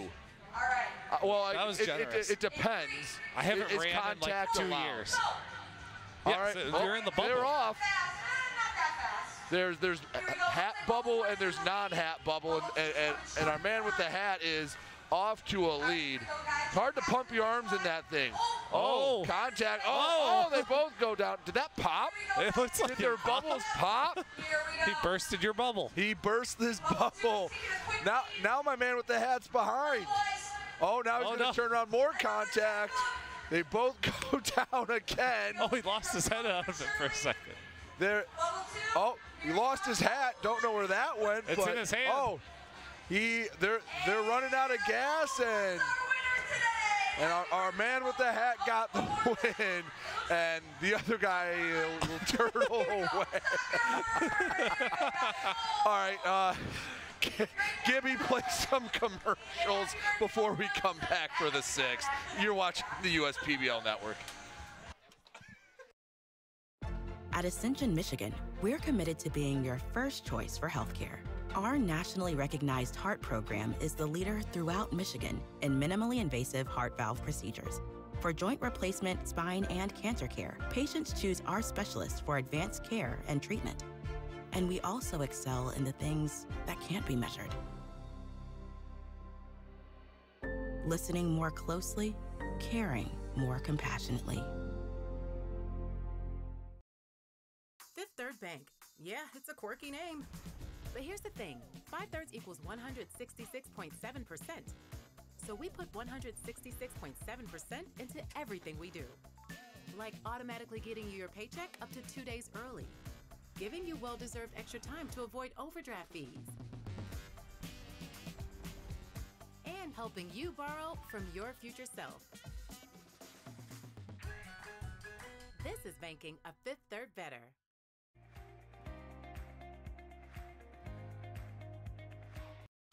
Westside Woolly Mammoths trying to add a little insurance. 4-1 ball game here in the top of the sixth as Dre Williams Nelson fouls off the 0-1, 0-2. And well, we are re- recalibrated. We are we are settled back in for this sixth inning.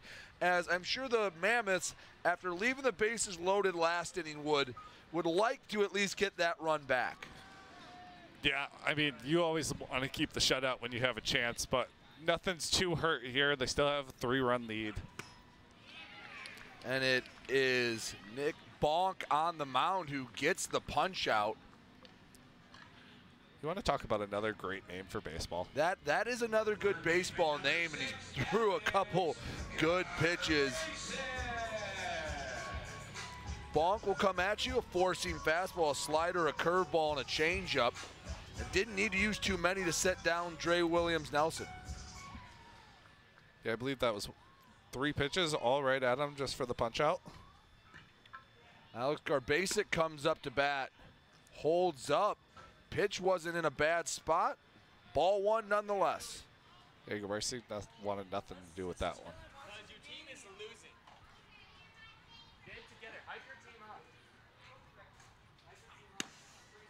Misses away.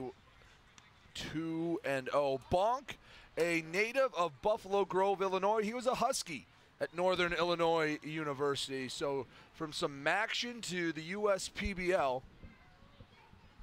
2-0, swing and a miss. That fastball's got some life on it. Yeah, I mean, 93 on- the TrackMan right there. Really just able to elevate and stay away from hitters. We've been talking about just the pure size of a lot of guys. He's right there with everyone else. 6'6", 240. That's a pretty big frame coming at you with a mid 90s fastball. I mean, this might be the largest average size that we've had of guys here in probably a few years now. feel like you could make a pretty good offensive line with some of these guys. We definitely have a good basketball team. Yes. Yes, you would.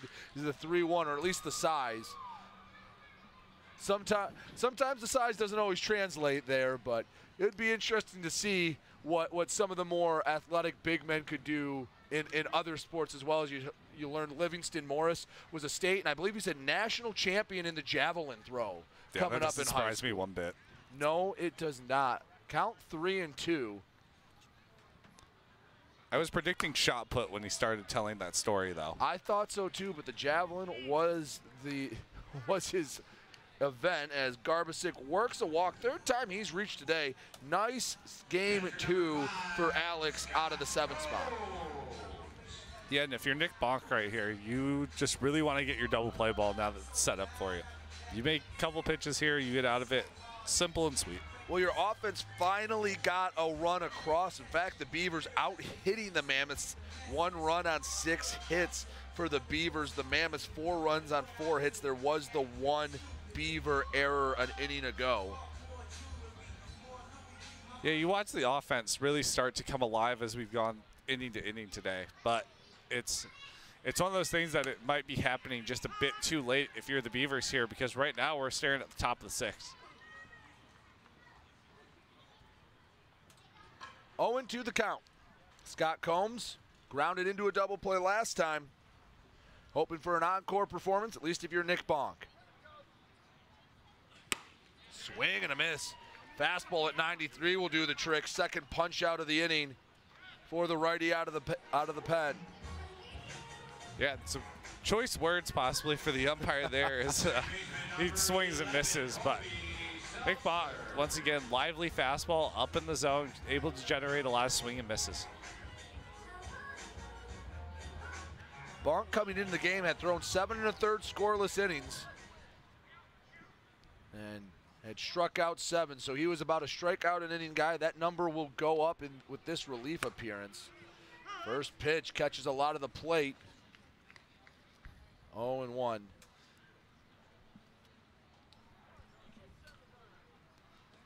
Oh and one. Runner on first. Garbasick has a very conservative lead. Breaking ball comes through the front door for strike two.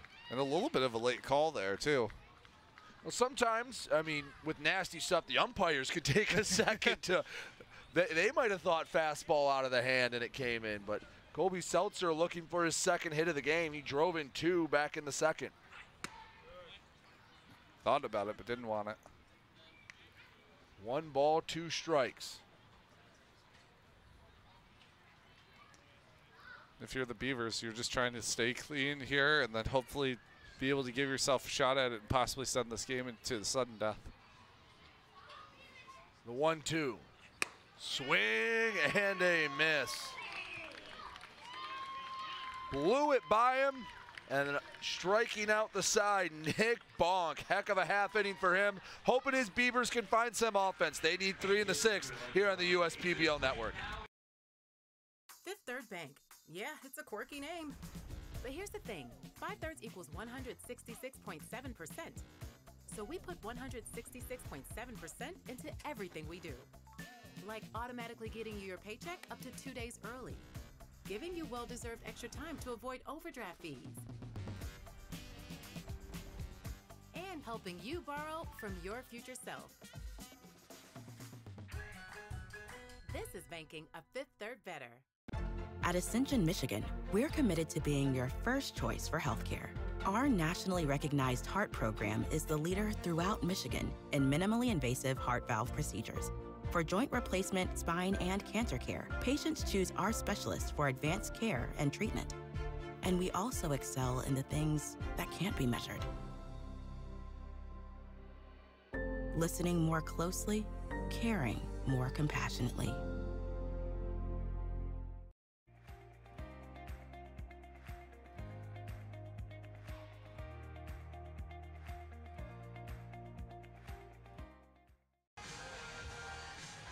Fans have braved it out through these two games, hoping to meet some of the the players that they've seen on the Mammoth dugout.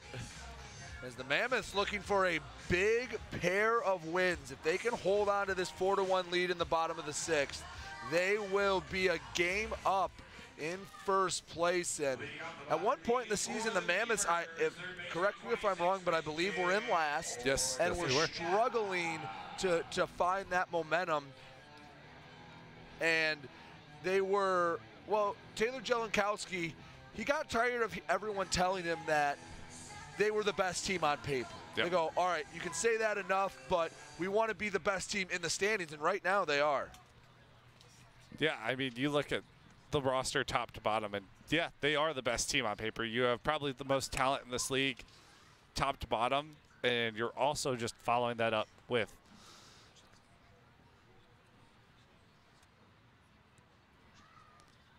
Sorry, we had a little bit Cal of communication Coughlin on the mo- high chopper up the middle.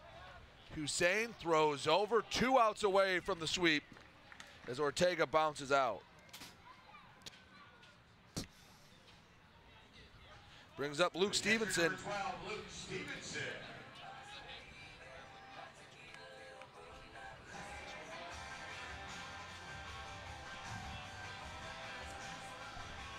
Luke Stevenson 0 for 1 with the walk. Yeah, once again, looking to see if the power of Luke Stevenson can come through. Luke Stevenson just needs to get on base at this point.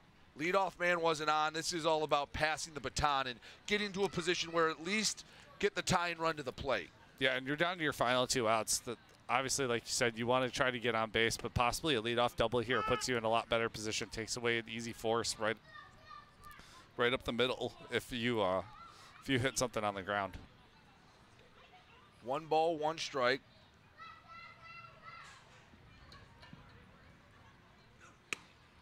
Misses inside two and one to Stevenson. Yeah, and from that low slot too, that ball's going to tend to run in on you a lot. You can see they starts just in the middle of the mound. That way, he's got full control of both sides of the plate. Stevenson out in front of the off speed, two balls, two strikes. And, well, Cal Coughlin has looked in control here in the sixth. He's got such a high potential, especially from down that arm slot, throwing as hard as he does, able to generate as many swings and misses as he does as well. Three balls, two strikes is, is something getting Combs' eye. Looked like some of the dirt kicked up. Talk Yeah, I about catchers just haven't had a whole lot of luck this year with with stuff like this, and like can't really say anything besides, yeah, take your time and, and, and get that dust out. Yeah, I think that's probably like the scariest thing for catchers is you've got balls barreling at you at 90 plus miles an hour, and if you have all of a sudden a speck of dust in your eye and you're trying to squint and see something, uh, you've got no chance. Yeah, vision is important for a catcher. That is, I would say that's about near the top of uh, important aspects of catching. The 3 2, fouled straight back. Stevenson battling. Remember last time he had a long at bat, eventually worked the walk.